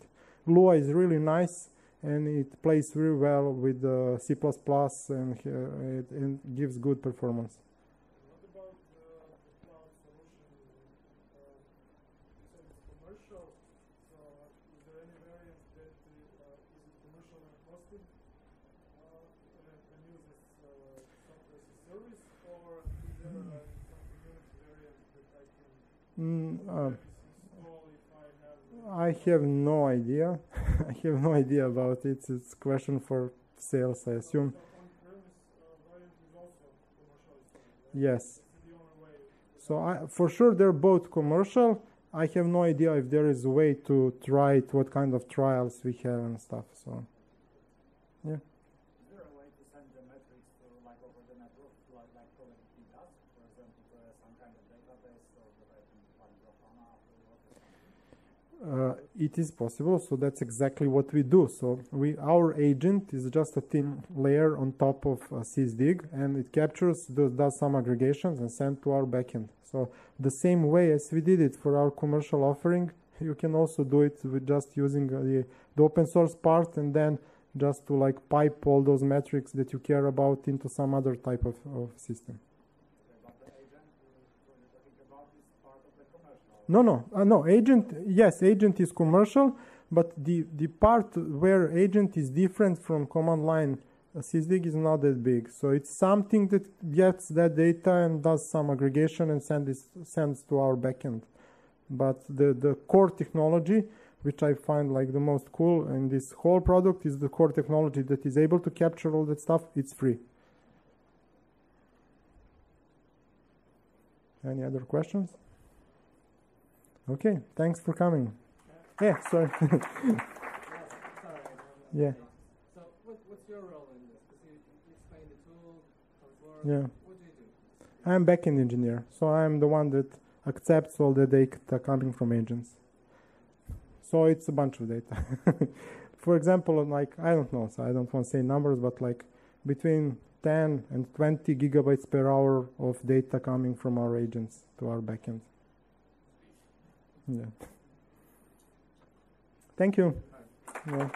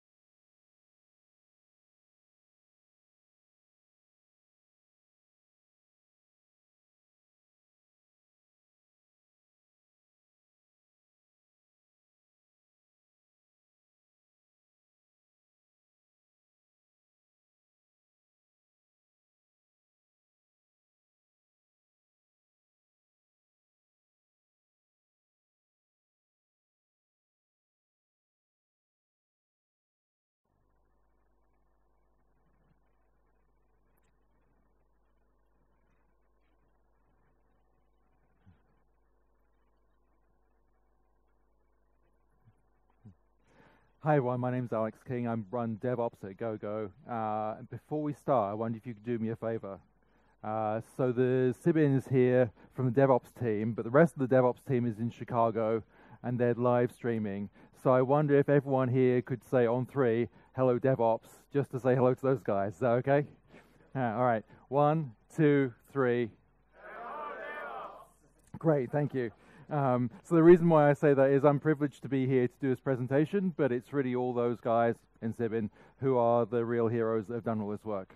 Uh, so um, a little bit about us first of all. So GoGo, lots of statistics, not going to bore you with those. Um, we were uh, lead, or we, we have been and we are leaders in running Wi-Fi on airplanes, which two of my favorite things are Wi-Fi and airplanes. So, so I think that's pretty cool. Uh, but um, we, uh, in Belgrade, we work with a company called Interventure, and they host our office here. And Interventure is a pretty cool company. And if you are interested in doing Java development, then come and come and talk to us at Interventure. Uh, so I, I, just I think this is probably the last interactive thing I've got for you guys. So first of all, if you're uh, who here has worked for a small company, put your hand up. Okay. So now, who here has worked for a big company? Put your hand up. All right. So last one, because I'm not really good with Venn diagrams. If you work for a big company and a small company, put your hand up. All right. So quite a few of you. Good. So the reason why I say that is um, uh, we go from having a small company to having a, working at a large company, and the culture and the, the the way things work are actually pretty different between the two. And the reason why uh, small companies tend to go faster than large companies is because of the changes that happen through an organization's lifetime. So, uh, a couple of guys to get together, they have a few beers, they get an idea, uh, they start a company, and uh, things come along, uh, and they're actually working out pretty well. They're, they've got their first product coming out, uh, they find a customer, and then over time, uh, things develop and move on. And as they go, then the velocity drops and drops, and they get bigger and bigger and bigger. And then things like technical debt start coming in, and the velocity drops. And so uh, the difference between those two is when you're a startup, there's probably the CEO maybe and the guy who writes the code. Sometimes the guy who writes the code is the CEO. Sometimes the guy who's the sysadmin is also the CEO. You just don't know. So either way, it's really, really small. When you get to a large company, what happens is uh, you get these sort of silos developing because in a production line sense, we think that production lines are very efficient. So we end up with someone who writes the code, someone who deploys the code to test, someone who tests, and you can read the rest. So there's a whole bunch of different roles and different people uh, that go from having the, the, writing the code in the first place through to uh, someone who pages people when stuff goes wrong in the middle of the night. But it's even worse than that because aside from those people, there are also other people, you know, even aside from things like HR and finance, but there are people who run the network, people who do project management, people maybe you have a separate database team. Uh, and I love this little guy down here who audits stuff. Um, uh, so, um, uh, so um, uh, when you're in a large company, uh, I um, I put this next slide together because I think it's also quite fun. Um, uh, a card called dysfunctional bingo. So, who here recognizes any of these boxes? Okay, yeah, quite a few of you, right? So, um, what would be fun, I think, we, won't do it right now, but uh, what would be fun is if uh, somehow or other we could kind of put post its in each one of these and see how they, they stack up in terms of popularity or dispopularity or whatever the word is, there's the opposite of popularity. But does anyone want me to talk about any particular ones of these? Okay. Well, we'll get to a couple in a little bit, so you'll see like yak shaving. Yak shaving is, is uh, one of those things I learned about 18 months ago when I was starting to get into DevOps. And it's, uh, it's just, it's a really crazy sounding thing. But the idea is you want to get this one simple thing done and uh, it, it should be straightforward. You should be able to go and do that thing. But it turns out that you've got so much wrapped up process that you have to do this to do this one thing, you have to do these five other things first. And so one of the big things about DevOps is eliminating all that unnecessary stuff. So here we are. You're a big company. You want to have that old velocity that you used to have when you're a small company. And so you want to do DevOps, but you don't really know what it means. Uh, so uh, you might have an idea what it means. I think pretty much every company has to figure out for themselves what re DevOps means to them. So what I'd like to do here is talk about our journey. So that's kind of where the intro goes. So um, again, you're working for a big company. You're looking for looking back to how it used to be. And rather than having things just work the way they should do, maybe not as fast as you like, or maybe you don't have any money in the bank because you're a startup, but it really shouldn't have to be like this. Uh, and every time you do a deploy, you should be relatively comfortable that you know exactly what's going to go on. It's going to be predictable. You can move a small amount of traffic over, and it's safe. Not that it'll always be that way, but most of the time it should be that way. So you remember that swirly chart, the pipeline of steps. It shouldn't be like that. It should be back where you've got a small amount of code, you manage it from end to end and it should be clean, it should be predictable. So Robert actually did show this slide yesterday, and one of the things I liked about his slide was it was a little bit different. So he had some of these bubbles facing out towards the different applications that we use. And so, uh, for the most part, you don't want the developer to do mundane stuff. You want the tooling to do the mundane stuff and have a developer spend their time doing the, the clever stuff that they're getting paid lots of money for hopefully getting paid lots of money for. If you don't get paid lots of money, you should come and talk to us. Uh, uh, so uh, one of the things that we use to, to make us go faster is a tool called Spinnaker. It uh, started out in Netflix a couple of years ago and just became open source at the end of last year, beginning of this year. And one of the great things about Spinnaker, and if you can see this bar um, below that, the top the, below the green bar there. But you can define a pipeline of stages very, very easily. So uh, in some ways, it, it does similar things to Jenkins, but uh, it's a much more integrated, structured, clean way of doing uh, orchestrating, build, and deploy. So what we've got in here for our pipeline is we um, we basically create some immutable infrastructure, which is one of those really, really important things that we're not going to talk about very much. But um, we build it, and then we can deploy it to different environments. We can run automated testing, and we don't have a QA organization anymore. We have a QE or quality engineering organization, and their job is to automate as much testing as possible. And automating testing is incredibly important because at the end of the day, you know, you don't have your people spending a lot of time doing manual tests when you're trying to accelerate your deployment velocity to production, because it's going to kill you. So uh, yeah, so that's uh, that's one of our pipelines. Uh, and so next slide, I hate having slides with lots of bullets on because I I can't read it faster than you guys can. So, uh, but this one slide, I just had so much information on it. Uh, that I felt like I needed to just put a wall of text in front of you. So sorry for this.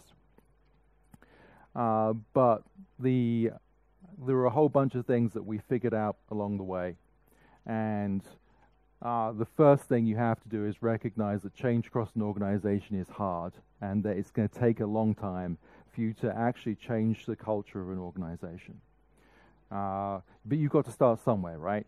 So you've got to have uh, the right ideas You've got to figure out what the right things to talk about, uh, the right dialogue to have, first of all, how you can start being successful and building for the future. Uh, one of the things I used to think maybe a year, two, two years ago when I was working at my last company was I didn't really feel very empowered. My boss didn't really get the idea, idea of DevOps. And uh, because my boss didn't get the idea of DevOps, I thought, well, maybe it's not really going to fly. And, and I self doubted myself. Well, I don't know how you would self doubt someone else, but I self doubted myself. And uh, when I came to GoGo, I was very fortunate enough to uh, come work for a guy that really did understand DevOps and really get it. So that was remarkable. But now I'm on the other side of the fence and I've done DevOps. I think it might be a little bit different. It might be that it was only my own perceptions that were holding me back. And if you've got the right ideas, the right enthusiasm, a little bit of charisma maybe, but you can take people with you, then that's good enough. Don't don't wait for your boss to say it's okay, because your boss may never say it's okay. Um, the uh, I had a really interesting uh, talk I listened to the other day, and we're talking about communication. And communication isn't just sending people emails; it's going and personally asking them what they think. It's showing them demos, asking for their advice, getting feedback, uh, and just working on it. Um, and also, people have a belief system, right? They believe that one thing is the, the way they're doing things is probably the way it should be. Uh, and there was one person who said, uh, not so long ago, it's worked this way for the last nine years, why would we change it now? Uh, which is not very DevOps. So we want to um, uh, want to figure out how to bring people with us, and there are some ideas here that hopefully, if you haven't really got very far in your DevOps journey, then some of these things might be useful.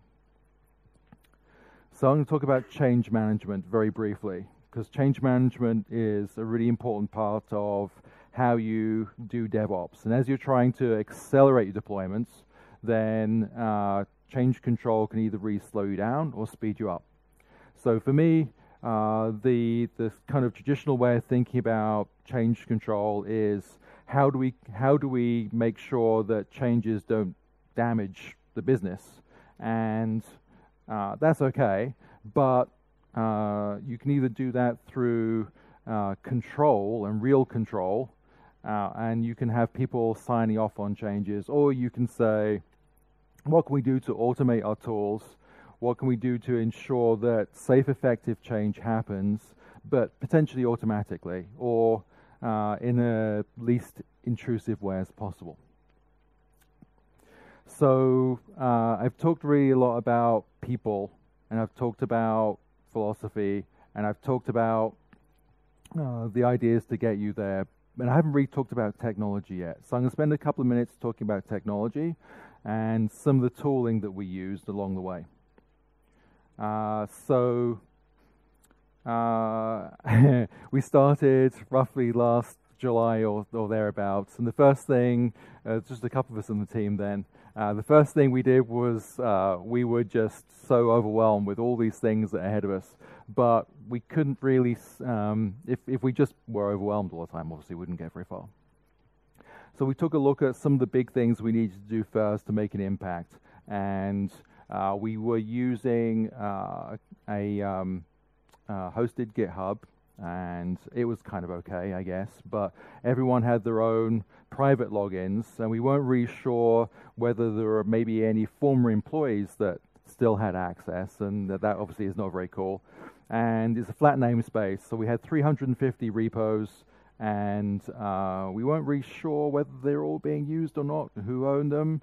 It was very, very messy. So um, we spent quite a bit of time talking to development teams and making sure we got them comfortable with moving, as it happens, to GitLab, but it doesn't really have to be GitLab. Uh, but we, we wanted a, a safe, secure system, uh, which was highly available, although we did actually have an outage yesterday. Um, but generally speaking, we, last year has been fantastic. Um, and, um, and come up with something that is uh, there for our developers, but also is actually manageable.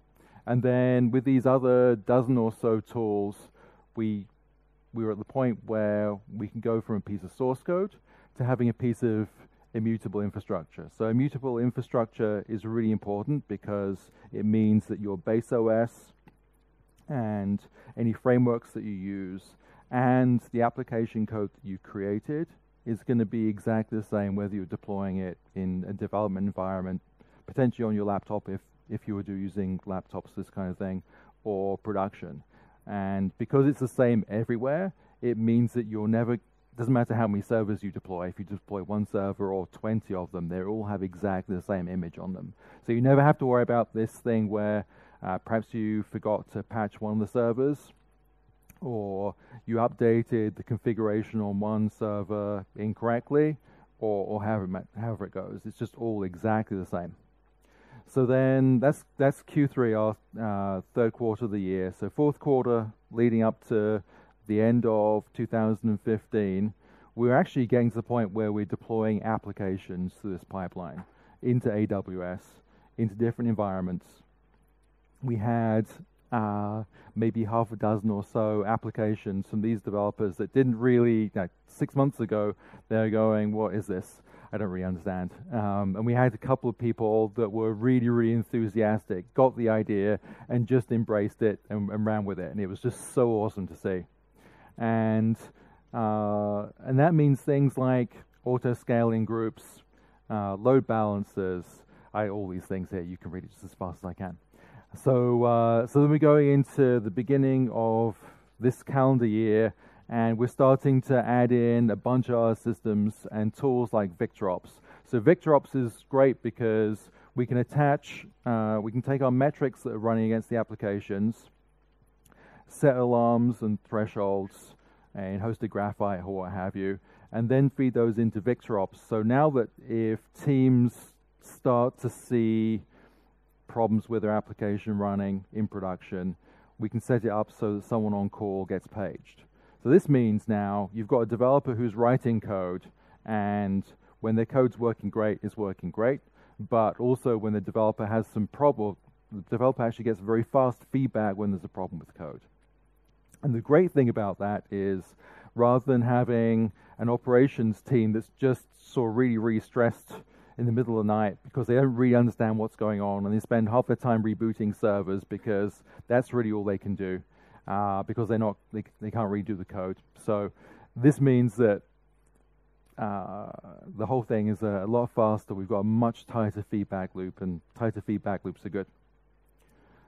So then, end of Q2, which is up until June of this year, we're we're actually starting to think about things like Sarbanes-Oxley, which is a um, an important thing uh, particularly in the US, for making sure that companies behave themselves and don't uh, report incorrect financial data and credit card um, applications or applications that consume credit card information. So now we're getting pretty serious about this. Now Amazon's good with their certifications, but there's a lot of stuff that Amazon can't do. And a lot of it's about how you figure out how you want to aggregate and segregate the different environments and applications and how they communicate. And so for me, that was great because I like paying my mortgage. Uh, then, um, so probably the, the biggest thing this quarter just finished, which was actually the end this, this week, uh, is we did two really, really major things. One, so Lambda functions, so if you about, know about Lambda functions in AWS, but the idea is you can actually deploy a piece of software without any servers. So when you have a, an API event or message come in, it gets uh, processed for you, you get the result back, it's good. Uh, so we don't have to worry about EC2 instances, and it's very easy to plug into uh, other systems like storage systems or databases or message queues or what have you. And the other one, and I'm still super, super stoked about it, and we'll talk about it a little bit more later, but uh, is a piece of open source that we created in support of uh, Spinnaker. We'll talk about it more in a minute. So through all those things, uh, that's great. It all works. Uh, we uh, we've actually sort of exploded with our use of GitLab. So we we had 350 repos roughly in the old system, and we went and reduced probably we took about 100 or so out just because they weren't really ever used. And then since where's that? March? Yeah, beginning of March, we went. We've gone from 400 repos to over a thousand, and that's just that just blows my mind. And probably some of those we can do some cleanup for, but the rate. But the thing about this is it it shows you the rate of innovation, the rate that we've been able to create new pieces of software. And probably just as importantly, we added a extension into our tooling a couple months ago, which started uh, reporting how many deployments we're actually doing. So the orange line is how many deployments we're doing through Spinnaker, and the blue line is how many deployments we're doing in the data center.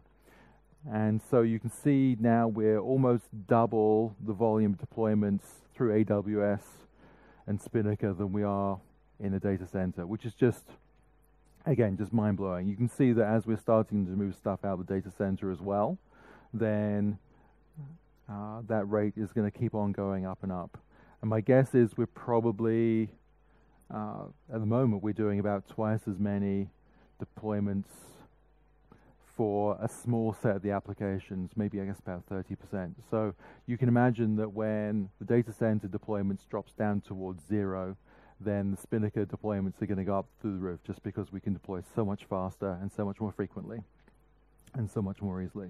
The other thing that's interesting about this slide is that we have a small number of outage instance for the data center, but we haven't yet, and it's not, this is not going to last forever, but we haven't had any production outages yet for AWS, which again is pretty cool given how long we've been doing it. So that's all fine.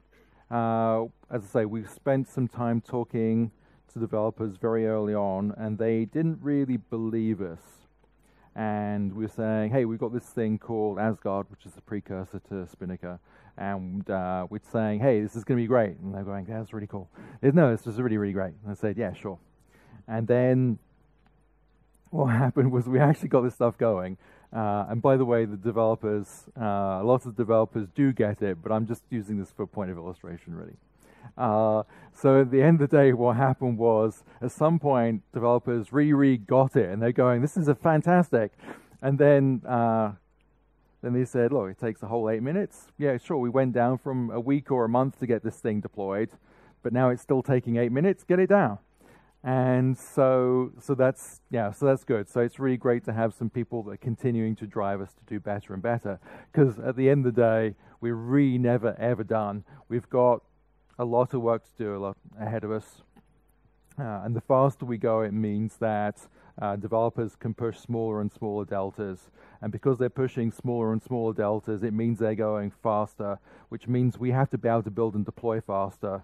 Uh, and then we've got the world landscape changes, right? So we've always got more tools and new technology that we've got to, to work out. So we think that's good. Uh, this is a fun slide for, for one, well, for several reasons, I guess. But my favorite is that when I started putting this deck together, I wrote that line for open source Foremast. And then between uh, me writing this slide, it actually happened. So kudos to the team for getting that done. Uh, and then we, we're, we're just having to work faster and faster. So a couple of things on Foremast. Um, Foremast is really cool. There's some URLs here. Go check it out. Uh, we uh, we've had a couple of conversations with a few companies that really like it, and when we met with a few companies a while back, they were saying, "Hey, this is really the missing piece of Spinnaker." But I haven't really explained what Foremast is. So the idea is you've got a pipeline you build in Spinnaker, which is uh, which is created from a piece of JSON, and so that sets up uh, all the different steps, like for building, for packaging, for doing deployments, for going back and tagging in Git, for getting approval for deployment to production if that's something you're interested in, and if your application is in a, a, PCI or SOX environment, you're definitely interested in getting approval. And, and that's all okay. But up until now, developers have had to go in and configure all that by hand. And we decided pretty early on we didn't want developers to have to go and do all that overhead because for them it's just more yak shaving, right? They uh, they just start off with writing code, and that's all they want to do. They want to write code, test it, make sure it works, and then write more code. And if they've got to spend half an hour figuring out how their custom pipeline should work in Spinnaker, that's a complete waste of time.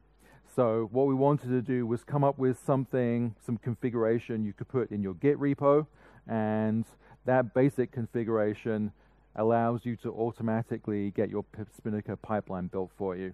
And what I'm going to show you now is some fairly long-winded files, and it doesn't need to be anywhere near as big as this, but this is just kind of to illustrate what you can do.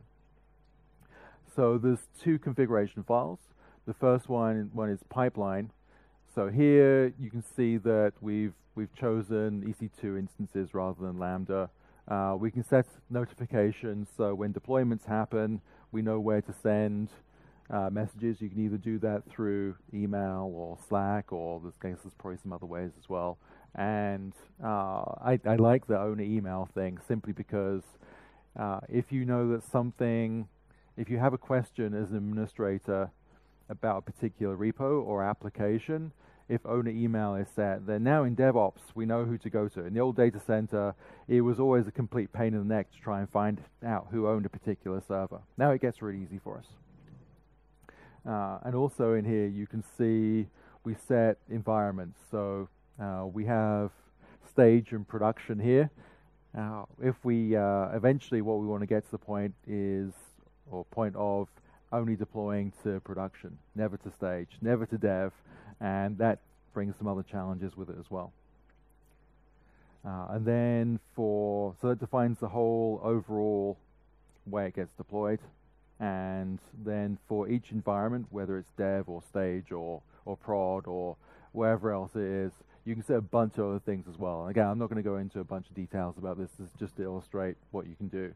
But uh, one of the things I will say is that over on the right hand side there, you can see about halfway down, there's a section on regions. So now we make it really, really easy for you to say whether you want to deploy into uh, either the west coast or the east coast of the US, into Europe, uh, wherever you want. And uh, and so rather than again developers having to think about hard about how they're going to deploy it to different regions, we make it super super easy. So I don't know if you noticed, but I've been really good with uh, attributions wherever I can throughout all this. And uh, so there's uh, so this is something which seems really, really relevant, right? So we want to uh, give developers both the freedom to do the things that they need to get done, but also they have responsibility. So if they write code and it's bad code and they haven't really written tests and they're not really sure what's going to happen when they deploy to production, but they do it anyway, and we get the whole duck and cover thing going on again, then there is a consequence, right? So they're going to get paged, and then they'll have to they'll be woken up at 3 a.m. and they'll have to go and fix it. But that's good, right? Because then, as developers, and I think we probably most of us here are developers, but as developers, uh, we should be proud of our code. We should be proud of our work, right? We want it to to be good. We want it to be quality code. We want it to to do its job. And I know that whenever I write code and it goes wrong, I want to hear as soon as possible when it's causing problems. So about back to the attribution thing. Uh, so I think this is very relevant, but the only thing is that it actually comes from Austin Powers, uh, which is I don't know if any of you guys know this movie. Um, I, I, hear a few of you do. Uh, so uh, so this is intended as a joke when it was done, but uh, for for DevOps, it really is one of the big embodiments. So that's all I have. Thank you very much.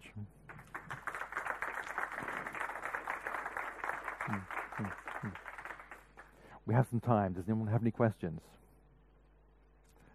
Down here, and then you. Oh, do we have a mic?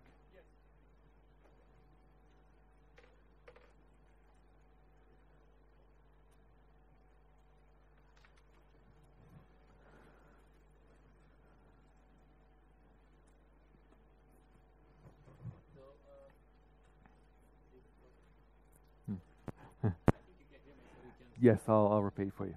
So I, I saw that um, you build it, you run it from Werner Vogels. Yes. And um, I saw the picture when there's only one guy and he can, he will test, build, run, DevOps, hmm. everything. But then I uh, heard you talking about the DevOps team, like a separate team. So how is it? Is it I build it and I'm checking it, or? Oh, so yeah. So the question is about. Um, the developers being essentially DevOps, but then we've also got this DevOps team, and why would you have both? So right? building and running. still another team that is doing all the DevOps, another team that is doing the development. Oh, okay. No, so um, yeah, so the for me the two are very very different. The uh, the idea is that we want developers to be their own point of operations, right? So we want developers to be able to, at the push of a button, be able to deploy their code. to different environments. But there is a DevOps team, right? Because for us, it's the DevOps team that creates that button for them to push and provides all the tooling for them to be able to, to do those, make those changes safely. And it, when the DevOps team uh, get got started, really our big first job was to do all the yak shaving and eliminate as much yak shaving as possible. Does that make sense? Okay. Before I, I uh, ask my question, just for related to this one, who gets the alert when something goes wrong? Uh, in our setup, the question was who does who who gets the alert when something goes wrong. Uh, so it depends, right? So if it's an application problem, then it's the development team that gets the page. And we want the development team, even even if it's in the middle of the night. So development teams are on having their own on-call schedule, and uh, they um, uh, they're becoming increasingly responsive and understand the urgency of these things. I think it's still a bit, little bit new for some of the teams, but but we're getting there. But if there's a problem with Amazon Web Services, or if there's a problem with the DevOps tooling, then that's the DevOps team has to fix that, right? So if there's a problem with the Jenkins server or Spinnaker or Git, then uh, DevOps gets those pages. Okay. How do you solve the issue of permissions? I, I mean that uh, we also do this, uh, the, the top developers get the alerts, they go into machines and fix it and all that stuff. We have root access, of course, to their applications, production servers. The guy who does the audit doesn't have. Uh, what's your solution? We always keep hearing that we should limit the people who have permissions, that we should have a designated team who has the root access to the servers. Uh, Okay. It's a contradiction for us, and we want to keep the DevOps Okay, so the question is around uh, how do we ensure um, that only the right people have access to the servers when an outage occurs, so that uh, we we're making sure that no nothing nefarious is happening in the background, right?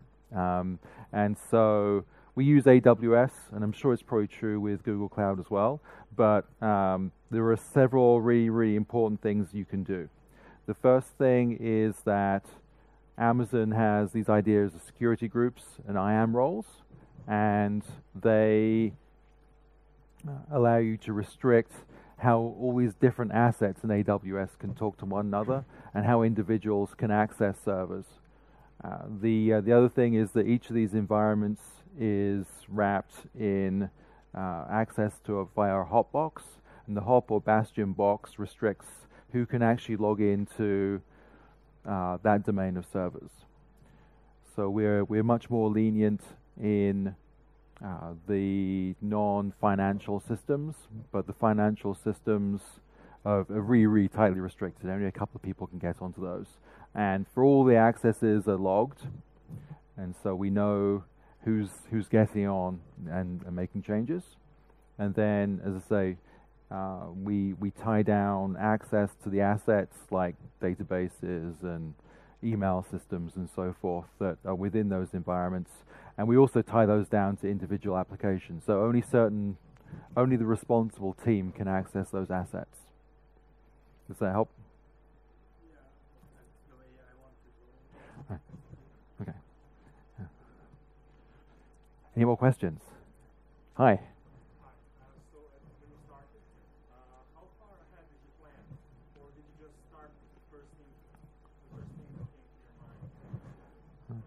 We we kind of knew where we wanted to be, and we uh, we knew our sort of end goal, but we were very very new to this. So we, we each of us I think had messed around a little bit with AWS, and we had some servers in AWS which were very data center oriented servers. So they're just EC2 instances and auto scaling groups were just created by hand and it was kind of okay, but it wasn't really where we wanted to be.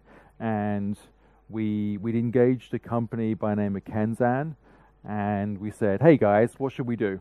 And they spent a little while just kind of road mapping for us the kind of things that we should think about. Not necessarily coming up with some hard and fast configurations or specific recommendations on tools, but they said, you know, you should think about these things. And that was enough to, to get us started. Then, in terms of specific tools, again, we thought about what the biggest bang for the buck was. How could we, what things could we do right now that would make a noticeable improvement and would gain credibility for the team? Thanks. What else? Hi.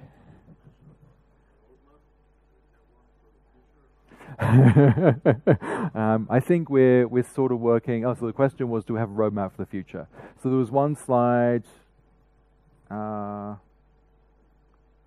little bit further back, and so we um, so we've got VictorOps up and running, and that's great. But I want to get a much better idea of how well teams are responding.